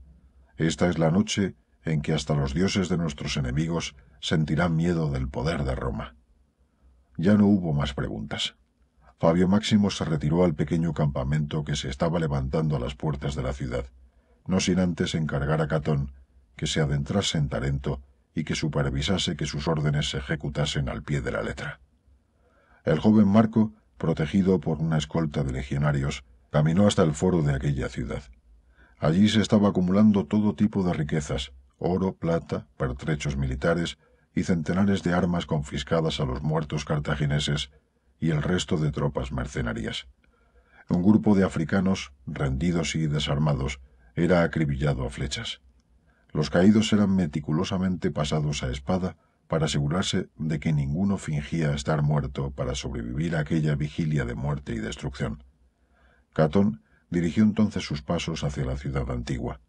Allí el espectáculo era aún más terrible. Vio a grupos de legionarios que sacaban a las mujeres de sus casas arrastrándolas por el pelo, a medio vestir algunas, otras ya completamente desnudas, y las violaban en plena calle. Algunos sacaban a sus maridos para divertirse con el sufrimiento de aquellos hombres. En muchos casos las violaciones terminaban degollando tanto a las mujeres como a sus maridos. Decenas de niñas seguían el destino de sus madres. Había muchos soldados jóvenes entre aquellas tropas. Catón percibió que la juventud era capaz de mayores crueldades que las tropas veteranas. ¿Quedaría alguien vivo al amanecer? Estuvo tentado de ordenar refrenar a algunos hombres que se entretenían torturando a un grupo de niños, pero el temor a la reacción del cónsul le contuvo. Una voz que reconoció gritó pidiendo ayuda. Catón se volvió y vio al brucio régulo, armado con su espada, acompañado por otros dos soldados brucios, protegiendo a una mujer aterrorizada que con toda probabilidad debía de ser la hermana. Allí estaba la semilla que engendró aquella noche rogando por su vida. Mi señor, mi señor, gritaba Régulo dirigiéndose a Catón. Ayudadnos. Están confundidos. Nos van a matar. Vos sabéis que ayudamos al cónsul. Estamos bajo su protección. Marco Porcio Catón alzó su voz en medio del tumulto de legionarios que rodeaban a Régulo, su hermana y sus compañeros brucios. Este hombre y sus acompañantes están a mi cargo, dijo Catón con firmeza. Los legionarios dudaban, pues la mujer que acompañaba a los brucios era muy atractiva, y varios de aquellos soldados aún no se habían estrenado, pero el centurión romano que los dirigía reconoció la figura del joven tribuno favorito del cónsul, y un sudor frío empapó su frente. Apartaos, imbéciles. ¿No habéis oído la orden? Apartaos o será mi espada la que os saque de aquí a todos uno a uno. Régulo caminaba más encogido de hombros que de costumbre, asustado. Se quejaba mientras seguía la estela de aquel alto oficial romano que los había rescatado in extremis de una muerte segura. Esto no tiene sentido. Hemos ayudado al cónsul a hacerse con la ciudad y lo está arrasando todo. Pero bueno, ahí no entro, no es asunto nuestro. Pero han matado a varios de mis hombres, los mismos que ayudaron a apoderarse de la puerta teménida. Ha sido una confusión, respondió Catón sin levantar la voz y sin volverse para mirar a su interlocutor. En unos instantes estaréis ante el cónsul. Allí podréis formular vuestra reclamación. Régulo estaba indignado. El enfado parecía ir borrando todo el temor padecido en las últimas horas al verse obligado a defenderse a sí mismo y a defender a su hermana de los ataques de los romanos a los que él había ayudado y facilitado el acceso a la ciudad. Tenía ganas de vérselas cara a cara con el cónsul y exigir una compensación para él y para todos sus hombres. Quinto Fabio Máximo, sentado en una silla repleta de almohadones para hacer más cómoda aquella espera nocturna, contemplaba el incendio que consumía gran parte de la ciudad de Tarento. A sus espaldas estaba su tienda de general en jefe del ejército consular que había tomado aquella ciudad por la fuerza. Era una conquista comparable a la de Siracusa por parte de Marcelo. Ya nadie podría poner en cuestión su liderazgo en aquella guerra. Era el más experimentado senador, el que había detenido a Aníbal tras Canae, el que había defendido Roma cuando el cartaginés acampó a las puertas de la ciudad, el que más consulados había ostentado, y ya ni siquiera podrían restregarle que Marcelo hubiera conquistado una gran ciudad y él no. Ni siquiera eso tendrían ya sus enemigos. Esto le haría el hombre más poderoso de Roma. Las riquezas de Tarento sanearían las cuentas del Estado y aliviarían la presión sobre el resto de patricios y sobre las colonias latinas. Eso habría una nueva etapa en la guerra contra Aníbal, en la que él lideraría la ciudad hasta terminar con el cartaginés de una vez por todas, y su nombre pasaría a los anales de Roma como el mayor de los generales que nunca jamás había tenido la ciudad que estaba destinada a gobernar el mundo. Ningún otro general romano podría realizar ninguna acción que pudiera medirse en mérito a la toma de Tarento. Vio que Catón se acercaba junto con sus escoltas y unos extraños acompañantes. ¿Y bien, Marco? Preguntó el cónsul sin alzarse de su asiento. ¿Se van cumpliendo mis órdenes? Sí, mi señor. No creo que ni los tarentinos ni los cartagineses tengan dudas sobre el mensaje que se les ha enviado esta noche. Lo que no sé es si quedará alguien para contarlo. Por todos los dioses, tan al pie de la letra se están siguiendo mis órdenes. Tanto fervor por parte de mis tropas me conmueve. El cónsul hablaba con una sonrisa permanente en su boca entreabierta, que dejaba ver el blanco sucio de unos dientes afilados. He traído conmigo a Régulo. Tiene algunas quejas sobre el trato que los brucios están recibiendo de los romanos. ¿Régulo? El cónsul pronunció aquel nombre como si intentase recordar de quién se podía tratar y no lo consiguiera. Ah, el brucio. Sí, claro. ¿Quejas? Régulo emergió de entre los escoltas y dio dos pasos hasta que los lectores cruzaron sendas lanzas ante él, obligándole a detenerse. Vuestros legionarios han acabado con la vida de muchos de mis hombres, hombres que os han ayudado a tener acceso a talento esta noche, y os han dado esta victoria en bandeja. Fabio Máximo borró la sonrisa de su faz. Permaneció en silencio mientras una oscura nube ensombrecía la mirada, hasta entonces casi risueña, de sus pequeños ojos. Su rostro se arrugaba y un denso ceño se instaló sobre su frente. Régulo malinterpretó aquellas señales como confusión y decidió plantear su caso con más claridad. Debéis ordenar que se proteja al resto de brucios en Tarento y luego exijo una compensación para mí y para el resto de mis hombres. Casi nos matan, y a mi hermana estaban a punto de violarla. Solo la intervención de vuestro tribuno ha sido capaz de impedir esta serie de atrocidades. Y señaló a Marco Porcio Catón. El aludido dio unos pasos hacia atrás y miró al suelo. No tenía muy claro que su intervención fuera a ser valorada como positiva por el cónsul, pero no parecía razonable matar a quien tanto había cooperado aquella noche. Régulo prosiguió con su retaíla de reclamaciones. Si no es por mis hombres, esta noche Tarento aún sería de los cartagineses. Quizá, dijo al fin el viejo cónsul. La guerra es confusa, Régulo. Sin duda, en medio de la oscuridad de la noche, mis soldados no han sabido diferenciar los unos de los otros. Estas cosas pasan. Máximo hablaba muy despacio, como sintiendo el peso de cada palabra. El ceño y la mirada oscura permanecían en su semblante. Lo que no tengo tan claro es tu concepción de lo acontecido aquí esta noche, Arrégulo. Tarento ha sido tomada al asalto por mis legiones y así quedará escrito en la historia. La intervención de tus hombres apenas es un episodio merecedor de ser trasladado a los volúmenes de historia. Te voy a corregir. Sin mis legiones, Tarento aún estaría en manos del enemigo, y tus soldados sometidos a los cartagineses. ¿Has tenido bajas? ¿Y cuántos romanos crees que han caído esta noche? Y no veo a ningún tribuno de mis legiones ante mis ojos pidiendo compensación por sus soldados caídos. El cónsul había elevado el tono de voz en sus últimas afirmaciones, pero se contuvo y volvió a adoptar un tono de voz más suave.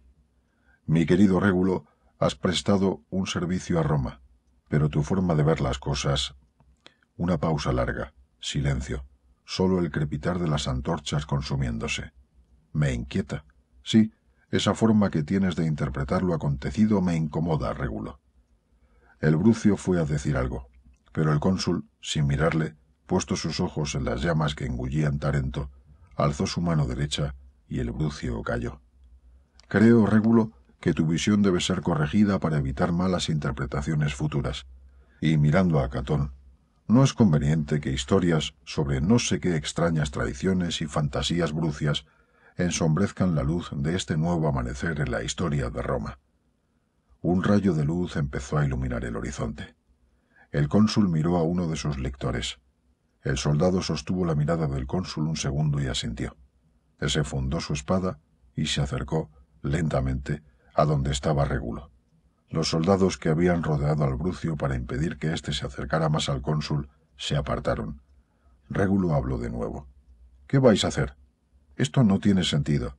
Si acabáis conmigo nadie más querrá ayudaros jamás. A lo mejor es que ya nunca más vamos a necesitar ayuda, Brucio. Tu pueblo es un aliado demasiado inconstante.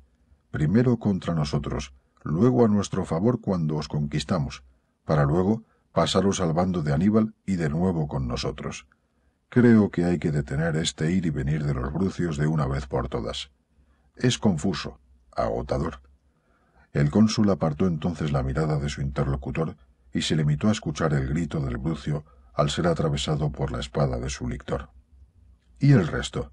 preguntó el soldado que acababa de ejecutar a Régulo. Acabad con todos ellos.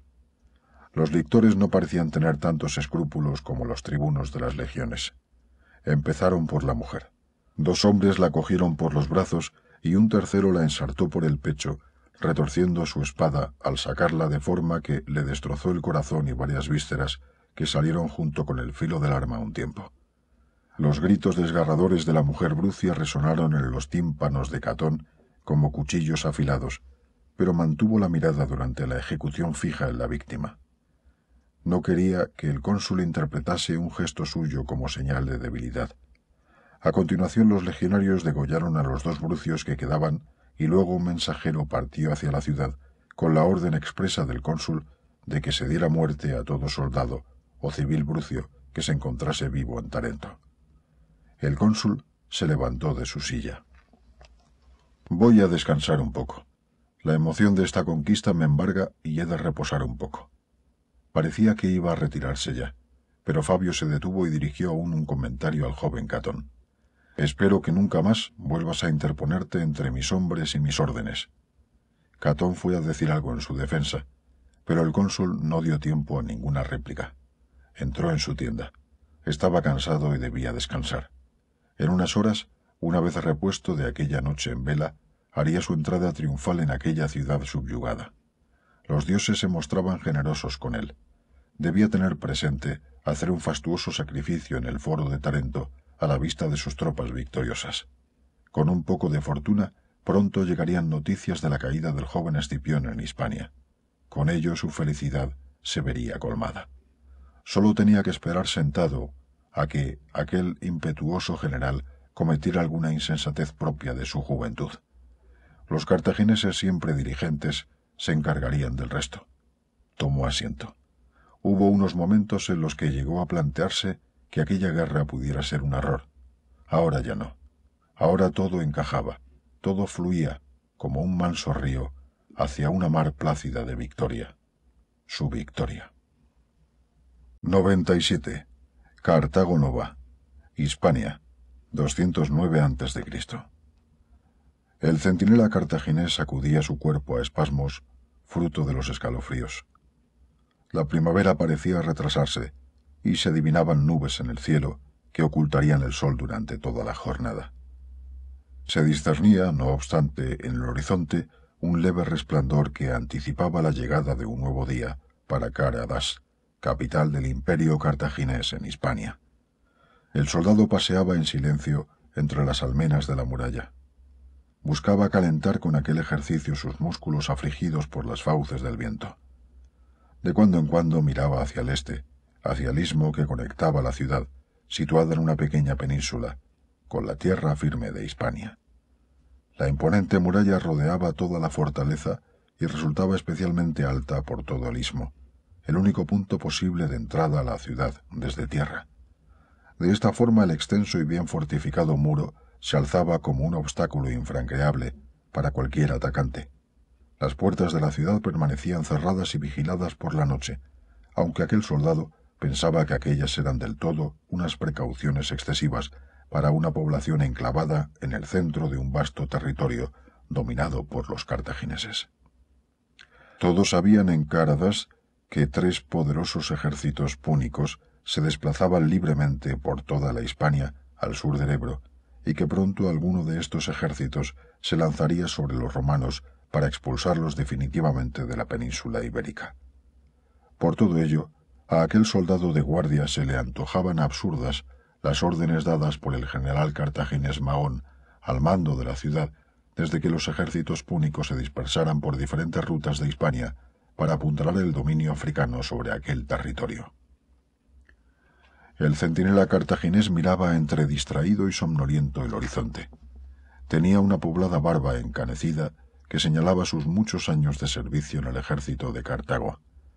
Era un hombre maduro, fornido y fuerte, que prefería la acción a las largas y pesadas guardias nocturnas en plazas fuertes lejanas de los frentes de batalla. Su fortaleza flaqueaba en un punto. Su vista ya no era la de sus años de juventud. Por eso cuando la luz de aquel amanecer nublado empezó a llenar el horizonte, no acertaba a entender bien lo que parecía adivinarse en lontananza. Se llevó una mano a los ojos y los restregó con fuerza, intentando sacudirse alguna legaña molesta y agudizar al máximo su desgastada visión. No alcanzaba a comprender lo que sus ojos parecían querer decirle. A unos cinco mil pasos de la ciudad había un gran ejército establecido allí, delante de él, justo a las puertas de Car Adas. Y aquellos estandartes, esas águilas, esos uniformes, los escudos y yelmos, aquel no era un ejército de Cartago. El soldado inspiró profundamente hasta poder asimilar lo que pasaba. Una vez que hubo tragado saliva, dio un poderoso grito de alarma. En unos minutos, la ciudad entera se despertó y empezó a comprender lo que estaba ocurriendo. Magón estaba dormido junto a una joven íbera esclava, botín de guerra y del dominio cartaginés sobre Hispania. Aún no había mancillado el honor de la muchacha porque llegó demasiado borracho al lecho. Por eso la dejó allí, recostada en un lado de la cama, temblorosa y aterrorizada. Ya se ocuparía de ella al amanecer. Magón era un hombre robusto de casi dos metros, un gigante que comandaba las tropas de Cartago en la capital de su imperio ibérico. Como general al mando disponía de control completo sobre la guarnición de la ciudad, sobre sus habitantes y sobre el territorio que la rodeaba. Su poder en la capital era absoluto. Por la ciudad empezaron a oírse gritos y un creciente tumulto de gentes corriendo por las calles. Magón abrió los ojos advertido por el ruido. Apartó el cuerpo de la esclava con un empujón que arrojó a la muchacha al suelo. Esta no gritó al golpearse contra las frías baldosas. Sus días en el palacio de Magón le habían enseñado a guardar silencio siempre, en cualquier circunstancia. Se quedó en el suelo, quieta, casi conteniendo la respiración, mientras Magón se levantaba torpemente. El vino de la noche anterior aún parecía tener efecto sobre su gigantesco cuerpo, pero al fin, con esfuerzo e intención, se puso en pie y se dirigió a la ventana de su palacio en la colina Ars Astrubaris, donde se levantaba triunfante la acrópolis de la ciudad, una ciudadela fortificada dentro del recinto amurallado de Karadast. Desde la ventana el espectáculo terminó de despertar al general. Cientos de hombres y mujeres corrían por las calles, muchos gritando, y decenas de soldados se dirigían a las puertas de la ciudad y la muralla. En ese momento un oficial cartaginés apareció en la estancia del general. Mi señor, los romanos, miles de ellos, un ejército, a las puertas de la ciudad. La guarnición está tomando posiciones en la muralla. Magón no respondió al oficial. Cogió su espada, su coraza y su yelmo y salió de la estancia. El oficial le siguió de cerca. La joven esclava íbera se quedó en el suelo, acariciándose el codo sobre el que había caído, apaciguando su dolor. Aquella noche había soñado que pronto sería libre, que pronto estaría con sus padres en su pueblo natal. Ahora se preguntaba si aquello quizá fuera algo más que un sueño. Pero no tenía demasiadas esperanzas. Con los días de reclusión había aprendido a ser escéptica sobre el futuro y la vida. Se acordó de su joven prometido, un jefe íbero que la pretendía desde niña, alto, apuesto y siempre considerado con ella. La joven se echó a llorar entre sollozos ahogados para no llamar sobre sí la atención de ningún guardia. Estaba amaneciendo sobre el campamento romano, pero ya había una intensa labor en todas partes. Había sido una noche a oscuras en la que el joven general Publio Cornelio Escipión no permitió encender hogueras para calentarse y así incrementar el efecto sorpresa en el enemigo al descubrir éste al alba un inmenso ejército a sus puertas.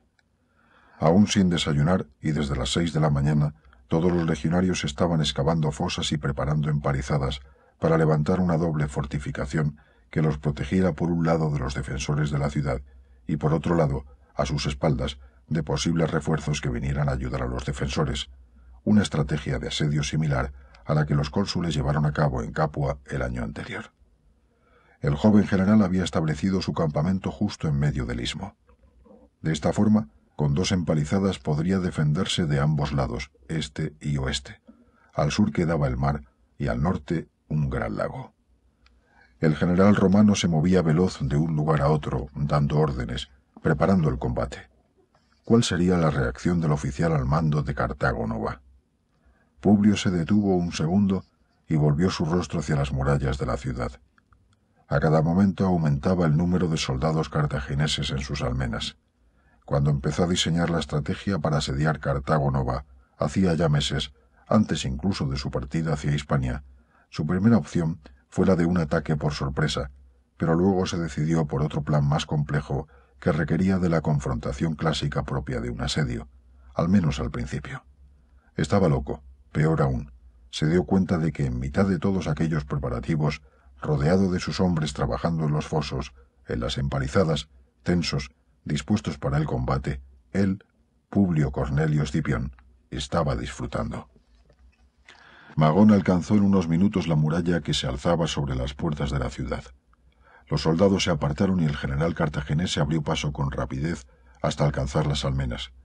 Ante él un ejército romano de unos quince mil hombres levantaba un campamento fortificado. Un asedio. Magón no daba crédito a aquella locura. Se trataba de un ejército importante, con toda probabilidad, el grueso de las tropas romanas en la península, pero insuficiente para tomar la ciudad, y mucho menos en poco tiempo. En unos días los mercaderes que comerciaban a diario con Cáradas extenderían la noticia del asedio romano y pronto llegarían refuerzos. Asdrúbal Barca no estaba más de diez días de marcha, con más de veinticinco mil hombres y decenas de elefantes. Eso era más que suficiente. Solo tenía que aguantar un par de semanas, seguramente menos. Magón se dirigió a sus hombres. Están locos esos romanos. No son nada. Solo tenemos que mantener nuestra posición unos días y esperar los refuerzos, que no tardarán. Tenemos comida y agua para meses. Podemos aguantar durante el día y hacer festines por la noche. Desde lo alto de las murallas nos reiremos a gusto viendo cómo son aniquilados por el gran Asdrúbal. Y profirió una gran carcajada. El resto de soldados rió con su jefe, y con ellos muchos de los habitantes de la ciudad, artesanos y comerciantes, que en la gran mayoría de los casos se habían enriquecido con el papel especial otorgado a la ciudad por Cartago. Los romanos detuvieron los trabajos un instante. Desde lo alto de las murallas llegaba como un murmullo al principio apenas imperceptible, pero que al detener su trabajo y poder escuchar con más nitidez, poco a poco fue haciéndose más identificable. Desde la ciudad llegaba el sonoro sonido de cientos de gargantas riendo. Publio observó la duda y el miedo instalándose en el rostro de sus soldados. Todos sabían que la única posibilidad de victoria era un asedio rápido, antes de que llegaran los refuerzos cartagineses. Que los defensores de la ciudad se mostraran tan seguros como para reír no auguraba una conquista fácil. Pero en aquel momento, en el horizonte del este, una extensa flota de varias decenas de barcos comenzó a dibujar el perfil de sus embarcaciones. La flota romana al mando de Cayo Lelio llegaba a la costa. El almirante dirigió los barcos, despacio pero seguro, hacia la ciudad, hacia su puerto. Las carcajadas que venían de la ciudad se apagaron súbitamente. En el silencio se escuchó clara la voz de Publio Cornelio Escipión ordenando que se siguiera con los trabajos de fortificación. El general romano bendijo la llegada de la flota en un momento tan delicado. El plan seguía adelante. Un soldado a la derecha de Magón señaló hacia el mar. El general cartaginés se volvió para mirar. En el horizonte la inmensa flota romana se recortaba con sus decenas de navíos navegando veloces empujados por miles de remos. Se veía la espuma que levantaban los remeros al impactar una y otra vez sobre la superficie del agua sus maderos, desplegados en largas hileras a babor y estribor de cada barco. Los cartagineses reprimieron sus risas. Magón permaneció en silencio, meditando. Sentía cómo la euforia inicial comenzaba a tornarse en temor. Solo tenían que resistir unos días, pero las fuerzas que los asediaban eran cada vez mayores. Los romanos habían venido con todas sus tropas, con toda su flota, con todo su poder volcado para asestar un golpe seco y por sorpresa sobre la capital cartaginesa en la península. Era una locura. La ciudad resistiría. Era el plan de un lunático, lo inimaginable.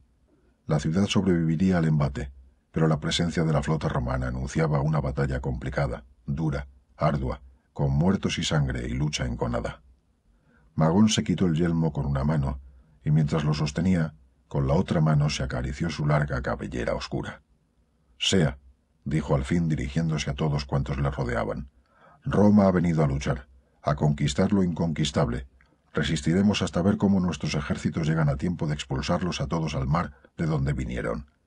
Todos abajo, excepto la guardia de la puerta, y reunida la población al pie del Ars Asdrúbalis. Vamos, no hay tiempo que perder. Y los cartagineses, animados por su general, se dispusieron para la defensa. Todos descendieron de la muralla excepto la guardia de la gran puerta oriental. Los soldados corrieron a por armas. Los guardias de aquel gigantesco portón empezaron a revisar las defensas, y pronto la ciudad empezó a oler a azufre hirviendo, dispuesto para ser arrojado sobre los que osaran acercarse a aquellos muros de piedra que rodeaban Caradast. Con la presencia de la flota al mando de Cayo Lelio, los romanos contaban con una fuerza poderosa para protegerse de un ataque por mar, y a la vez con gran cantidad de material y pertrechos para levantar el campamento romano con mayor rapidez. No había que cortar troncos para las empalizadas porque los barcos venían repletos de ellos. Estaba claro que su general había estado planificando todo el asedio al detalle. Los soldados se sintieron más seguros al sentir que alguien que pensaba bastante más que ellos era el que los dirigía, pese a que fuera tan joven. A las siete y media, Publio ordenó detener los trabajos y que con la primera luz del sol desayunaran para recuperar fuerzas por si los defensores de la ciudad se decidían a hacer una salida desesperada y por sorpresa. El general aprovechó la ocasión para dirigirse a sus hombres desde lo alto de una colina. Proyectando su voz, les expuso sus planes. A todos os digo que hoy hemos venido no a luchar, sino a vencer. Roma ha sufrido los ataques constantes de los cartagineses en esta región hasta recluirnos al norte del Ebro. En seis días hemos alcanzado, sin que lo esperase nadie, ni vosotros mismos, su capital, y en poco tiempo entraremos en esa ciudad y la haremos nuestra, junto con su oro, su plata, sus víveres, sus esclavos, sus ciudadanos y los rehenes con los que Cartago mantiene subyugados a los íberos de la región, todo lo que os hará merecedores de la gloria y fortalecerá Roma ante el mundo. Si esta fortaleza cae, no habrá ciudad púnica que se sienta segura. Si los cartagineses no son capaces de defender su más preciada colonia en el exterior, ¿cómo serán capaces de defender otras ciudades que no estimen tanto? Eso se preguntarán todos. ¿Cuántas veces nos han vencido los africanos en Italia? Demasiadas. Ya es hora de que devolvamos golpe por golpe, osadía por osadía.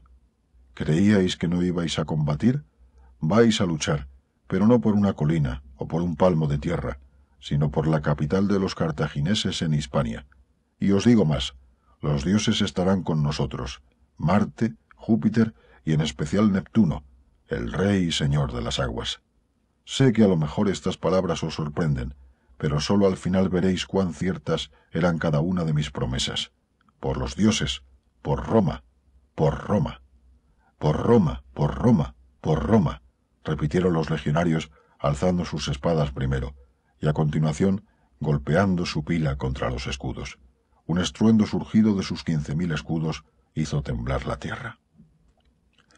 En lo alto de las murallas los cartagineses escucharon con rostros de preocupación el indómito grito de las legiones. Pese a todo se mantenían todos en sus posiciones confiados en el vigor de sus fortificaciones, en el aceite hirviendo que preparaban, en las armas de las que disponían, porque estaban seguros de que antes de que los romanos consiguiesen abrir alguna brecha, llegarían los refuerzos de Asdrúbal Barca, el más poderoso de los cartagineses después de tan solo su hermano Aníbal. Los legionarios se quedaron absortos reflexionando sobre las palabras que acababan de escuchar a su general. Todos habían comprendido la importancia estratégica de apoderarse de una ciudad donde los cartagineses tenían rehenes de las tribus íberas con los que presionaban a sus jefes para que no se levantaran en armas contra el poder de Cartago en Hispania.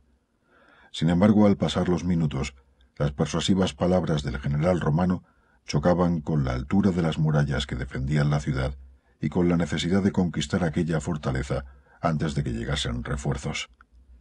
El joven Publio fue disponiendo sus tropas por el asalto. Los Astati y los príncipes primero, como tropas más jóvenes, los Triari, más experimentados, en la retaguardia, y por delante de todos ellos la infantería ligera de los bélites, pero aparte separó a quinientos hombres que ni siquiera quedaban en la retaguardia, sino que los dejó en el propio campamento. Entre esos hombres quedaron por orden expresa del general romano Quinto Terebelio y sus legionarios. Esto es humillante. Quinto gritaba y movía los brazos en grandes aspavientos. Dijimos algo inapropiado, os quejasteis de aquella marcha sin fin. Y eso estuvo mal, estuvo mal. Pero no dejarnos combatir es una humillación sin igual. No es justo. Y escupió en el suelo con frustración. Quinto hablaba desde una pequeña elevación del terreno en el centro del espacio ocupado por el campamento romano. Desde allí, junto a varios de sus hombres, examinaba la disposición de las tropas que se preparaban para lanzar el ataque sobre la ciudad. Se veía alguna catapulta que habían desembarcado al amanecer y soldados trayendo inmensas piedras. Insuficientes armas de asedio en cualquier caso. Con aquello no se tenía ni para empezar. ¿Por qué no dispuso el general que se preparasen más catapultas durante el invierno? Y más escalas y cuerdas por las que trepar por los muros como las que llevaban los vélites, que se disponían para acometer esa difícil empresa.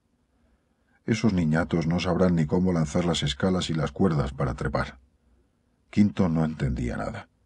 Durante el invierno el general romano dio órdenes expresas de formar grupos de soldados en el arte de asaltar murallas, de lanzar cuerdas y escalas y de trepar por ellas con habilidad, dispuestos a tomar la posición, en murallas y fortalezas de todo tipo.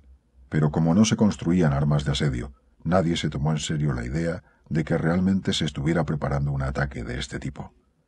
Pero lo más absurdo de todo era que Quinto y sus hombres se habían especializado en ese tipo de asalto, y ahora que podían hacer valer su entrenamiento, eran relegados, apartados por un general joven y rencoroso, más preocupado en humillar a un reducido grupo de soldados y a un centurión deslenguado en optimizar al máximo las habilidades de cada uno de sus legionarios.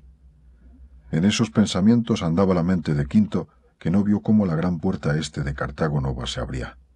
Un legionario gritó señalando hacia la gigantesca puerta de la ciudad. Los cartagineses sacaban tropas para hacer frente a los romanos. Es una salida, exclamó Quinto. Esos cartagineses son unos hijos de mala madre, pero hay que reconocer que tienen agallas. Desde aquel promontorio vieron cómo los defensores de Cartago Nova hacían salir hasta dos mil soldados fuertemente armados, que en un minuto se dispusieron en formación de ataque apenas a un centenar de pasos de las murallas. Y de pronto, para mayor sorpresa de los romanos, Magón, desde lo alto de la puerta oriental, dio una orden. A su voz, los dos mil cartagineses avanzaron firmes, decididos hacia el ejército romano. Publio Cornelio Escipión observó la salida de los cartagineses. Estos se dirigían directos sobre sus tropas. Estaban ya apenas a unos doscientos o trescientos pasos de distancia de los vélites, los primeros que deberían entrar en combate. Los tribunos observaban a su general, esperando la orden de atacar. Publio Cornelio Escipión permanecía en pie, impasible, rodeado por los lectores de su guardia personal, debatiéndose en silencio sobre la mejor estrategia a seguir ante aquella reacción cartaginesa. Por fin, en voz baja dio una orden a Lucio Marcio. El oficial abrió los ojos tanto que parecía que iban a saltarle de sus órbitas, y miró al general incrédulo. ¿Estáis seguro, mi general? se atrevió a preguntar Marcio. Publio le miró sin decir nada, sin añadir palabra.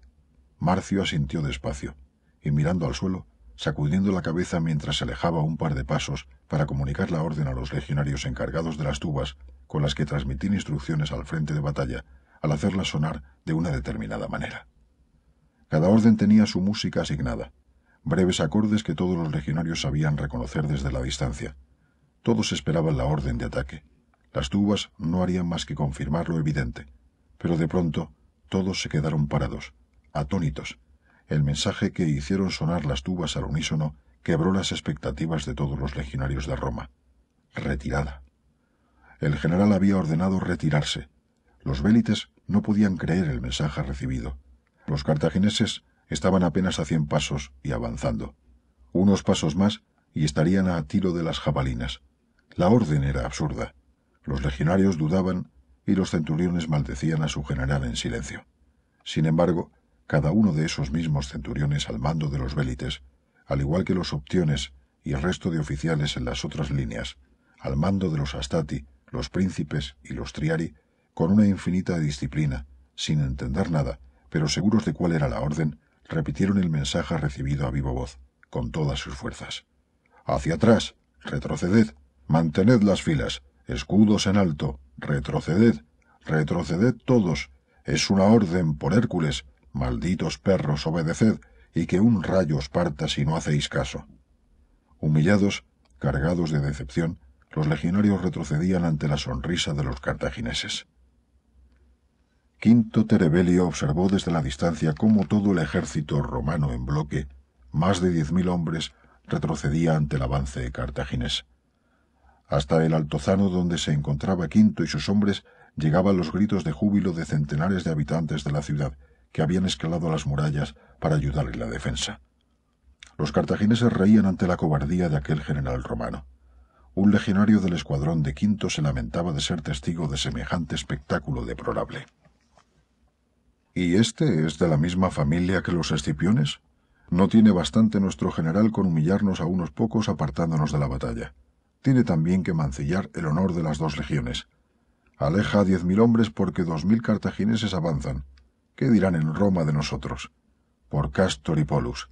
¿Para qué tanto discurso sobre los dioses si al primer encuentro con el enemigo salimos corriendo como gallinas?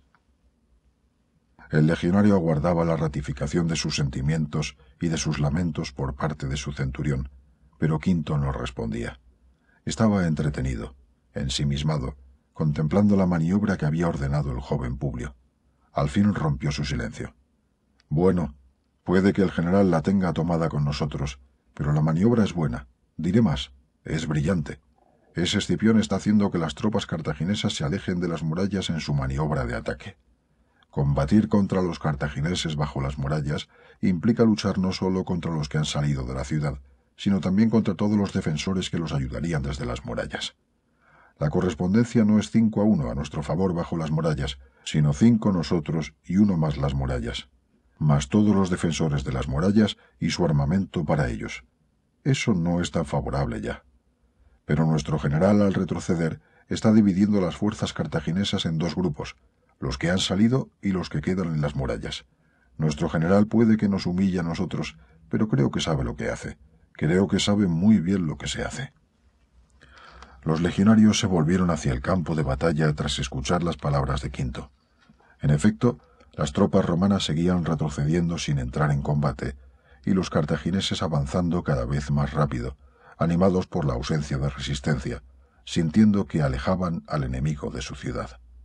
Sin embargo, de súbito, cuando ya se encontraban a más de mil quinientos pasos de la muralla, Publio Cornelio Escipión dio otra orden, y Marcio, que al igual que Quinto empezaba a intuir algo en el mismo sentido, la transmitió a los legionarios que sostenían las tubas. La vibración profunda y potente de las mismas alcanzó, empujada por el viento, a todos los romanos, y los diez mil hombres de las dos legiones, a un tiempo, frenaron en seco. El repliegue había terminado.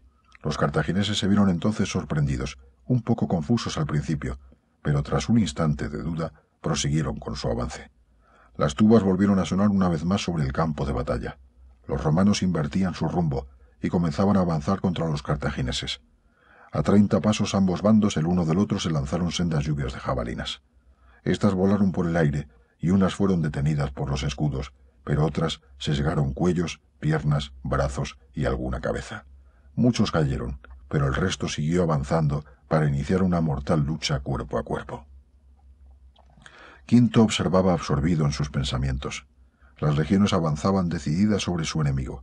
Los cartagineses plantaron una lucha encarnecida. Hasta el altozano del campamento romano llegó el fragor del combate. Golpes de espadas y gritos de dolor. Quinto sabía reconocer cada sonido, cada aullido. Eran muchas las batallas en las que había participado desde que estallara esta nueva contienda con los cartagineses. El centurión romano bajó la mirada al suelo. Él debía estar allí, con sus hombres. Todos debían estar allí, dando lo mejor de sí mismos, por su patria, por sus familias. Quinto descendió del altozano y siguió el devenir del combate a partir de los comentarios que sus hombres hacían en voz alta. Los cartagineses resisten. Es increíble. Si los superamos en número, los quintuplicamos. Sí, los romanos eran muchos más aquella mañana pero los cartagineses luchaban por su capital en Hispania y se habían hecho acompañar por los propios habitantes de aquella ciudad. Un hombre vale por dos o incluso por tres cuando combate defendiendo su hogar, su casa, su pueblo, su familia. Quinto lo había visto más de una vez.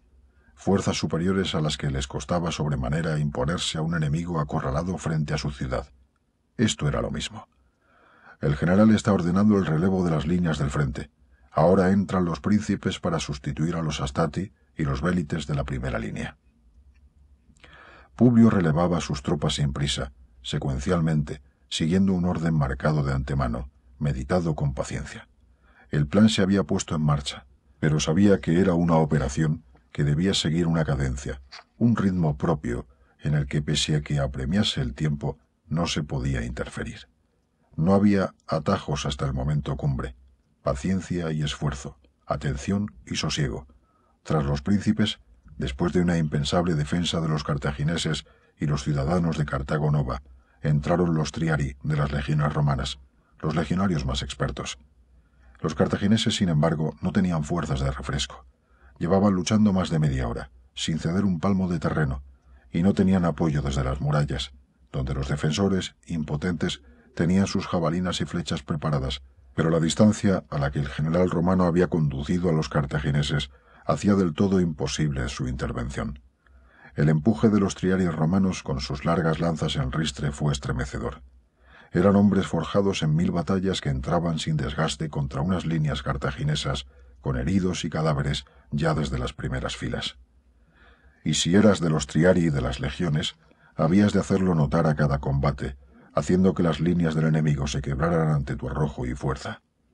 Pronto los defensores de Cartago Nova empezaron a replegarse, primero poco a poco, ordenadamente, y después a gran velocidad, en desbandada.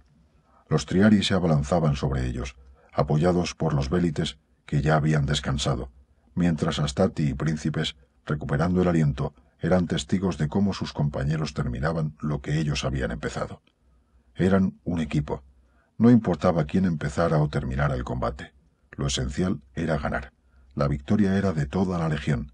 El repliegue cartaginés hacia la puerta oriental de la ciudad se tornó en una carrera sin organización alguna. Magón observaba perplejo y con desesperación el desastre de aquella batalla, sin poder apoyar a sus soldados, pues se había alejado tanto de las murallas que las armas arrojadizas de las que disponían en la ciudad no podían ni tan siquiera cubrir el repliegue de las tropas, lo que había sido su idea inicial en el caso de que las cosas se torcieran tal y como estaba ocurriendo. Los cartagineses, en su empeño por alcanzar el interior de la ciudad y guarecerse tras la seguridad de sus murallas, se atropellaban en el estrechamiento de la entrada en el acceso a la puerta. Unos y otros se empujaban. La puerta de la fortaleza, camino hacia la salvación y la supervivencia, se transformó en un horrible embudo de muerte y desolación. Unos soldados pasaban por encima de otros, pisando, asfixiando. Cada uno, en su búsqueda particular por escapar, no miraba a quién tumbaba, o sobre qué o a quién aplastaba. Los romanos se acercaban a toda prisa. En ese momento Magón ordenó que se lanzaran jabalinas y misiles de todo tipo sobre los tiari. Estos resistieron con los escudos la torrencial lluvia de lanzas y dardos, cayendo algunos, pero bien cubiertos por los escudos, gracias a su veteranía en el combate, algunos alcanzaron las puertas y las murallas. En las puertas, no obstante, no había forma de entrar en la ciudad, porque un túmulo de cadáveres y heridos se había apilado frente a las mismas, impidiendo el paso de atacantes y defensores por igual. Algunos romanos empezaron a escalar, pero en ese momento Magón ordenó cerrar las puertas, dejando fuera amigos y enemigos, tanto daba ya para él. Había que salvaguardar la ciudad por encima de todo.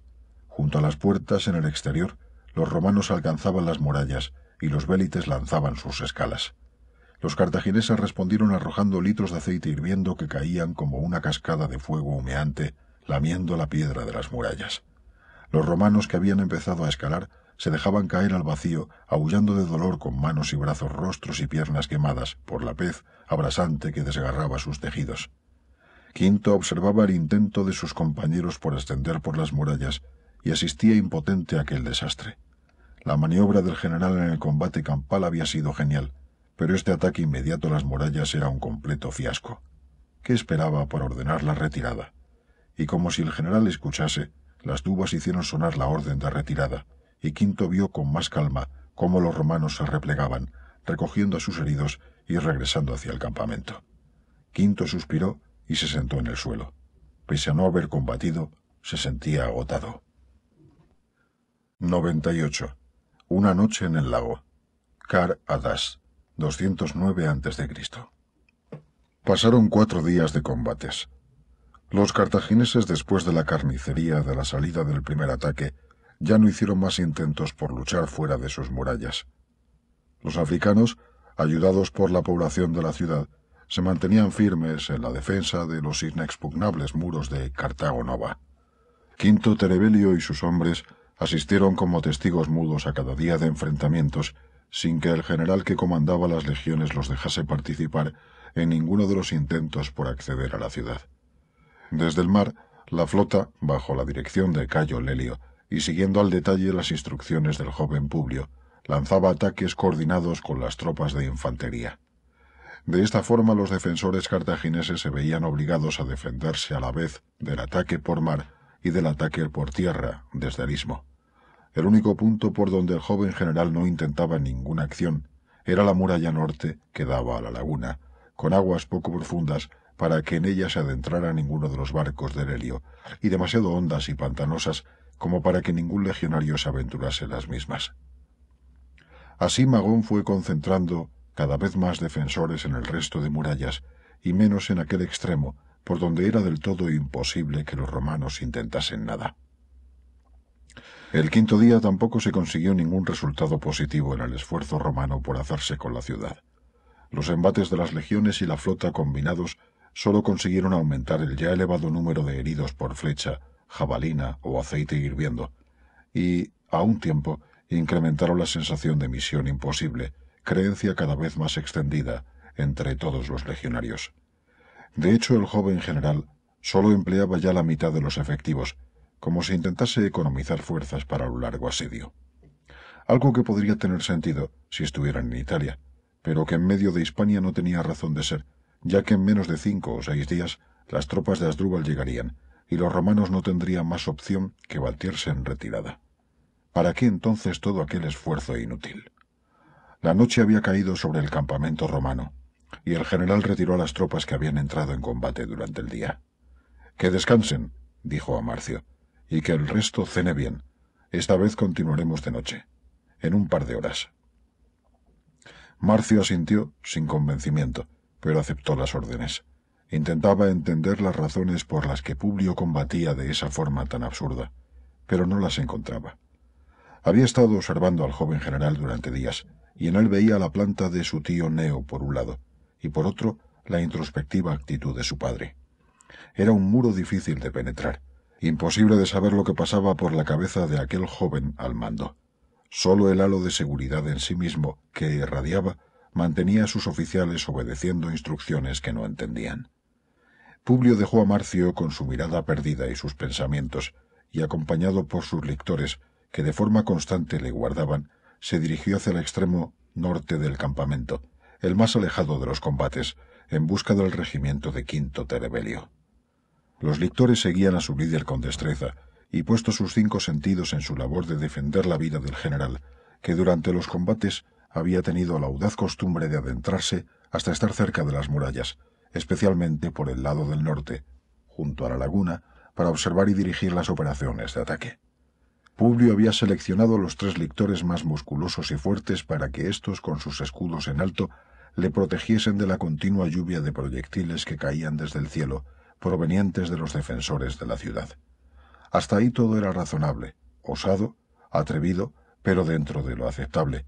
El general se aventuraba entre las líneas de combate, pero al tiempo buscaba una protección adecuada. Lo que extrañaba a los lictores era el hecho de que con frecuencia descubrían a su general mirando más hacia la laguna que hacia las murallas orientales, donde tenían lugar los combates. Era como si al joven general le aburriese la contienda y perdiese sus pensamientos y sus ojos entre las pantanosas aguas de aquella laguna de cieno. En la laguna. Quinto Terebelio estaba sentado cenando con sus hombres, sin apenas apetito, su moral por los suelos, humillado por estar apartado del combate de forma perpetua. Centurión, prepara a tus hombres. Tienes cinco minutos, dijo el joven general a sus espaldas. Quinto se volvió y vio la figura de Publio Cornelio Escipión, rodeado de su guardia personal. Como un resorte, el centurión saltó del suelo y a gritos ordenó a todos sus hombres que formasen y se preparasen para entrar en acción. Arriba, gandules, por Hércules, parecéis nenazas aturdidas. Arriba, he dicho. A gritos a los que se alzaban y a patadas con los que estaban durmiendo, el veterano centurión consiguió que sus hombres estuvieran armados y en formación en menos de los cinco minutos asignados. El general observó la rapidez de aquel oficial a la hora de ejecutar la primera orden directa que le daba, y sonrió mientras bebía algo de agua que un lictor le pasaba mientras esperaba que todo estuviera dispuesto. Bien, centurión, vamos allá. Seguidme, dijo el general. Publio se adentró hacia el norte alejándose de la ciudad y bordeando la laguna. Los quinientos legionarios de los manípulos sobre los que Quinto Terebelio tenía el mando le seguían a paso rápido. El general parecía tener prisa. Marcharon durante veinte minutos hasta que la ciudad quedó dibujada en la distancia como una tenue silueta proyectada por la luz de las antorchas que los defensores mantenían encendidas, para el doble objetivo de vigilar la aproximación de enemigos y el de encender el aceite en caso de necesidad y arrojarlo por encima de las murallas. No había luna, de forma que lejos de la ciudad apenas se podía ver en aquella noche de espesa oscuridad. Quinto meditaba en silencio. ¿Una misión especial? ¿Tendría el general calculado lo de aquella noche sin luna o sería una simple coincidencia? Avanzaban entre matorrales de arbustos y algún que otro árbol aislado, hasta que alcanzaron un claro junto a una ensenada que daba acceso a la laguna. El general ordenó detener las tropas. Allí, esperando, había un pequeño grupo de soldados romanos. Por sus ropas y piel curtida por el sol, parecían marineros de la flota. Con ellos, un celta de aquella región aguardaba. Quinto y sus hombres vieron cómo el general se acercaba hasta encontrarse con el extranjero hispano. A una señal de Publio, el celta se separó del resto y se aproximó hacia la laguna. El general le acompañaba. Quinto los vio deliberar un rato. El celta señalaba hacia la ciudad y hacia la laguna. El general escuchaba y asentía. Al cabo de unos minutos, Publio dejó solo al hispano junto al agua y se dirigió a los hombres. Vamos a hacer un sacrificio antes de entrar en combate. Necesitamos la ayuda de los dioses para acometer con éxito la conquista de esta ciudad, que se nos resiste. Os prometí que los dioses nos ayudarían, y en especial Neptuno, pero antes debemos ofrecer un sacrificio apropiado para conseguir su afecto y su ayuda. A la luz de las dos únicas antorchas que el general había permitido encender, los legionarios asistieron al ritual. Los marineros de la flota trajeron un enorme buey de cinco años y más de quinientos kilos de peso. Caminaba lento, sin prisa, tranquilo, ajeno a su próximo destino. Entre varios marineros ataron el animal a una gran estaca junto al agua. Uno de ellos, al que el general había designado para que actuara de popa, desplegó en el aire una gigantesca y pesada maza.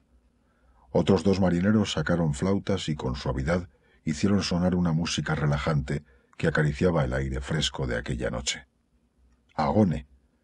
Se escuchó la orden del general y el popa descargó la maza sobre la cabeza del animal una, dos, hasta tres veces. El enorme buey primero se tambaleó. Luego, con el segundo golpe, hincó las rodillas con sus patas delanteras, y con el tercer mazazo se desplomó como una luz de tierra. Los legionarios se sobrecogieron por el gran impacto de la bestia al caer sobre el suelo. Acto seguido, el joven general se arrodilló junto al moribundo animal y sesgó el cuello de la bestia. Un río rojo de sangre cizagueó como un caudaloso afluente, deslizándose a un paso de los pies del celta, que nervioso observaba toda la escena hasta desembocar en el agua de la laguna. Allí en la orilla, agua y sangre se fundieron en un abrazo largo, quedando toda la playa teñida de un púrpura espeso.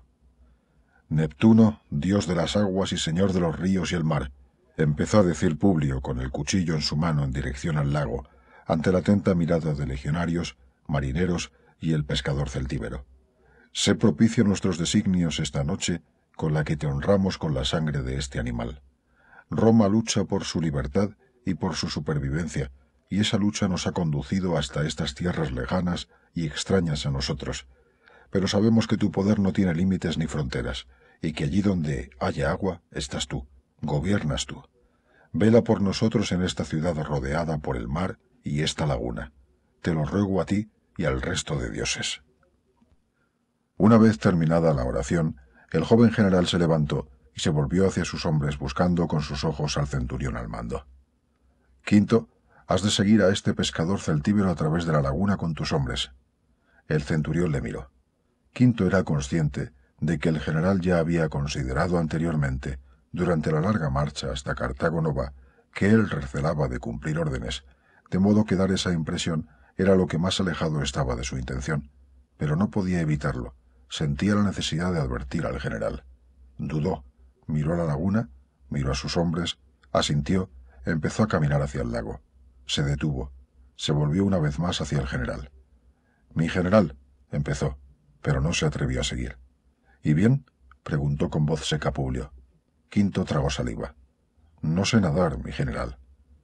Y creo que la mayoría de mis hombres tampoco. No llegaremos a las murallas. Publio inspiró con profundidad y no exhaló hasta sentir que tenía los pulmones henchidos de aire. Resopló despacio y al fin respondió al centurión. Quinto Terebelio, te he dado una orden. Coge a tus tropas, a todos los manípulos, y que en columna de a dos, siguiendo a este guía celtíbero, crucen la laguna. Una vez allí vuestro objetivo es escalar la muralla por este extremo norte, mientras que nosotros atacaremos por el sector oriental, el de la puerta. Cuento contigo y tus hombres para que esta noche me demostréis que valéis para algo más que replicar a un superior y lamentaros como mujerzuelas baratas. Quinto Terebelio bajó la mirada. El general parecía no entender o no querer entender. Quinto estaba dispuesto a dar su vida en combate en cualquier momento, por su patria, por su general, pero aquello era un suicidio para él y gran parte de sus hombres. Muy pocos alcanzaría la muralla. La mayoría serían arrastrados por la profundidad de las aguas y todo sería inútil. El general, aquel maldito jovenzuelo que dudaba de su capacidad para seguir órdenes, le humillaba de nuevo ante todos. Quinto tragó saliva por última vez y se dirigió a sus soldados. En columna de a dos, y sin rechistar. Al primero que diga algo le corto el cuello. Estamos en guerra y entramos en combate. Vamos a cruzar la laguna. Si alguien dice una palabra, lo mato aquí mismo. Y desenfundó la espada, cuyo filo brilló resplandeciente bajo la luz de las antorchas. El general se volvió hacia el bárbaro hispano, que debía actuar de guía, y se despidió de él. Hasta luego, Elmo. Cumpliré con mi parte del trato. Nos vemos al amanecer. El pescador asintió sin demasiada convicción. Puede que cruzase la laguna, pero no veía que aquellos hombres fueran a conseguir escalar las murallas y derribar a sus defensores. Pero ya era demasiado tarde para todo. Allí le había conducido su manía de contar historias, su afán de protagonismo. Si salía de esta, aprendería la lección y permanecería callado por mucho tiempo. Se encomendó a Lug, el dios principal de su pueblo, y Dagda, la diosa de los infiernos, pero también de las aguas y la oscuridad. Sin duda Dagda estaría presente en aquella noche infernal en la que iban a cruzar aquel lago de aguas pantanosas. Seguidme, dijo Ilmo en voz baja. Vamos de una vez, respondió Quinto. El general ordenó apagar las antorchas. A su alrededor solo oscuridad y sombras. Allí permaneció hasta que vio a los soldados alejarse. Volvemos al campamento, ordenó entonces Publio. Vamos, Rápido, no tenemos tiempo que perder. Llevo años esperando este momento. Muralla Norte.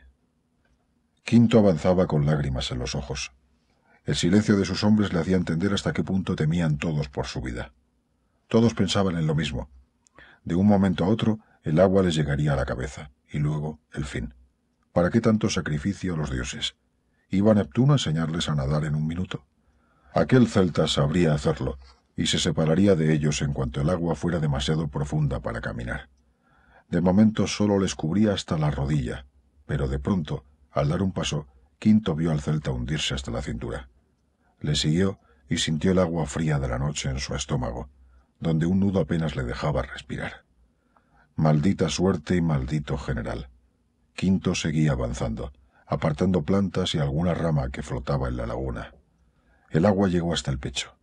Andar se hizo más complicado, pesado, lento. Llevaba coraza, una lanza, su espada, una daga y una escala larga, además de su escudo, demasiado material con el que moverse en aquel lodazal.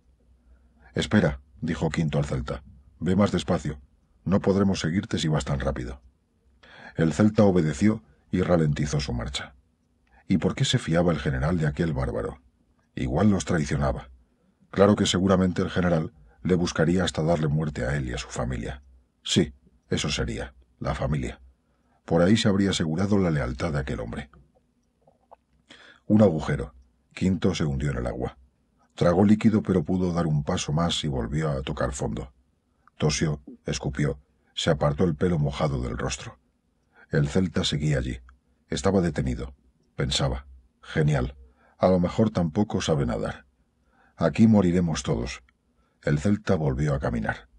Quinto le siguió, y como si ascendieran una ladera sumergida, emergieron hasta que el agua solo les cubría por la rodilla. Quinto miró atrás. Sus hombres eran una larga hilera de sombras, asustadas, igual que él, pero que avanzaban en silencio. A su alrededor todo era un mar de agua. Estaban a mil pasos del punto de partida y aún les quedaban el doble de distancia hasta alcanzar la ciudad. Se encontraban en medio de la laguna y el agua solo les cubría hasta la rodilla. Aquello era increíble.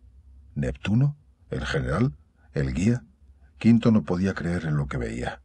Pero sus hombres parecían casi caminar sobre las aguas. Cinco manípulos de legionarios pertrechados para el asalto de la fortaleza corriendo sobre la laguna bajo un cielo estrellado pero sin luna. Muralla Oriental. Publio había llegado al campamento y ordenó que se presentaran ante él Marcio y Lelio. Estos llegaron rápido, uno desde el campamento y el otro en una barca desde el sur, donde permanecía la flota fondeada a la espera de una señal del general para entrar en combate. Vamos a atacar de nuevo, pero esta vez por la noche. Marcio dirigirá el asalto a la puerta oriental, en el istmo, primero con la mitad de las tropas, la tercera legión, la que ha descansado durante el día, y en una hora serán reemplazadas por la cuarta legión, excepto los hombres de Terebelio, que atacarán por la noche a través de la laguna. Tú, Lelio, harás que los marineros se lancen a la toma de las murallas por la parte sur, desde los barcos. Hemos de conseguir que el general cartaginés al mando concentre sus esfuerzos y sus hombres en el lado este y sur, y que se olvide de la muralla norte. Este es vuestro objetivo. Nos reencontraremos al amanecer, en el foro de la ciudad. Publio no admitió preguntas. Tenía demasiadas cosas de las que ocuparse. Marcio y Lelio se miraron. No dijeron nada. No hacía falta. Publio sabía que ambos dudaban de que los hombres de Terebelio pudieran alcanzar vivos la muralla norte. Y aún así, sería difícil que pudieran hacerse con ella, pero en cualquier caso, las instrucciones del general habían sido claras, y al igual que aquel joven superior a ellos en rango militar confiaba en ellos, lo había hecho siempre y lo seguía haciendo. Ellos debían seguir el plan trazado y confiar en su superior. Les resultaba difícil, pero adiestrados en la disciplina y alimentada ésta por una importante dosis de afecto hacia la persona del general, en especial en el caso de Lelio, partieron raudos a cumplir con las instrucciones. Publio los vio marchar dispuestos, ágiles, Sabía que dudaban, pero que seguirían adelante con el plan. Ahora solo quedaba esperar que Ilmo no hubiera mentido y que Quinto fuera realmente el hombre del que siempre le habían hablado, el mejor soldado en el campo de batalla, siempre que estuviera rodeado de tierra firme, claro. Muralla Norte. Estaba empapado, agotado, con agua hasta por las orejas, pero vivo. Quinto se sentó un momento en la orilla. Sus hombres iban llegando con la misma expresión de sorpresa y cansancio. Silencio, ordenó Quinto en un susurro mientras recuperaba el resuello. Era importante retomar fuerzas y no llamar la atención sobre ellos. Las murallas estaban apenas a quince pasos. Un centinela cartaginés de la zona norte del muro lamentaba haber sido relegado a esa posición de retaguardia. El ataque romano se había reiniciado en la parte oriental, y lo mismo parecía ocurrir con el sector sur que daba hacia el mar. Sus superiores desconfiaban de él por su tendencia a beber más de la cuenta. Por eso a él y otro grupo más de soldados, que estaban arrestados por pelearse entre sí en medio de las calles de la ciudad, cuando los soltaron para ayudar en la defensa, los ubicaron en el sector norte, donde los romanos nunca atacarían. Miró a su alrededor. Nadie. Se agachó y tomó una pequeña ánfora que había dejado junto a la pared del muro, entre dos almenas. Echó un trago. Ya que lo consideraban un borracho, ya no había por qué esforzarse en no serlo. Le pareció oír un chapoteo. Se asomó por el muro hacia la laguna. No vio nada. Quizá alguna sombra. Volvió a mirar. Nada. Si no iban a contar con él allí donde hacía falta, quizá lo mejor fuera echarse a dormir. Muralla Sur. Lelio inspeccionaba a los marineros que en unas horas se lanzarían contra la muralla sur de aquella fortaleza. Él no era un orador. Tenía que mandar a aquellos hombres contra un destino tenebroso. El objetivo era del todo imposible, pero su lealtad al joven Publio le empujaba a seguir con la estrategia marcada. Buscó palabras de ánimo en lo más profundo de su ser. Los dioses estarán con vosotros cuando subáis por esa muralla. Empezó elevando su voz para ocultar con el potente volumen sus propias dudas. Los dioses os guiarán. Hoy vais a conquistar una gran ciudad, y esa heroicidad será recordada por vuestras familias y descendientes. Seréis héroes de la patria. Lelio se pasó una mano por la boca. La tenía seca. ¿Tendrían aquellos marineros tanto miedo como él? Hoy vais a la gloria. Al mismo tiempo que nosotros atacamos por el sur, el general lo hará con la tercera y la cuarta legión por tierra. Nuestras fuerzas combinadas doblegarán la resistencia de los malditos cartagineses, y con la caída de la ciudad nos apoderaremos de todas las riquezas que allí nos esperan. Por Roma, por todos los dioses. Por Roma, por Roma, por los dioses, gritaron los marineros de su barco y de los buques cercanos. Lelio se sorprendió de aquella respuesta. Realmente aquellos hombres parecían creer en el joven general. Bien, mejor así para todos. Con el ceño fruncido, oteando la noche oscura, ordenó que los remeros empezasen a bregar.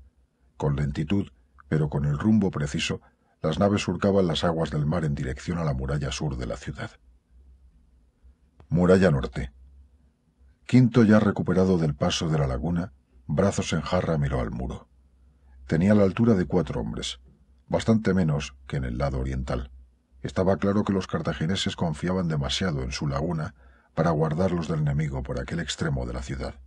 Bien, de eso sí sabía él. Pisaba tierra firme y había un muro por escalar con soldados armados en lo alto.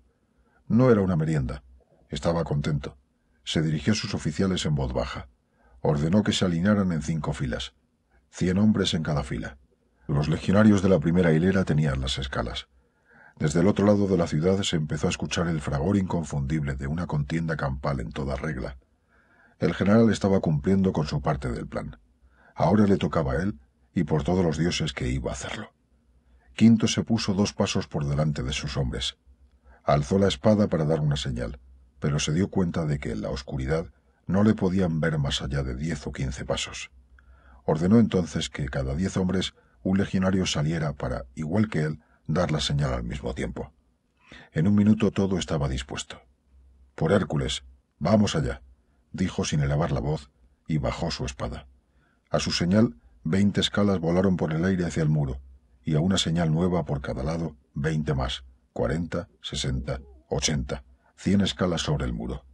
Quinto fue el primero en empezar y trepar, y tras él cien hombres. El centurión Pese a sus años de veterano, trepó como un gato y en unos segundos se encontró en lo alto del muro. Un cartaginés estaba como dormido sobre el pasillo en lo alto de la muralla. Junto a él una pequeña ánfora. Quinto se ocupó de que no despertase, sesgándole el cuello con la daga. El cartaginés solo tuvo tiempo de abrir los ojos, hacer una horrible mueca y quedarse muy quieto con la lengua colgando por la comisura de los labios. Quinto avanzó por el muro supervisando cómo sus hombres ascendían sin ser molestados. Un par de centinelas fueron despeñados hacia el lado exterior, quebrándose sus huesos con golpes secos al estrellarse contra el suelo enlodado. Quinto ordenó que una vez que todos los hombres estuvieran en lo alto del muro, subiesen las escalas y las descolgasen por el lado interior. Tres manípulos al interior de la ciudad, hacia el foro. Estamos junto a Lars Asdrúbalis. Debéis avanzar en esa dirección, explicó señalando al sur. El resto, los otros dos manípulos, me seguirán por el muro, hacia el este, hacia las puertas de la ciudad. Matad a todo lo que se mueva hasta que recibáis nueva orden. Los soldados se fueron descolgando y en grupos de veinte hombres se adentraban en la ciudad. En lo alto del muro quinto escuchaba el estruendo de la batalla que tenía lugar al este y el sur. Pronto sus hombres se unirían a aquel tumulto. Avanzó rápido por el pasillo de la muralla, cuando un grupo de soldados africanos, con las espadas desenvainadas, se arrojaron hacia ellos gritando y dando la señal de alarma. Bien, esto empieza ya, dijo, y espada en mano arremetió contra el primero de los cartagineses. Paró el golpe con el escudo y por debajo pinchó en la pierna a su oponente. Este se arrodilló por el dolor, y entonces, por arriba, le clavó la espada en el cuello. Vino entonces otro cartaginés. Quinto dejó el remate del primero para más tarde, y nuevamente se defendió con el escudo. Un golpe imponente le hizo retroceder un paso. Aquel era un gigante. Otro golpe y Quinto retrocedió otro paso, pero cuando el enorme africano iba a asestar un tercer golpe, Quinto se lanzó sobre él con el escudo haciéndole perder el equilibrio. El gigante se apoyó en la pared del muro y evitó la caída, pero entonces se encontró la espada del centurión clavada en medio del pecho. Quinto la giró al sacarla, para asegurarse de que hacía el mayor destrozo posible, y un chorro de sangre brotó como una fuente.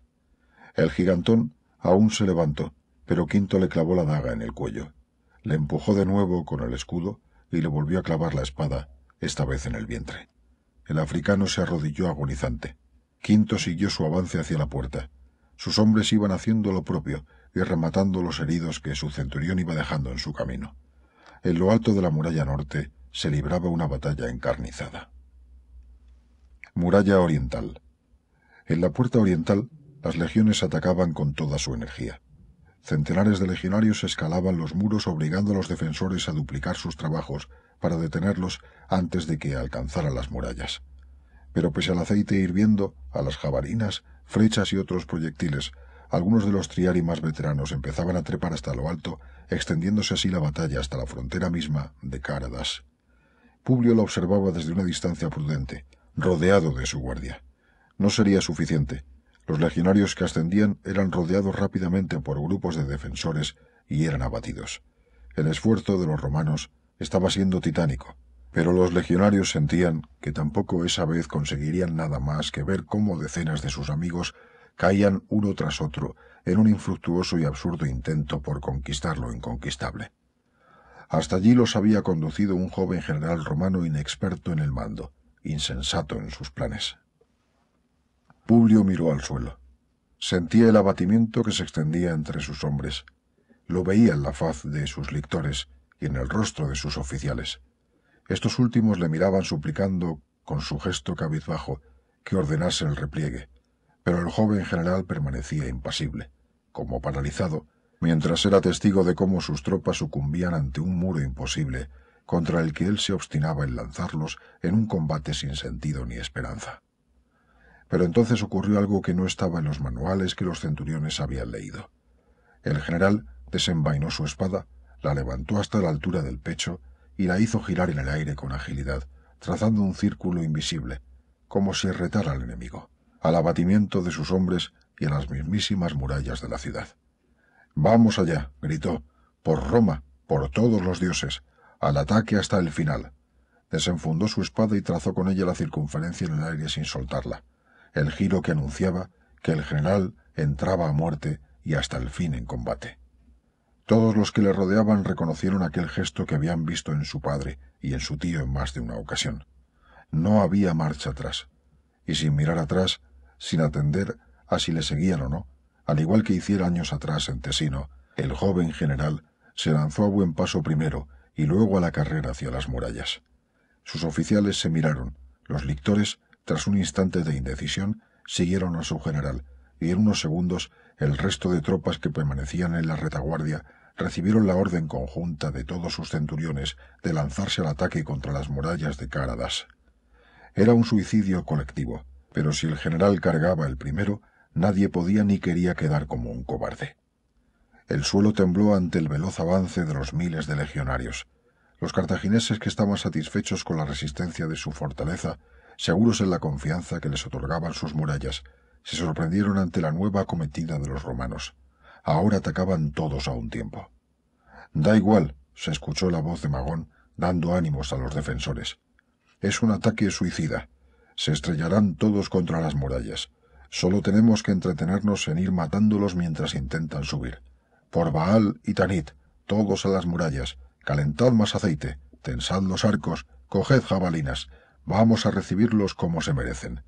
Hoy lamentarán haber pensado nunca que podrían tomar esta ciudad y ya muy pronto Asdrúbal terminará con los despojos que dejemos de estos miserables.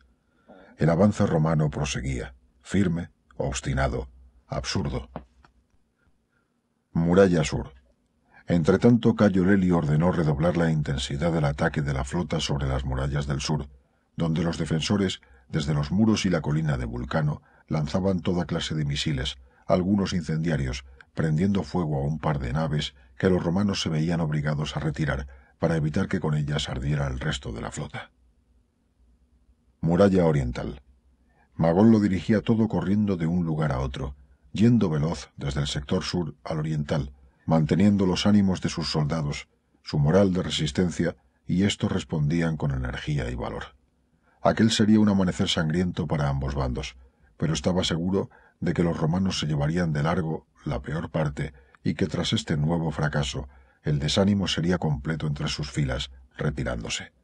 Esa mañana iba a traerle una gran victoria. Magón caminaba satisfecho de vuelta al sector este de la muralla, contemplando cómo el propio general romano se involucraba en la lucha. Era un mojigato. Eso explicaba aquella ofensiva tan estúpida. Los romanos debían de estar muy mal cuando enviaban dos legiones al mando de jóvenes sin experiencia. Esta guerra pronto iba a decantarse a favor de Cartago. Magón puso los brazos en jarras. Verted más aceite. Vamos a tostar a todas las legiones de Roma si hace falta y luego nos vamos a reír sobre sus cadáveres asados. Y lanzó una enorme risotada que resonó como un trueno en medio del fragor de la contienda. Muchos de sus hombres rieron con él mientras volcaban pesados calderos de aceite incandescente por el muro oriental. Magón reía al ver a los romanos del muro retirarse frenando el avance de las nuevas tropas que llegaban bajo el mando directo de aquel imbécil de general que se habían traído los romanos consigo. De pronto Magón escuchó un silbido que acertó a reconocer de forma inconsciente, y por eso se agachó. Un dardo le pasó rozando la espalda, y luego otro, y otro más, una lluvia de flechas que venían desde el pie del muro pero por detrás, desde el interior de la ciudad. El general cartaginés se volvió enfurecido. ¿Quiénes eran los inútiles que apuntaban tan bajo que iban a herir a los propios defensores de la ciudad? Pero cuando se volvió, Magón encontró algo que no entendió. Una centena de romanos luchaba en las calles de la ciudad abatiendo a los pocos soldados cartagineses que habían quedado fuera de las murallas. Era una lucha, más bien, entre legionarios y ciudadanos armados que hacían lo que podían por defenderse, y lo hacían mal. Un regimiento de arqueros romanos lanzaba flechas contra los defensores púnicos del sector oriental. Magón vio cómo varios de los defensores de la muralla caían abatidos. Miró entonces al exterior. Apenas caía ya aceite por la piedra, pues los que debían verterlo estaban muertos. El general romano había alcanzado la puerta, y desde allí dirigía a sus hombres hacia las escalas. ¿Legionarios dentro de la ciudad? Magón sacudió la cabeza.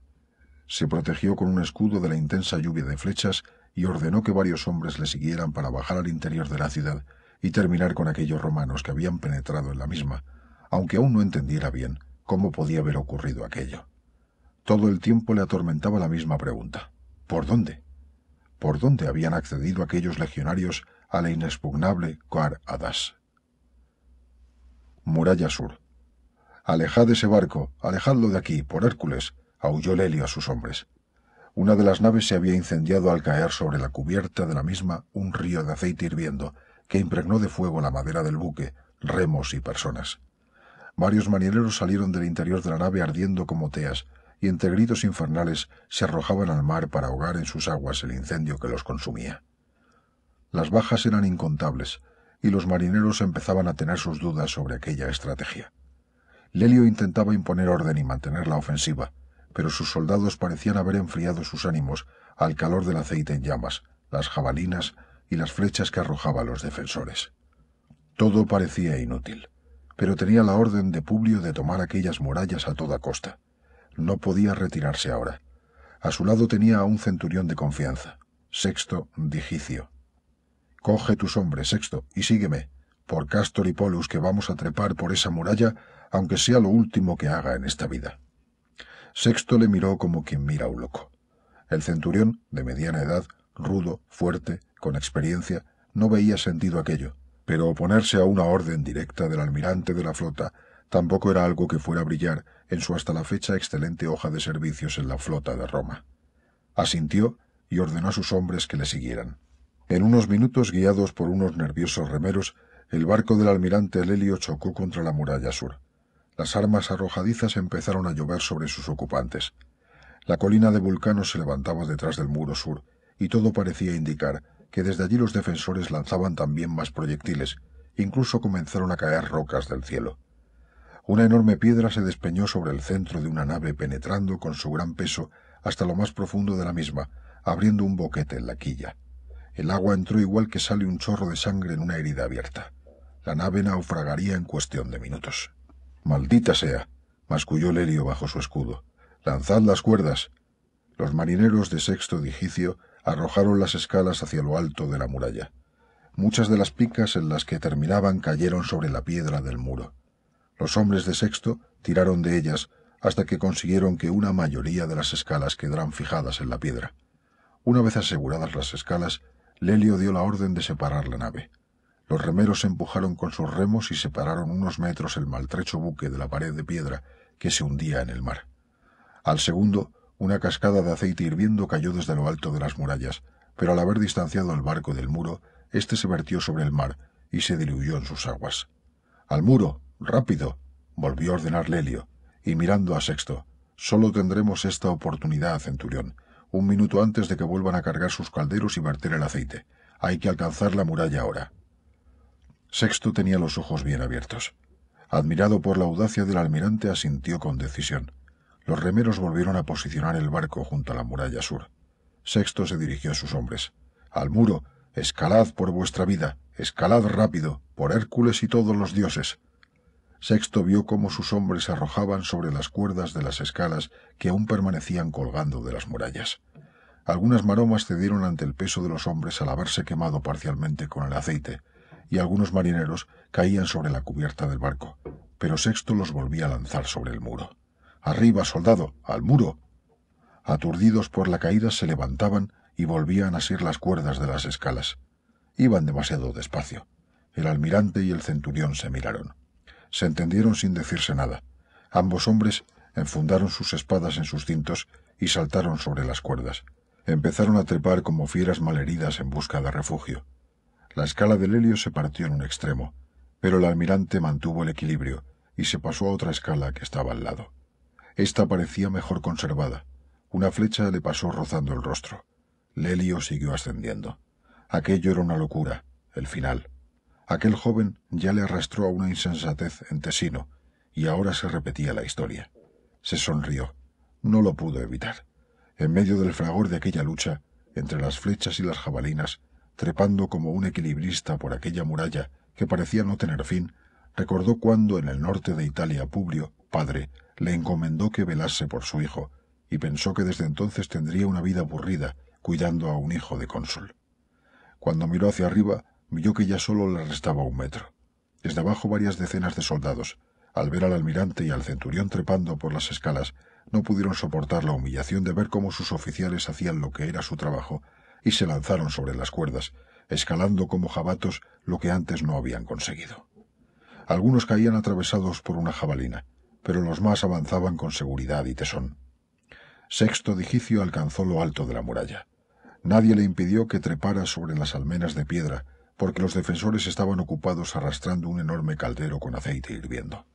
Sexto se arrojó, espada en mano, sobre aquellos cartagineses, que se vieron sorprendidos por la primera embestida de un enemigo en lo alto de la muralla sur. Dejaron el caldero y espadas en mano respondieron al ataque de Sexto. El centurión hundió su espada en el vientre de uno de los cartagineses y con su escudo que había dado a su espalda durante la subida al muro, detuvo el golpe de otro enemigo. Un tercer cartaginés se sumó al ataque contra Sexto, y el centurión retrocedió, pero entonces vio cómo el almirante, que había accedido ya al muro, embestía con todas sus fuerzas a los cartagineses por la espalda. En un segundo, dos africanos estaban en el suelo, heridos de muerte. Un grupo de defensores vio lo que estaba sucediendo, y a paso ligero avanzando con las espadas desenfundadas, corrieron a por ellos con el fin de arrojar a los intrusos romanos que habían escalado la muralla. Lelio leyó las malas noticias en la faz de Sexto y se giró. Diez africanos se abalanzaban sobre él enfurecidos, dispuestos a matarle y dar así ejemplo al resto de romanos de lo que pasaría con los que consiguieran escalar la muralla. Eran demasiados. Se volvió para ver si Sexto le ayudaría, pero el centurión se veía en una situación bastante parecida con un grupo de africanos que venían por el otro lado. Estaba claro que cada uno tenía que ocuparse de su propio destino. Lelio levantó el escudo y paró un primer golpe. Pinchó una pierna desde el suelo. Recibió dos golpes más sobre el escudo. Sin mirar pinchó el vientre de otro enemigo. Bajó el escudo para ver mejor y clavó su espada en el pecho de otro africano, pero se vio rodeado. Sintió un pinchazo en el hombro y luego dos golpes más sobre el escudo. Se arrodilló para no caer. Se le echaban encima varios hombres a la vez, pero se levantó con gran empuje y los hizo retroceder con el escudo. Quedaban siete cartagineses en pie. Él estaba herido en un hombro. Era el izquierdo. Aún podía sostener el escudo para defenderse y tenía la derecha para manejar la espada. Se sintió bien. Al menos luchaba en lo alto de la muralla. Fuera cual fuera el resultado de aquella contienda, al menos Publio vería que alcanzó la muralla. El muro era estrecho en aquel lugar, apenas unos metros. Eso le favorecía, porque los cartagineses no podían lanzarse todos al tiempo contra él. Dos africanos se adelantaron y se reinició la lucha. Lelio paraba los golpes sosteniendo el escudo con el brazo herido. Sesgó con un veloz ademán el cuello de uno de los cartagineses. Este arrojó su espada y se llevó las manos al cuello, partido, intentando infructuosamente detener la hemorragia. La sangre lo impregnó todo y el suelo del muro quedó resbaladizo. El otro cartaginés vio reforzado su ataque con la suma de otro de sus compañeros. Lelio se mantenía firme. ¿Es que nadie más había alcanzado la muralla? Muralla Norte. Quinto Terebelio dividió sus fuerzas. Un manípulo continuó su avance por la muralla y el otro descendió con él hacia el interior de la ciudad. Con este último grupo de legionarios se presentó con rapidez en el lugar donde se encontraban los cartagineses que custodiaban la gran puerta oriental de la ciudad. Quinto no tenía un plan muy desarrollado. A por ellos, no dejéis ni uno vivo, los cartagineses, entre sorprendidos e incrédulos ante lo que estaba pasando, se defendían con vigor, pero el empuje de aquellos hombres llegados de no se sabía dónde los hizo retroceder. Y es que había algo que envenenaba el ánimo de los africanos.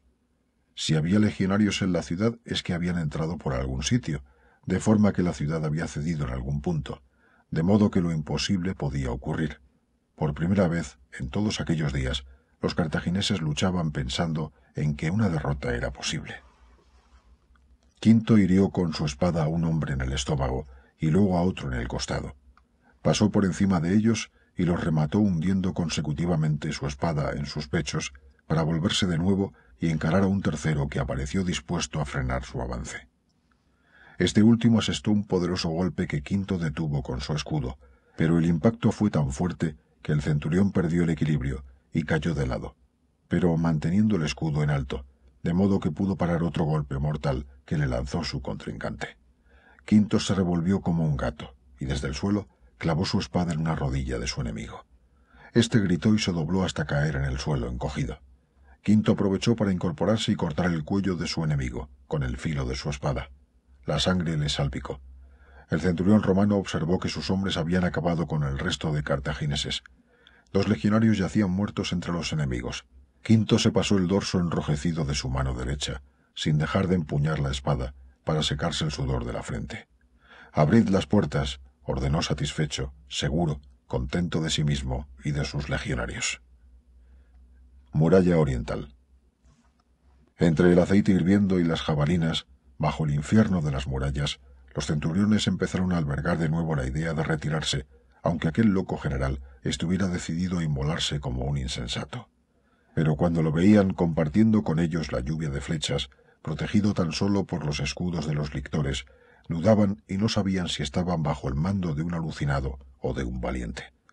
Sin embargo, las imponentes murallas retrataban una cruda realidad, y así fue durante varios minutos, hasta que los oficiales detectaron que parecía descender el lanzamiento de proyectiles y que el aceite dejaba de resbalar por los muros en cascada continua. Ordenaron entonces un nuevo intento de trepar hacia las murallas, y vieron ante su sorpresa que muchos empezaban a ganar acceso a las mismas. Y lo más impactante de todo, sin saber cómo ni por qué, las puertas de la ciudad se abrían. Despacio primero, y luego con más rapidez, hasta quedar desplegadas de par en par. Y de entre ellas salió un solo soldado, vestido de centurión romano, con su casco cubierto por la cresta de los oficiales de las legiones romanas, y sus compañeros reconocieron la figura robusta y ensangrentada de Quinto Terebelio. Muralla Sur.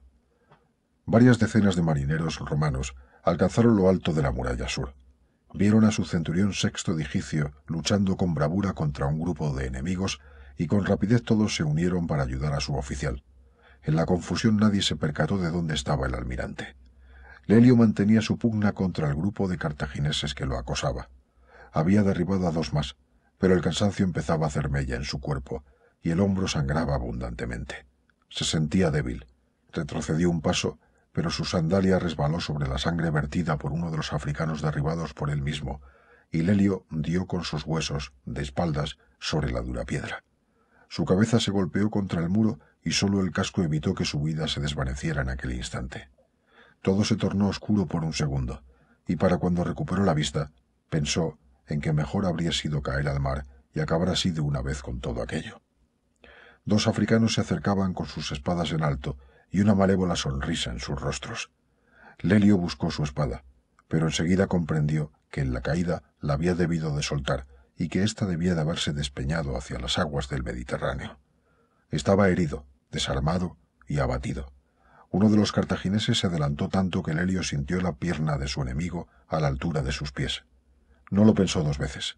Con sus piernas trabó al africano y lo hizo caer. Antes de que el otro africano reaccionara, Lelio estaba en pie blandiendo el arma de su oponente derribado. ¿Quién es ahora el que sonríe? preguntó Lelio, mientras avanzaba sobre sus enemigos que empezaban a replegarse y eso que habían llegado más cartagineses. ¿Tanto miedo le tenían? Lelio se giró para ver si llegaba Sexto en su ayuda, y en efecto el centurión estaba a sus espaldas avanzando con dos o tres decenas de romanos. Aquello empezaba a marchar bien. Lelio dio un brinco y trepó a lo alto de las almenas de la muralla sur para animar a sus hombres. A por ellos, por Hércules, que no quede ninguno con vida esta noche. El almirante no tuvo tiempo de ver la flecha que se cruzó en su destino. No llegó el dardo a clavarse en su cuerpo, pero pasó rozando el cuello del almirante. Este, entre sorprendido y asustado al sentir cómo la saeta le seccionaba parte de la piel del cuello, perdió la orientación por un segundo, débil como estaba aún a causa de la sangre perdida por la herida del hombro. Sexto y sus hombres vieron al almirante tambalearse en lo alto de la muralla, en el borde mismo de una almena. Los cartagineses se quedaron petrificados también contemplando aquella escena incierta. Un marinero romano intentó alcanzar al almirante antes de que trastabillara, pero llegó tarde. Romanos y cartagineses vieron cómo el cuerpo de Cayo Lelio, almirante de la flota romana, lugarteniente de Publio Cornelio Escipión, perdía lenta pero inexorablemente el equilibrio, y cómo luego veloz se desplomaba desde lo alto de la muralla y se precipitaba al vacío hasta quebrar con el ímpetu de su peso las olas del mar. 99. El desasosiego de la creación. Roma, 209 a.C. Plauto entró en casa de Casca satisfecho de sus últimas compras en el mercado. Decidido, cruzó el atrio y se refugió en su habitación. Casca le vio desde el tablinium, pero al verle tan ensimismado, optó por no molestarle. A fin de cuentas, la concentración de aquel hombre que daba como fruto la creación teatral era una de sus mayores fuentes de ingresos. No. Casca permaneció sentado revisando las cuentas del último año. Los ingresos habían sido sobresalientes. Su ceño se frunció. Solo le quitaba el sueño esa obsesión de su protegido por escribir una tragicomedia. ¿Cómo se iba a reír la gente de los dioses? Aquello era peligroso, pero Plauto estaba tan ofuscado que Casca decidió dejarle hacer sólo había exigido poder revisar la obra antes de remitirla a los ediles de Roma. ¿Quién sabe? Igual aquel extraño hombre que un día entró en su casa desarrapado y miserable, de la misma forma que acertó a hacer reír, fuera capaz de conseguir lo mismo mezclando personajes divinos y humanos sin caer en el sacrilegio. Todo podía ser. Casca negó con la cabeza intentando desembarazarse de su tormenta de pensamientos y dudas, y regresó sobre la gratificante lista de ingresos. Plauto se sentó en su silla de escribir. Dejó en la mesa las sesenta sedae que acababa de adquirir. Eran hojas de papiro de la mejor calidad. Daba gusto pasar las yemas de los dedos y sentir su textura, firme pero suave al mismo tiempo. Y además eran grandes, de veinticinco por treinta centímetros. Nada de aquellas pequeñas páginas de apenas quince centímetros de ancho. No, allí en cambio había espacio, Plauto prefería escribir así, sobre las hojas sueltas y luego, cuando la obra estuviera bien terminada, pegarlas para formar así el rollo o los rollos con los que luego la presentaría a Casca. Bien, bien. Su voz resonaba en el silencio de la habitación. Sobre la mesa se apilaban una decena de diferentes estilos, pequeños punzones que actuaban como plumas para escribir, junto con varios diminutos tarros de arcilla con gran cantidad de atramentum o tinta negra espesa, densa como pintura oscura. También tenía otro pequeño recipiente de barro con tinta roja brillante, con la que le gustaba escribir los encabezamientos que señalaban el principio de cada acto. Este era su pequeño mundo, sus pequeñas posesiones. Poca cosa para muchos y sin embargo para Plauto, aquellas páginas en blanco y aquellos estiletes eran una ventana a un universo entero, a sus sueños, a su vida. Tito Macio parecía ya un ser lejano en el tiempo y en la distancia. Por un momento recordó la triste estancia mugrienta y la oxidada lámpara de aceite con la que se iluminaba para escribir por las noches. Ahora todo aquello, junto con el hambre, la pobreza más absoluta y la semiesclavitud del molino, había quedado atrás. Ahora era Plauto, el gran escritor, apreciado por muchos, reconocido y aplaudido por todos. Tomó un estilus y lo hundió despacio en la tinta roja. Sacó la pluma con cuidado y esperó a que dejase de gotear. Se inclinó sobre la mesa, tomó una hoja en blanco y empezó a escribir. Acto primero. Luego dejó el estilete sobre la mesa, en una esquina, sobre un trapo manchado ya de rojo y negro. Cogió otra pluma y la mojó en la tinta negra. Mientras dejaba que las gotas cayesen sobre el recipiente de barro, exhaló el aire despacio. Meditó mirando al vacío y por fin empezó. socia, qui me alter es audacior homo aut qui confidentior.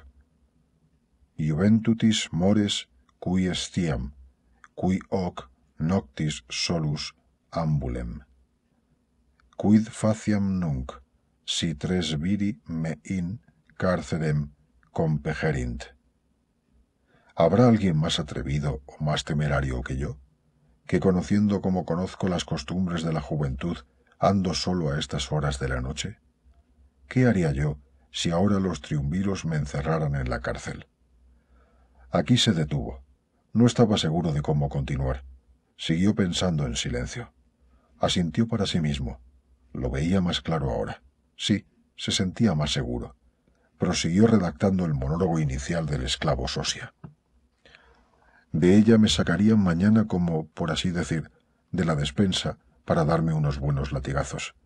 No me permitirían defender mi causa, ni podría esperar socorro alguno de mi amo, ni habría absolutamente nadie que pensara que no merezco una buena paliza.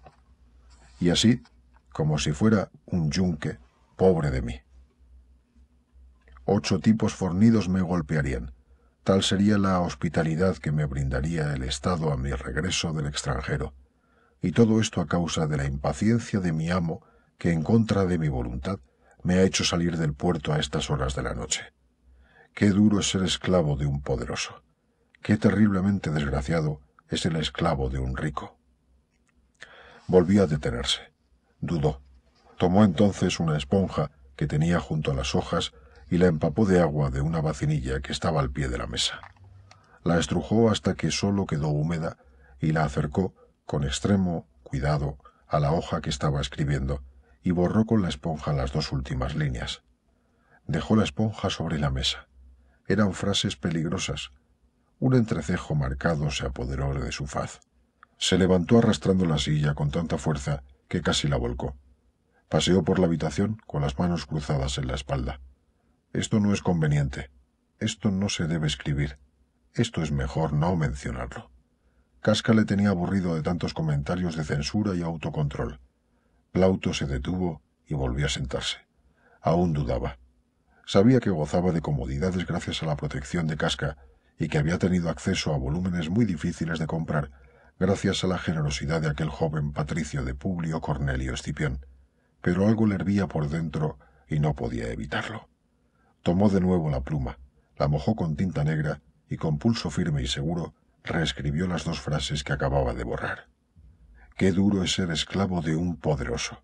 Qué terriblemente desgraciado es el esclavo de un rico. Y siguió escribiendo durante varias horas.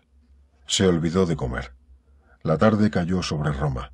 Plauto al fin dejó de nuevo la pluma sobre la mesa.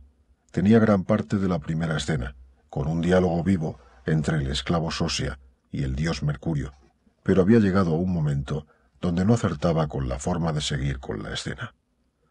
¿Y si Mercurio pegara al pobre Sosia para detenerlo e impedir que sorprendiera a Júpiter con Alcmena. Sí, eso podría ser. Podría ser. Y resultaría cómico. A la gente le gustaría. Y apalear a un esclavo era más que aceptable. Meditaba. Estaba cansado. No se levantó. Continuó allí, solo, con las manos sobre la mesa, manchado los dedos de tinta oscura, agotado, exhausto. El mundo a su alrededor estaba en guerra. Dos decenas de legiones se enfrentaban con íberos, galos, macedonios, cartagineses y númidas. Centenares, millares de soldados de ambos bandos caían en batallas incontables. Los senadores debatían sin fin sobre estrategia y sobre cómo recaudar más y más fondos para financiar aquella locura, mientras que el pueblo de Roma lo soportaba todo, los impuestos, la carestía de los alimentos y la ropa, la escasez de trigo y gachas, la muerte de amigos y familiares, el constante temor a ser derrotados, torturados, apresados o asesinados. Mientras él, Tito Macio Plauto, luchaba su propia guerra, tenía que descubrir la forma de entretenerlos a todos y hacerles olvidar el mundo en el que realmente vivían. O quizá podría ir más allá y decir más cosas, criticar la injusticia. Plauto se levantó. Estaba aturdido. Sentía una creciente zozobra de pensamiento. No sabía cómo seguir. No se asustó. Conocía aquella sensación muy bien. Le asaltaba con frecuencia. Era el desasosiego de la creación, una flor marchita que se muere, pero que en cualquier momento puede volver a brotar. La espera, no obstante, era a menudo dolorosa, larga en ocasiones y siempre temible. Con un trapo viejo se secó el sudor frío de la frente. Era mejor que descansara un poco y comiera algo. 100. Un agridulce amanecer. Cartago Nova. 209 a.C. Publio se sentó en una escalinata que daba paso al foro de la ciudad. Allí envainó su espada ensangrentada e intentó ir recuperando el aliento. A su alrededor los lictores velaban por su seguridad. La ciudad estaba sometida, pero aún podía ver algún enemigo oculto con ansia de vengar la caída de la fortaleza, sesgando la vida del general que había doblegado sus defensas. Así, nerviosos, miraban alrededor con tensión y cierta desconfianza. Habían perdido a tres de sus compañeros en el ataque al muro, pero no sentían ningún rencor contra el general. Ya no eran guardianes de un joven patricio, sino que eran la escolta del conquistador de Cartago Nova. Se sentían orgullosos. Sus compañeros habían muerto con honor en una gloriosa batalla. Intuían que al lado de aquel joven general no iban a tener una vida sosegada, pero no importaba si eso era a cambio de victorias y honra como aquella. El foro estaba lleno de legionarios. Los centuriones intentaban reorganizar los manípulos. Hasta aquella gran esplanada llegaban los gritos de los ciudadanos que eran abatidos por los victoriosos romanos. Una matanza singular empezaba a cobrar forma. Los romanos querían vengar la muerte de sus compañeros caídos en las murallas de la ciudad, segando vidas de cartagineses y ciudadanos íberos por igual, y mercaderes y esclavos y esclavas, hombres, mujeres y niños y niñas, todos entraban en un mismo saco y tenían así el destino marcado en el rostro gélido de los legionarios sedientos de más sangre. Marcio apareció abriéndose paso entre las tropas de infantería. Venía acompañado por un manípulo formado por los soldados de la flota, que tras la caída de la muralla oriental habían conquistado el sector sur de la ciudad. Por Castor y Pollux, dijo Publio sin levantarse. Aún estaba cansado. Aquí tenemos a la marina. Ya te dije que hoy, Marcio, que hoy nos veríamos todos en el foro de la ciudad. ¿Y Lelio? ¿Dónde está?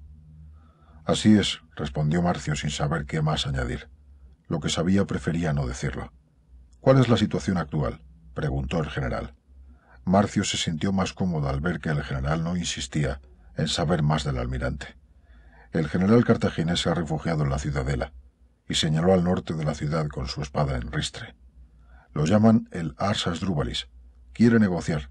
El resto de la ciudad está bajo nuestro control. El pillaje ha empezado y va a comenzar la matanza. Marcio hablaba sin emoción sobre el asunto, exponiendo lo que ocurría y lo que debía acontecer. Asesinar a todo el mundo tras un asedio era una forma de transmitir el miedo al resto de poblaciones, un modo de asegurarse que no se volverá a encontrar resistencia en otras fortificaciones. Era una parte más de la guerra. Era, en fin, necesario. Publio se pasó ambas manos por el pelo, despacio. Luego pidió agua. Agua para el general, gritó Marcio. Al segundo apareció un legionario con un pellejo repleto de agua. El general bebió con auténtica ansia. Todos le observaban, admirados, respetuosos. El general quería agua después de conquistar lo inconquistable, pues que bebiera agua y vino, y que hiciera lo que quisiera. Todos querían atenderle. Que se detenga la matanza, dijo Publio en voz baja. Se percató de que entre lo inesperado de la orden y el suave volumen de voz empleado no se le había entendido bien. No habrá matanza, repitió con vigor. No se matará ningún íbero hasta nueva orden. Se confiscará el oro y la plata y cereales y pertrechos militares y todas las armas, pero se respetará la vida de todo el mundo hasta nueva orden. Y a ese general cartaginés decidle que si se rinde le perdonaré la vida, pero tiene una hora para decidirse. Después la oferta ya no seguirá en pie. Los oficiales estaban confundidos. Detener la matanza no tenía sentido. ¿De qué servía conquistar una ciudad si después de que ésta había mantenido la mayor de las resistencias, luego sus habitantes no eran castigados? Eso solo animaría a que el resto de poblaciones se mostraran igual de hostiles, ya que nada tenían que perder. Si se defendían podían ganar, y si perdían, sabían que se les iba a perdonar la vida. Publio se alzó lentamente. Esta será la última vez que lo diré. ¿Hasta cuándo tendré que repetir mis órdenes para que éstas se cumplan? Los centuriones se sintieron avergonzados. Acababan de conseguir la mayor de las victorias para todos. Nadie allí había participado en una conquista semejante. Ni siquiera las victorias de los escipiones, del tío y el padre del actual general, eran equiparables en gloria a la conquista de aquella ciudad, y sin embargo, después de aquella exhibición de genialidad militar de su líder, aún dudaban si obedecerle. Una voz emergió entre los oficiales. Nunca más, mi general, nunca más tendrás que repetir una orden. Todos se volvieron y vieron a Quinto Trevelio, envuelto en un mar de sangre. Parece que aprendiste a nadar, dijo el joven general, entre sorprendido y agradecido. No, mi general, parece que Neptuno nos hizo flotar sobre la laguna. Los dioses están de tu parte. Alcanzamos tierra firme. Luego fue cosa de empeño. ¿Estás herido? preguntó Publio. No, mi general. Algún corte, pero nada importante. Es sangre cartaginesa la que me cubre. Con su permiso voy a controlar a mis hombres antes de que organicen una matanza por su cuenta. Están encendidos. El general asintió. El resto de centuriones se dispersó para hacer lo mismo que Quinto. Marcio se quedó con el general. Parece que me he ganado al fin algo de respeto, dijo Publio. No solo eso, hoy has ganado algo más, precisó Marcio. ¿Algo más? Sí, algo mucho más valioso e infinitamente más poderoso. Algo temible. ¿Y qué es? Preguntó Publio con curiosidad sincera. Te has ganado lealtad. Eso no tiene precio. Ya tenía lealtad, la tuya y la de Lelio y otros oficiales.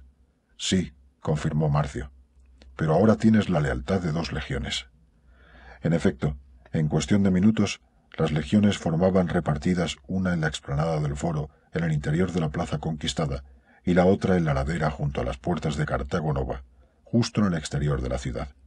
Los centuriones habían dado ya las órdenes precisas de no matar a nadie, respetando la vida de todos, ciudadanos, hombres y mujeres, libertos, mercaderes, artesanos, esclavos y esclavas, niños y niñas.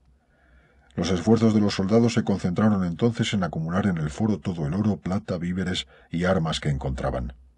¿Y Lelio? volvió a preguntar el joven general. Ahora se sentía mejor, tras descansar un poco y haber bebido algo de agua. Marcio, no obstante, no decía nada. Aquello le extrañó. ¿Dónde está Cayo Lelio, Marcio? Debía estar aquí con nosotros hace tiempo. Marcio permaneció en silencio. Miraba al suelo. Estoy esperando una respuesta, tribuno. Marcio sabía que no podía dilatar por más tiempo la espera del general. Lelio cayó luchando en la muralla sur. Dijo, y se retiró unos pasos. Publio sintió como un mazazo en el estómago. Se mareó. Dio dos pasos hacia atrás hasta encontrar la escalinata que daba acceso al foro de la ciudad. Se sentó. Lelio muerto. No podía ser. Había perdido a su tío y a su padre. No podía perder a Lelio ahora. Quiero verlo. Que me traigan el cuerpo, dijo el general, sin mirar a Marcio. El centurión engulló la saliva reseca de su boca. No tenemos el cuerpo, mi general. Publio alzó la mirada. Cayó al mar, desde lo alto de la muralla. Toda la flota está buscando el cuerpo. El joven general asintió. Desde lo alto de la muralla has dicho, ¿verdad? Así es, mi general. Así que después de todo cumplió hasta el fin. Marcio dudó, pero al fin se atrevió a añadir más. No solo eso, sino que junto con un centurión fue el primero en acceder a la muralla sur. Los marineros estaban dándose por vencidos y fue él junto con ese centurión el que se arrojó sobre las escalas y empezó a trepar hasta alcanzar el muro. Me han contado que derribó al menos a cinco o seis cartagineses antes de que le alcanzara una flecha. Una flecha tuvo que ser, por todos los dioses, sólo una flecha podía llevárselo. El general hablaba ensimismado, distante. Marcio empezaba a preocuparse. Se había conseguido una magnífica victoria. Siempre había bajas. La pérdida del almirante era algo tremendo, pero el veterano centurión empezaba a detectar una desazón incontenible en aquel joven general. Publio Cornelio Escipión no parecía haber perdido al almirante de su flota, sino a alguien de su propia familia. Solo entonces Marcio comenzó a entender que un extraño y complejo vínculo unía, había unido a aquellos dos hombres. Absortos en sus pensamientos, ni centurión ni general se percataron de un marinero que llegaba a todo correr desde el sector sur de la ciudad. Mi general, mi general, han encontrado al almirante. Aún vive. Publio se levantó como empujado por un resorte. ¿Qué dices, soldado? preguntó el joven general. Más te vale no equivocarte. Está herido, mi general, continuó el marinero nervioso, respirando entrecortadamente, pues no había tenido tiempo de recuperar el aliento. Y ha tragado mucha agua, pero respira. Un médico le está atendiendo en el campamento general del Istmo. Vamos para allá. Marcio, encárgate de la ciudad. Ya sabes que no quiero matanzas. Luego me ocuparé de todo. Marcio se puso firme y con la mano en el pecho asintió con la cabeza. El marinero explicaba al general lo ocurrido. Avanzaban entre las casas de la ciudad con rapidez, rodeados por los lictores. Todas las calles estaban atestadas de legionarios que iban y venían con oro, plata, víveres y armas de todo tipo que estaban confiscando y acumulando en el foro de la ciudad. Se veía alguna pugna entre ciudadanos que se resistían a entregar algunas de sus pertenencias, pero no había matanza indiscriminada de los habitantes de la ciudad. Muchos observaban con asombro la figura de aquel joven general que en seis días había conquistado su ciudad inexpugnable, bendecida por los dioses cartagineses. Asdrúbal, quien sustituyera al gran Amílcar, se encomendó a Baal cuando establecieron allí la capital de su imperio, en Hispania, y predijo que aquella ciudad nunca sería conquistada, ni por tierra ni por mar. No entendían bien cómo podía haber ocurrido lo que estaba pasando. Desde que cayó al mar, iba diciendo el marinero, se le ha estado buscando, pero no ha sido hasta que terminó el combate en la muralla sur que todos los hombres pudieron volcarse en la búsqueda. Apareció agarrado a un madero de uno de los barcos hundidos, flotando a la deriva.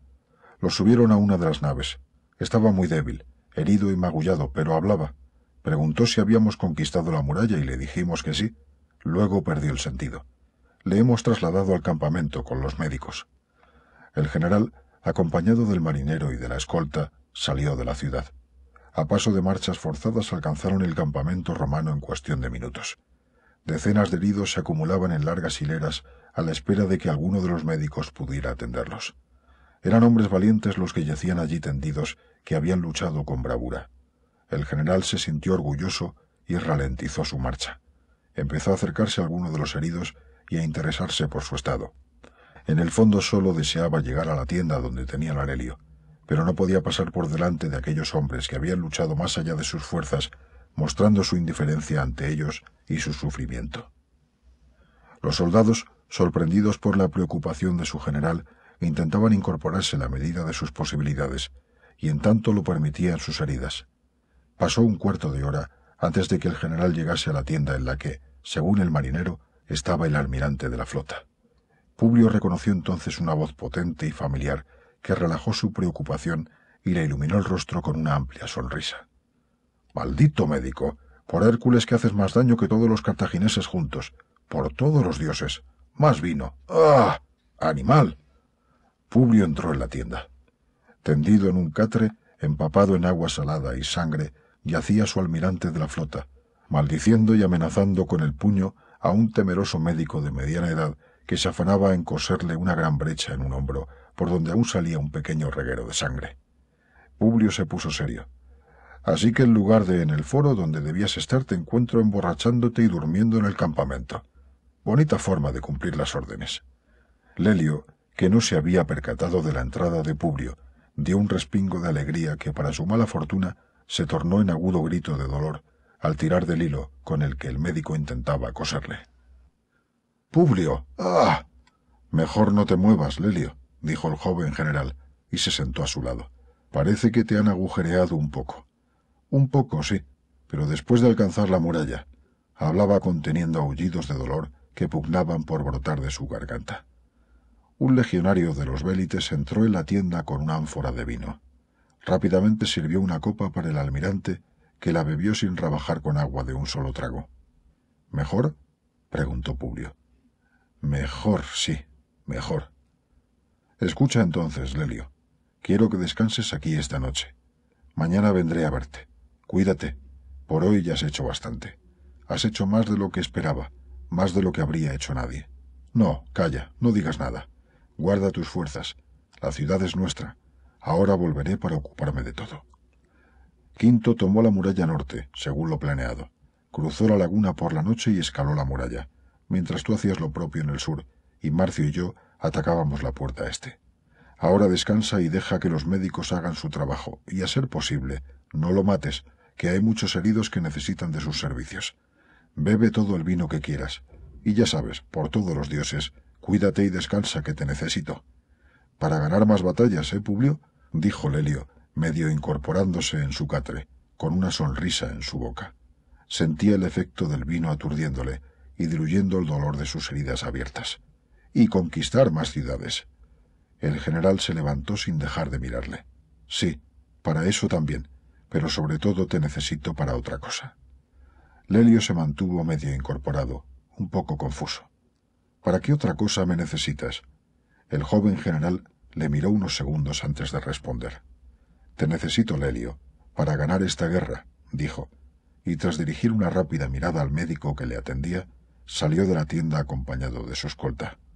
Al instante, el médico apareció en el exterior. Tenía las manos repletas de sangre seca y mojada.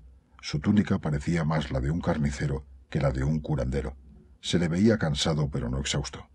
¿Cómo está? Inquirió el joven general sin dilación. Está bien, mi señor. Ha perdido bastante sangre, tiene una herida en el hombro y un corte en el cuello. Ninguna de las dos brechas es mortal. También tragó algo de agua en el mar, pero el almirante es un hombre fuerte y creo que saldrá de esta. Lo que me preocupa es el ánfora y media de vino que lleva bebida desde que lo trajeron. Publio se echó a reír. Era una carcajada limpia, feliz, relajada, que se contagiaba a los que le rodeaban. Los hombres de su escolta hicieron un coro con sus risas. El médico sonrió. Por Castor y Polus, reinició el general. Eso no es preocupante, sino buena señal. Que beba todo lo que quiera. Publio se transformó y volvió a adquirir una expresión seria antes de proseguir. ¿Y tú, médico? ¿Dispones de todo lo necesario? ¿Cuántos ayudantes tienes? El médico se vio sorprendido por aquel interés inesperado del general por sus trabajos. Tengo tres ayudantes, uno está aquí conmigo. Los otros dos están con el resto de heridos y se las apañan bastante bien, pero... Habla, médico. Di lo que necesitas. Verá, mi general. Son muchos los heridos. Puedo arreglármelas con mis ayudantes, pero si dispusiera de algunos hombres más para transportar a los heridos, podría organizar todo esto un poco mejor, y algunas tiendas más también. Algunos heridos están muy débiles y si queremos darles una oportunidad, necesito más tiendas donde guarecerlos, o bueno, lo ideal sería un lugar bajo techo en la ciudad, pero yo no sé si esto es demasiado. El médico no estaba acostumbrado a poder pedir nada y no sabía bien hasta dónde llegar con sus deseos. El general asintió y se dirigió a uno de sus escoltas. Que se proporcione a este hombre todo lo que pida. Selecciona un manípulo de hombres de la tercera legión para transportar los heridos a la ciudad y pedirle a Marcio que seleccione un edificio donde alojar a los heridos. Que este médico tenga todo lo que le haga falta se volvió entonces hacia el veterano doctor que le miraba con sorpresa y admiración. Si te hace falta algo más, habla con Marcio. ¿De acuerdo? Sí, mi señor. ¿Cómo te llamas, médico? ¿Y de dónde procedes? Soy Atilio, señor. Nací en Roma, pero mi familia es de Tarento. ¿Es allí donde aprendiste tu profesión, Atilio? En Roma y Tarento, sí, pero hice también un viaje a Grecia. Bien, Atilio, cuida bien de mis hombres y seré generoso contigo. Pero si recibo quejas de los oficiales con respecto a tus servicios, también lo tendré en cuenta. Los legionarios serán bien atendidos, mi señor, respondió Atilio, e hizo una leve reverencia en señal de reconocimiento. El general se puso en marcha. El almirante estaba bien. Ahora tenía una ciudad conquistada de la que ocuparse. En los próximos días, cuando Lelio estuviera recuperado de sus heridas y a poder ser sobrio, le explicaría sus proyectos con más detalle. Era curioso, pero con Lelio vivo sentía que podía conseguir cualquier cosa que se propusiera. Durante los días siguientes el joven Escipión tomó decisiones importantes. Los diferentes rehenes íberos fueron liberados y les permitió que regresaran a sus casas sin ponerles otra condición que la de abstenerse de levantarse en armas contra los romanos. A las mujeres presas las trató con especial tacto, impidiendo que nadie abusara de las mismas y enviando mensajeros a sus respectivas ciudades y pueblos para que allí se personasen sus familiares y las recogiesen sanas y salvas. La generosidad en el trato con los vencidos que tanto se habían resistido a la toma de la ciudad en connivencia con la guarnición cartaginesa confundía a los oficiales romanos, pero nadie se atrevía ya a levantar la voz o tan siquiera a dudar de una orden de aquel joven general. Publio se movía con seguridad por la que ahora era su ciudad. Iba y venía al ala sur del palacio que en tiempos fuera de Asdrúbal, yerno de Amílcar, y luego del propio Aníbal, donde Marcio había instalado a la mayoría de los heridos. El joven general se ocupaba de saludarlos uno a uno, interesándose por sus circunstancias y por la forma en la que habían recibido las heridas. Llegó también el momento de repartir recompensas, en especial la corona mural, que como era costumbre, sólo debía recibir un hombre de entre todos los que habían participado en el asalto a la ciudad. Y ese hombre no podía ser otro, sino aquel que hubiera alcanzado la muralla el primero, dando así ejemplo al resto. Cayo Lelio, en ya franca recuperación de sus heridas, habló en defensa de Sexto Digicio, de la Marina, pero las legiones de infantería aclamaban a Quinto Terebelio, el centurión a que el propio general había ordenado que escalase la muralla norte, cruzando la laguna en una misión que se había transformado en la comedilla tanto entre conquistadores como entre los propios ciudadanos conquistados, quienes empezaron a murmurar confundidos. No entendían cómo la ciudad podía haber caído tras el compromiso que el viejo Asdrúbal pactó en sus ofrendas con las deidades púnicas a las que rogó que la fortaleza nunca fuera tomada, ni por tierra ni por mar. Mientras los habitantes de la ciudad estaban envueltos en esa discusión, el joven general veía cómo se establecía un enconado debate en el foro entre los partidarios de conceder la corona mural a uno o a otro y cómo aquello podía derivar en algo más que una disputa. Necesitaba a todos sus hombres y los necesitaba unidos. El joven Publio se levantó de la silla, desde la que asistía a las propuestas de la infantería y la marina, para conceder aquel exceso al reconocimiento. Todos callaron. He escuchado a los tribunos de las legiones y al almirante de la flota. Dos son los hombres propuestos para recibir el mayor reconocimiento por su participación en esta victoria. Sexto Digicio por la marina y quinto Terebelio por la infantería. Ambos han sido valientes, los dos lo han sido, pero la ley dictamina que sólo uno de ellos puede ser acreedor de esta apreciada distinción. El general se detuvo para observar de qué modo eran recibidas sus palabras. Detectó interés y tensión. Continuó. Esa es la ley y así ha sido siempre, y esta es mi decisión. Los dos, no obstante, tanto Sexto Digicio como Quinto Terebelio, se han consagrado merecedores a mis ojos, y entiendo que a los ojos de todos, para recibir la corona mural por la conquista de Cartago no va. El general se sentó y asintió a los raptos de júbilo que se extendían por toda la explanada del foro. Tanto legionarios como marineros estaban exultantes y vitoreaban los nombres de cada uno de los condecorados. Marcio y Lelio se acercaron a Publio. Fue Lelio el que habló por los dos. Nunca antes se habían concedido dos coronas. ¿Qué pensarán de esto en Roma? Es una costumbre muy antigua, añadió Marcio. Muy antigua, sí, dijo el general pero nunca antes se había conquistado una ciudad en seis días. Con esta frase, Publio dio por cerrado el asunto y siguieron atendiendo otras cuestiones. La tarde culminó con la rendición y el apresamiento del comandante cartaginés de Cartago Nova, Mahón, tras renegociar el plazo de su entrega para asegurarse de que se le respetaría la vida. El general lo cubrió de cadenas y mandó embarcarlo para enviarlo a Roma como muestra de su victoria, junto con otros oficiales púnicos. Un grupo de legionarios trajo consigo entonces ante el general a una hermosísima joven íbera que había estado presa en manos de Magón. La muchacha temblaba, presintiendo que iba a pasar de unas manos a otras como una esclava, pero Publio le preguntó por su procedencia. Vengo de Carpetania, mi señor, dijo la joven sin alzar la mirada. El joven Publio se acercó hasta ella y le levantó la barbilla con la mano. Eres muy hermosa. La muchacha no dijo nada. Alguien debe tenerte en especial estima. Mi padre y mi novio, mi señor, me esperan en Carpetania. Publio volvió a sentarse. La joven esperaba ser conducida a alguna habitación donde aquel nuevo conquistador culminase lo que el comandante cartaginés estaba a punto de hacer cuando estalló el ataque a la ciudad. ¿Hay más gente de tu tierra entre los rehenes? Varios guerreros, mi señor. Sea entonces, sentenció el general, que liberen a esta joven y que la pongan a resguardo de su gente. Luego, que se los escolte al amanecer hasta la frontera de su tierra. La muchacha alzó el rostro con la faz iluminada. Gracias, mi señor. Publio asintió sin concederse importancia. Hizo una señal y los legionarios que custodiaban a la joven se la llevaron guardando cuidado de no molestarla. Voy a acostarme, comentó Publio a Lelio y a Marcio.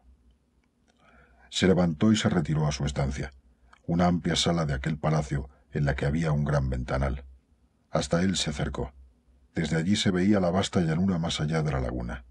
No lo sabía, pero desde aquel mismo sitio Aníbal exhibió su ejército de invasión de Italia al enviado de los galos hacía ya nueve años.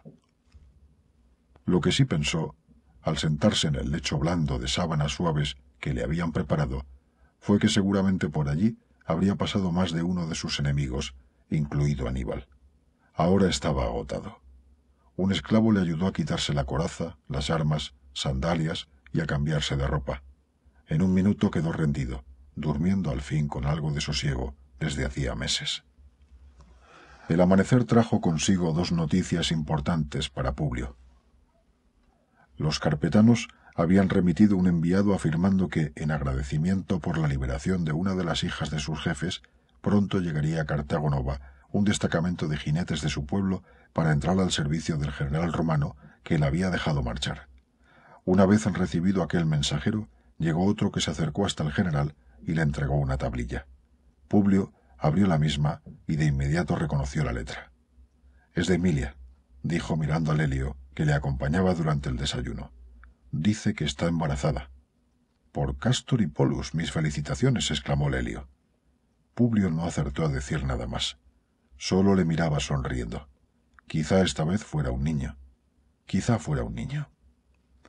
Una vez superado el momento inicial de la emoción por la noticia, el joven general recondujo la conversación hacia terrenos más propios de dos soldados. ¿Cómo va todo en la ciudad? le preguntó a Lelio. Todo va perfectamente. Los habitantes están confusos. No entienden lo que ha pasado. ¿Y eso? Por la rapidez en la caída de la ciudad, supongo. No, no es solo eso, añadió Lelio.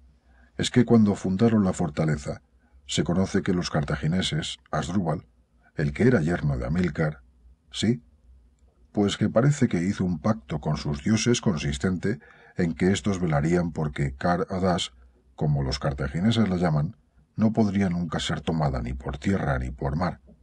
¿Y por qué están confusos los habitantes de la ciudad? Bueno, porque los dioses no parecen haber cumplido con su pacto. Se discute sobre qué dioses son más fuertes, si los nuestros o las deidades púnicas. ¿Y tú qué piensas, Lelio? No sé. El experto en religión eres tú. ¿Quieres saber lo que pienso yo? Lelio asintió con vivo interés. No sé qué dioses son más poderosos. Llevamos ya nueve años de guerra y aún no está claro de qué lado se decantará la victoria final.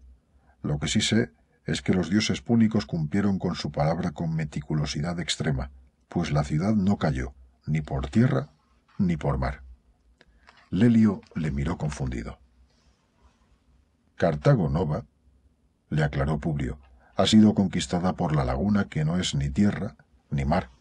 Es cierto que entramos por el istmo y que tú te hiciste al fin con la muralla que daba al mar, pero ni tú ni yo hubiéramos conseguido nuestros objetivos sin la confusión que las tropas de Terebelio causaron una vez que habían accedido al interior de la ciudad. La laguna, fue la laguna la que nos abrió el camino. Asdrúbal debió haber medido mejor sus palabras al encomendarse a los dioses. Lelio le observó con admiración y sorpresa. Aquella era la única explicación que conciliaba el pacto entre los cartagineses y sus dioses con la realidad que había surgido del ataque dirigido por Publio. ¿Conocías ese pacto entre los cartagineses y sus dioses, no es cierto? preguntó Lelio. Hay que conocer bien al enemigo para descubrir sus puntos débiles. Lelio cabeceó afirmativamente, con lentitud, sopesando la capacidad inquisitiva de su joven amigo y general. ¿A dónde los conduciría aquel muchacho con su intuición? 101. La esperanza de Aníbal. Metapunto. 209 a.C. Tras la caída de Tarento, Aníbal se refugió con su ejército en Metaponto andaba cabizbajo por una amplia estancia de una de las grandes mansiones de la ciudad que sus hombres habían confiscado para instalar allí su cuartel general. Majarbal aguardaba en silencio alguna orden de su superior. Era difícil preguntar en aquellos momentos, así que esperaba con paciencia. Aníbal se sentó en una de las sillas, en el centro de la estancia, junto a una mesa de madera. Cerró los ojos.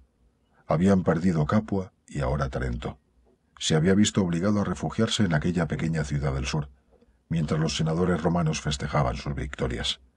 Las noticias que llegaban de Hispania también eran desalentadoras. Car Adas había caído en manos de aquel nuevo joven general, Publio Cornelio, hijo de los escipiones que fueron abatidos a manos de su hermano apenas hacía un par de años. Supongo que esperas órdenes, ¿no es así, Majarbal? El lugarteniente de Aníbal asintió. Los dioses parecen haberse olvidado un poco de nosotros. ¿No crees? preguntó.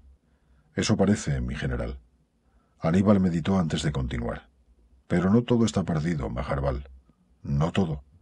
El general no le miraba, sino que reflexionaba al tiempo que hablaba con sus ojos fijos sobre una pared vacía. Las cosas se nos han torcido.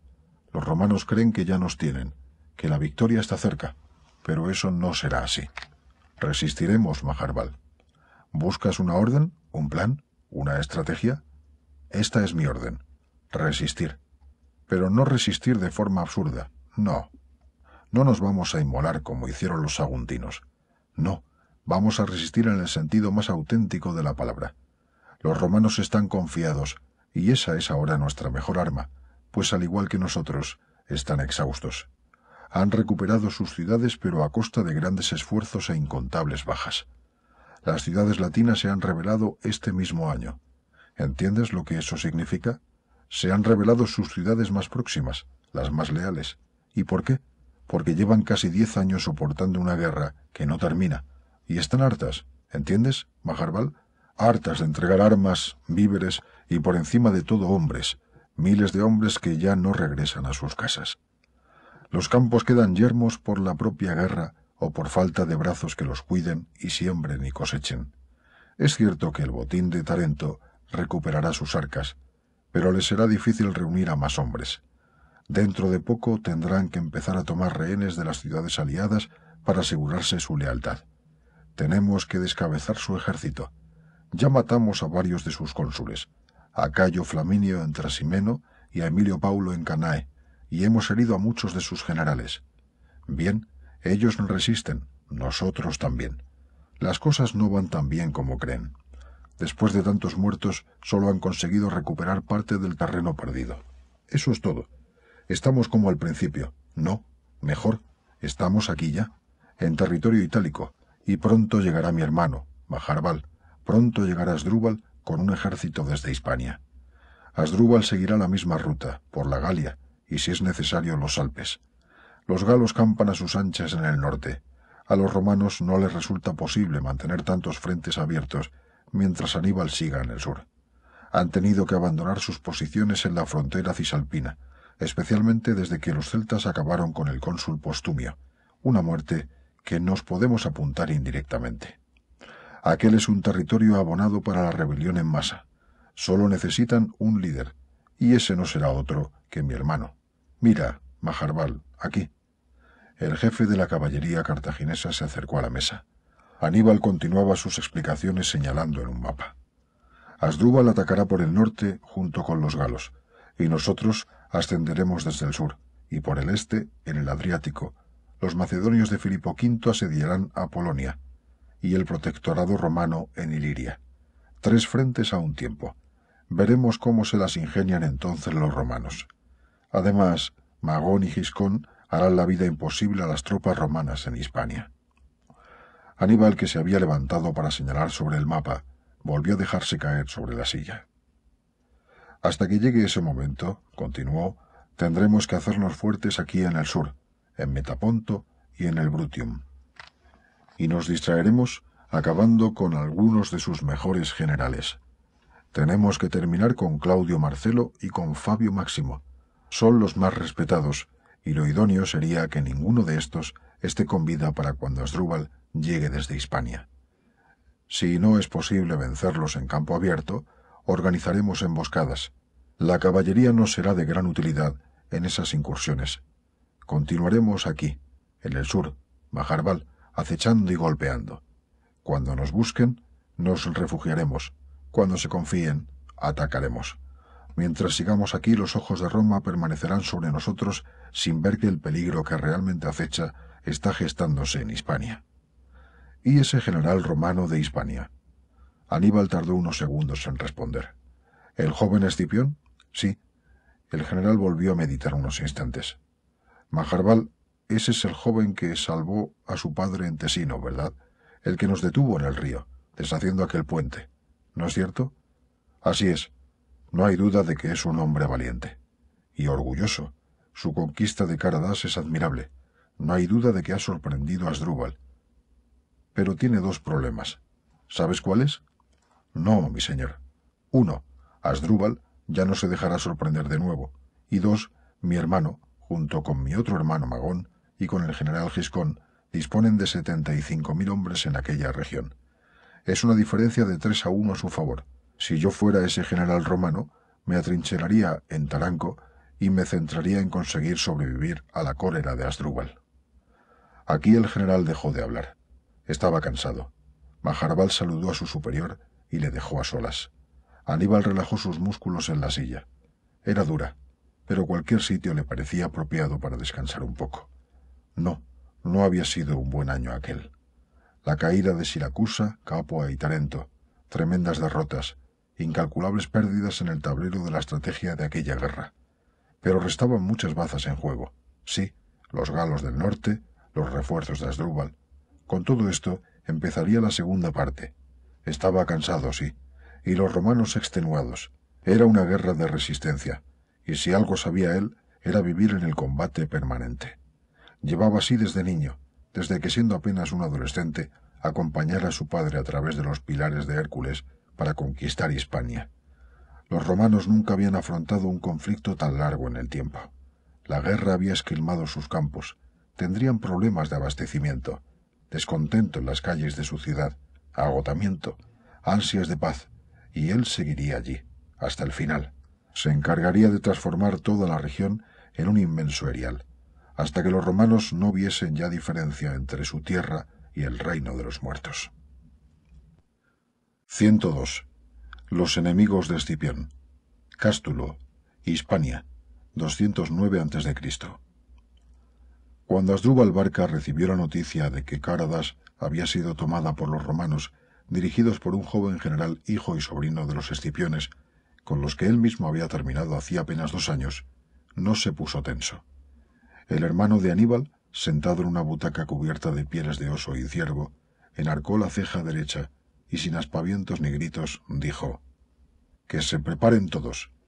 ¿Todos, mi general? quiso asegurarse uno de los oficiales antes de emprender la gigantesca tarea de movilizar a todo el ejército. Asdrúbal le miró manteniendo la ceja en alto. Todos, oficial. Todos la infantería africana, la caballería númida, los sonderos baleáricos y sobre todo los elefantes, los elefantes. El oficial asintió al igual que el resto de los presentes, los cuales, tras un escueto saludo militar, fueron saliendo de la tienda de su general en jefe. Asdrúbal se quedó a solas hablando consigo mismo en voz alta. Ya terminé con tu padre y tu tío, y no era nada personal, pero si te interpones entre mi destino y yo, joven vástago de los escipiones, te aplastaré con mis elefantes y te degollaré como a un perro rabioso. El hermano de Aníbal se levantó y estiró los músculos. Era importante ahora que le vieran sus hombres pasando por el campamento con aire de seguridad y confianza. Empezaba una nueva campaña. El objetivo, Italia. Lo circunstancial, arrasar a todo el que intentase interferir en su marcha. Roma, 209 a.C. Por Júpiter y Hércules y Castor y Polus y todos los dioses, ¿es que ni tan siquiera van a permitirme esos malditos escipiones disfrutar de mi victoria en Tarento? Aullaba un incontenible Fabio Máximo ante un temeroso legionario mensajero de aquella información sobre la toma de Cartago Nova por el joven Escipión. Para rematar el desastre, el inexperto legionario había osado decir que en el foro no se hablaba ya de otra cosa, o dicho de otra manera, la forma en la que Fabio leía el presente. Su conquista de Tarento había quedado nublada por la sorprendente caída de la capital cartaginesa en Hispania, y sin traición alguna. Parecía que pese a las radicales medidas tomadas por Fabio para callar los rumores sobre una traición que allanó su camino la conquista de Tarento, las murmuraciones no habían dejado de correr por las calles de Roma. La fornida figura del legionario, que sin duda debía intimidar a sus contendientes en una batalla campal, se empequeñecía, no obstante, ante la tumultuosa reacción del anciano cónsul. Catón, testigo de la escena, sintió lástima de aquel soldado sobre el que un insensible senador descargaba toda su furia. Fuera, fuera de mi vista, mensajero de la miseria. El legionario partió de la sala como llevado por el viento huracanado de la ira del cónsul. Máximo y Catón se quedaron solos. El viejo cónsul le miró. Para sorpresa de Catón, de súbito, la faz del anciano pasó de la ira más absoluta a una malévola mueca que Marco Porcio Catón no sabía bien cómo interpretar. Parece ser, mi querido Marco, empezó Fabio Máximo, que después de todo deba en esta ocasión corregir algo mis cálculos. Mucho me temo que debamos ayudar un poco a los propios cartagineses con ese joven Escipión. Catón le miró confundido. Es sencillo, continuó Máximo. Se trata de emplear ahora una táctica algo más sutil, querido amigo, más sutil, pero siempre, a fin de cuentas, la estrategia más eficiente, siempre la más eficaz. ¿En qué estáis pensando? indagó Catón con tiento. Fabio Máximo miró furtivamente a ambos lados. Bajó la voz hasta convertir sus palabras en un susurro semejante al último estertor de un moribundo, asegurándose así de que sólo Catón pudiera escucharle sin que aquella sentencia pudiera llegar a oídos de esclavos o sirvientes en las dependencias contiguas. En una traición, Marco. Estoy pensando en una traición. Solo falta por discernir quién puede ser nuestro, digámoslo así, puñal en la espalda. ¿Puñal en la espalda? No me mires así, Marco. Es una figura retórica. No hay que tomarse la expresión en su sentido literal. Basta con conseguir que alguno de los tribunos u oficiales de prestigio del joven Escipión cuestione su estrategia, que aproveche una pequeña derrota para sublevar a los soldados, que mine su autoridad. Una rebelión de una guarnición sería suficiente causa, a los ojos del Senado, para terminar con la carrera política y militar de ese Escipión para siempre. En tiempos de guerra un motín que no se sabe atajar es la peor de las derrotas, peor aún que lo ocurrido en Canae. Marcio, Marcio Septimio, sugirió Catón con orgullo. Ese fue el centurión que tenía el mando en Hispania tras la marcha de Nerón hasta que llegó el Escipión. Un hombre veterano sustituido por un jovenzuelo. Creo que ahí encontraremos simiente donde sembrar la discordia. Fabio Máximo se sentó en una silla, ponderando con interés aquella propuesta. Catón se sentía exultante. No, respondió al fin el anciano cónsul. Demasiado evidente. Nuestro joven general puede ver venir algo así. No, estará prevenido con relación a todos sus nuevos oficiales. No, debemos ir a la yugular, morder allí donde más le duela. Dime, Marco, tú que lo sabes todo de este Escipión, ¿quién es su más fiel servidor, su más leal oficial? 103. Los encargos del Helio. Cartago Nova, 209 a.C. Cayo Lelio entró despacio en la gran sala del palacio de la fortaleza recién conquistada de Caradas. Caía la tarde y la luz tenue iluminaba con debilidad la gran estancia, en cuyo centro vio la silueta de Publio sentado en una silla frente a una enorme mesa sobre la que se amontonaban una multitud de documentos y mapas. En un extremo, casi al borde mismo, un vaso grande de plata que con toda seguridad debía de contener vino, o quizá algo de muslum, tan apreciado por el general. Lelio contemplaba aquel joven y recordó el día en que le fue presentado como el hijo del cónsul. De aquello hacía ya más de nueve años. Parecían más. En aquel entonces el joven Publio no era más que un muchacho, inexperto en el campo de batalla. Un niño mimado, recordó Lelio que pensó en aquellos días de aquel frío invierno acampados junto al río Tesino. Toda aquella larga guerra había sido el mundo en el que aquel joven hijo del cónsul había ido madurando. Hasta aquí, hasta conseguir conquistar la capital de los cartagineses en el corazón de Hispania. Lo imposible acababa de obtenerse bajo el mando de aquel ya recio hombre.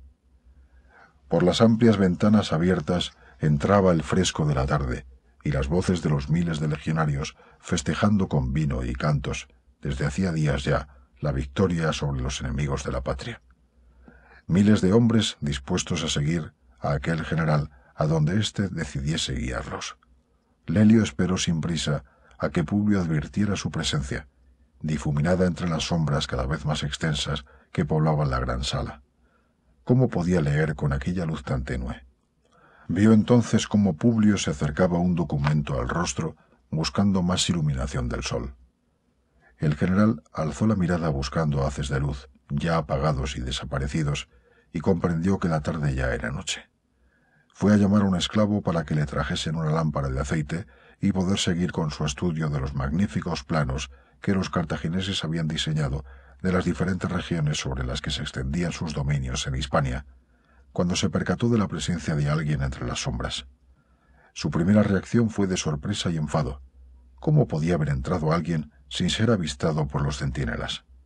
Sin embargo, al instante reconoció al hombre que, en pie y en silencio, esperaba con paciencia. Publio borró entonces sus pensamientos anteriores y una profusa sonrisa se apoderó de su rostro. Mi buen Lelio, escondido en la noche, no quería interrumpir. Tú nunca interrumpes, ya lo sabes. Adelante, adelante. Tenemos un vino excelente. Estos cartagineses hay que reconocerlo, sabían vivir bien aunque no sabía luchar igual de bien, apostilló Lelio. Suerte para nosotros. Bueno, y ya que estamos reconociendo cosas, sin duda el plan que me comentaste en secreto en Tarraco ha funcionado a la perfección. Lelio ya estaba junto a la mesa. Publio dio un par de palmadas y un esclavo entró ipso facto. Vino y un poco de agua para nuestro comandante de la flota, ordenó Publio. Y dime, retomó la palabra volviéndose hacia Lelio de nuevo. ¿En qué pensabas ahí parado en silencio? Pensaba en que, cuando te conocí, eras el hijo del cónsul y que hasta esta conquista, para muchos aún seguía siéndolo, el hijo del cónsul de Roma. Hoy ya no es así.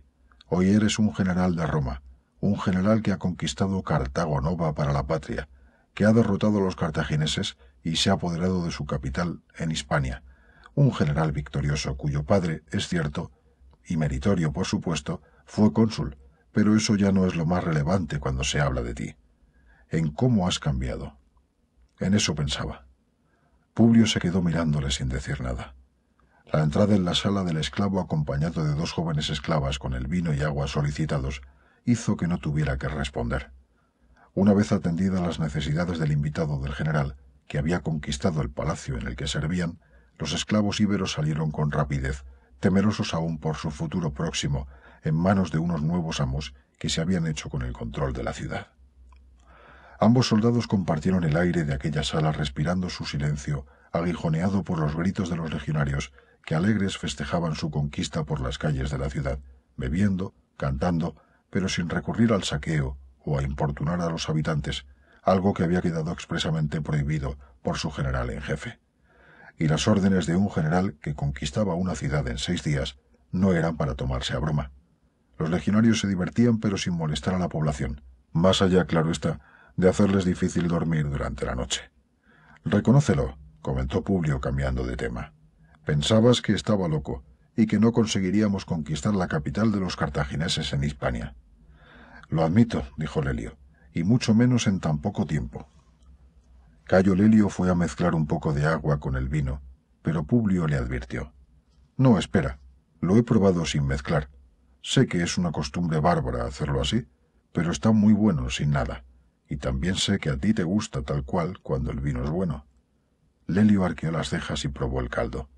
El sabor fuerte del licor sin mezclar con agua acarició su gaznate, y aunque quemase muy levemente, en el paladar quedaba un gusto denso, afrutado, dulce, intenso, cordial. Es bueno, concluyó Lelio. Y tanto que lo es, como que viene de Masica, al sur de Roma, de Láger, Falernos. Sin duda lo estamos degustando aquí en Hispania por gentileza de Aníbal, que lo remitiría aquí quién sabe cuándo. Quizá lo trajesen sus hermanos cuando pasaron de Italia a África y desde allí a Hispania. Quizá. El caso es que ahora nos lo bebemos nosotros, y con eso, aunque solo sea un poco, ponemos las cosas en su sitio. Los dos rieron. Era curiosa la vida y los confusos designios de los dioses. Te he mandado llamar, mi querido Lelio, porque tengo varias cosas que pedirte. Lelio se incorporó en su silla y abrió los ojos. Escuchaba atento. Tienes que ir a Roma y allí cumplir una serie de encargos que me gustaría hacerte ahora. ¿Puedo contar contigo? Por supuesto. Ya sabes que puedes contar conmigo para lo que haga falta. Solo lamento tener que alejarme del frente de batalla, ahora que las cosas se ponían interesantes. Pero si consideras que debo ir yo, seguiré tus órdenes, ya lo sabes. Lo sé, lo sé. Por eso debes ir tú y no otro. No confío en nadie tanto como confío en ti. Marcio parece leal, Creo que sin duda lo es, pero en su caso, por su mayor conocimiento de la situación en Hispania, es mejor que él permanezca aquí. Además, donde debes ir, he de enviar a alguien de mayor rango. El general guardó aquí unos segundos de silencio. Bebió algo de vino y prosiguió. En cualquier caso, para que te sientas mejor, aguardaremos tu regreso antes de reemprender cualquier acción. Eso te tranquilizará. Debes ir a Roma y hablar con el Senado. Necesitamos refuerzos. Hemos de aprovechar la buena noticia y la buena predisposición que la toma de Cartago Nova generará entre los senadores para que acepten enviarnos dos legiones más. Es cuanto necesito, Lelio. Dos legiones más. Explica todo lo que consideres oportuno. Hemos tomado Cartago Nova, y sin apenas bajas, pero los tres ejércitos cartagineses de Hispania permanecen intactos, nos triplican en número. Sin esos refuerzos, tarde o temprano, nos arrasarán. Y más pronto que tarde, ni siquiera podremos contenerlos en el Ebro cuando decidan unir sus fuerzas y lanzarse hacia el norte para alcanzar Italia.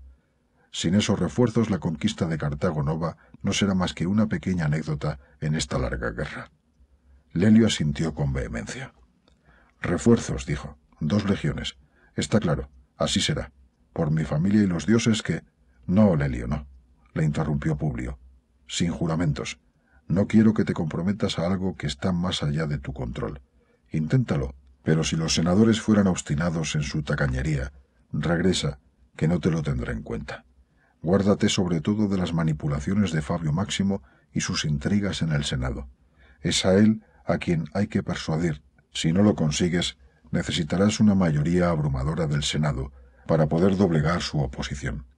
Llenaremos una quinquerreme con monedas de plata y oro, con trigo y cebada, y te llevarás a varios rehenes cartagineses entre los nobles que hemos capturado. Los senadores solo se ablandan ante un buen botín. El dinero y los prisioneros valiosos son aún más efectivos con ellos y sus voluntades que con los mismísimos legionarios. En fin, esa es tu primera misión. ¿De acuerdo? Lelio asintió sin añadir nada. Bien, luego tengo unos pequeños encargos personales. He estado escribiendo unas cartas, para mi madre, para Lucio Emilio, el hijo de Emilio Paulo, y para Lucio, mi hermano. Quiero que las entregues personalmente. Además te daré una carta, claro, para leer en el Senado. Entregaré todas esas cartas. Primero preferiría que fueses a mi casa y luego a la de Emilio Paulo, luego al Senado. Así lo haré. Bien, bien. Ya casi está todo. Lo que queda es más un capricho que otra cosa.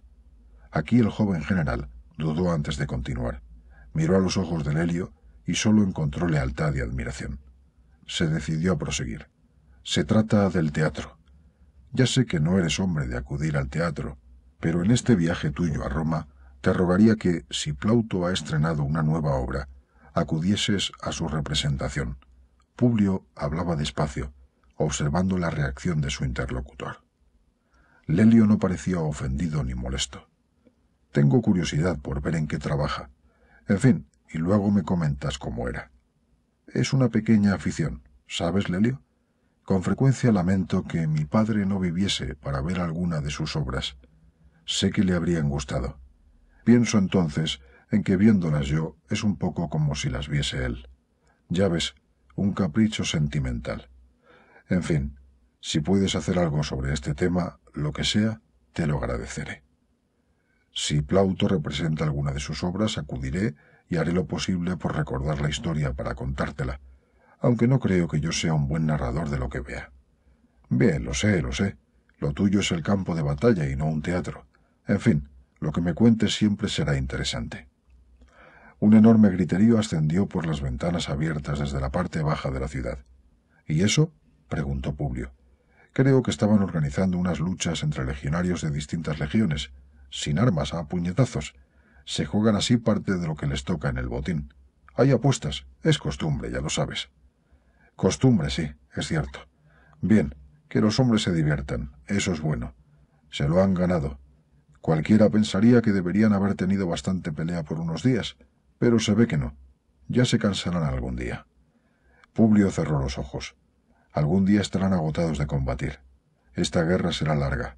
Los volvió a abrir y sacudió la cabeza. En fin, salgamos, comentó el joven general, y veamos por quién podemos apostar. Publio se levantó y se encaminó hacia la puerta.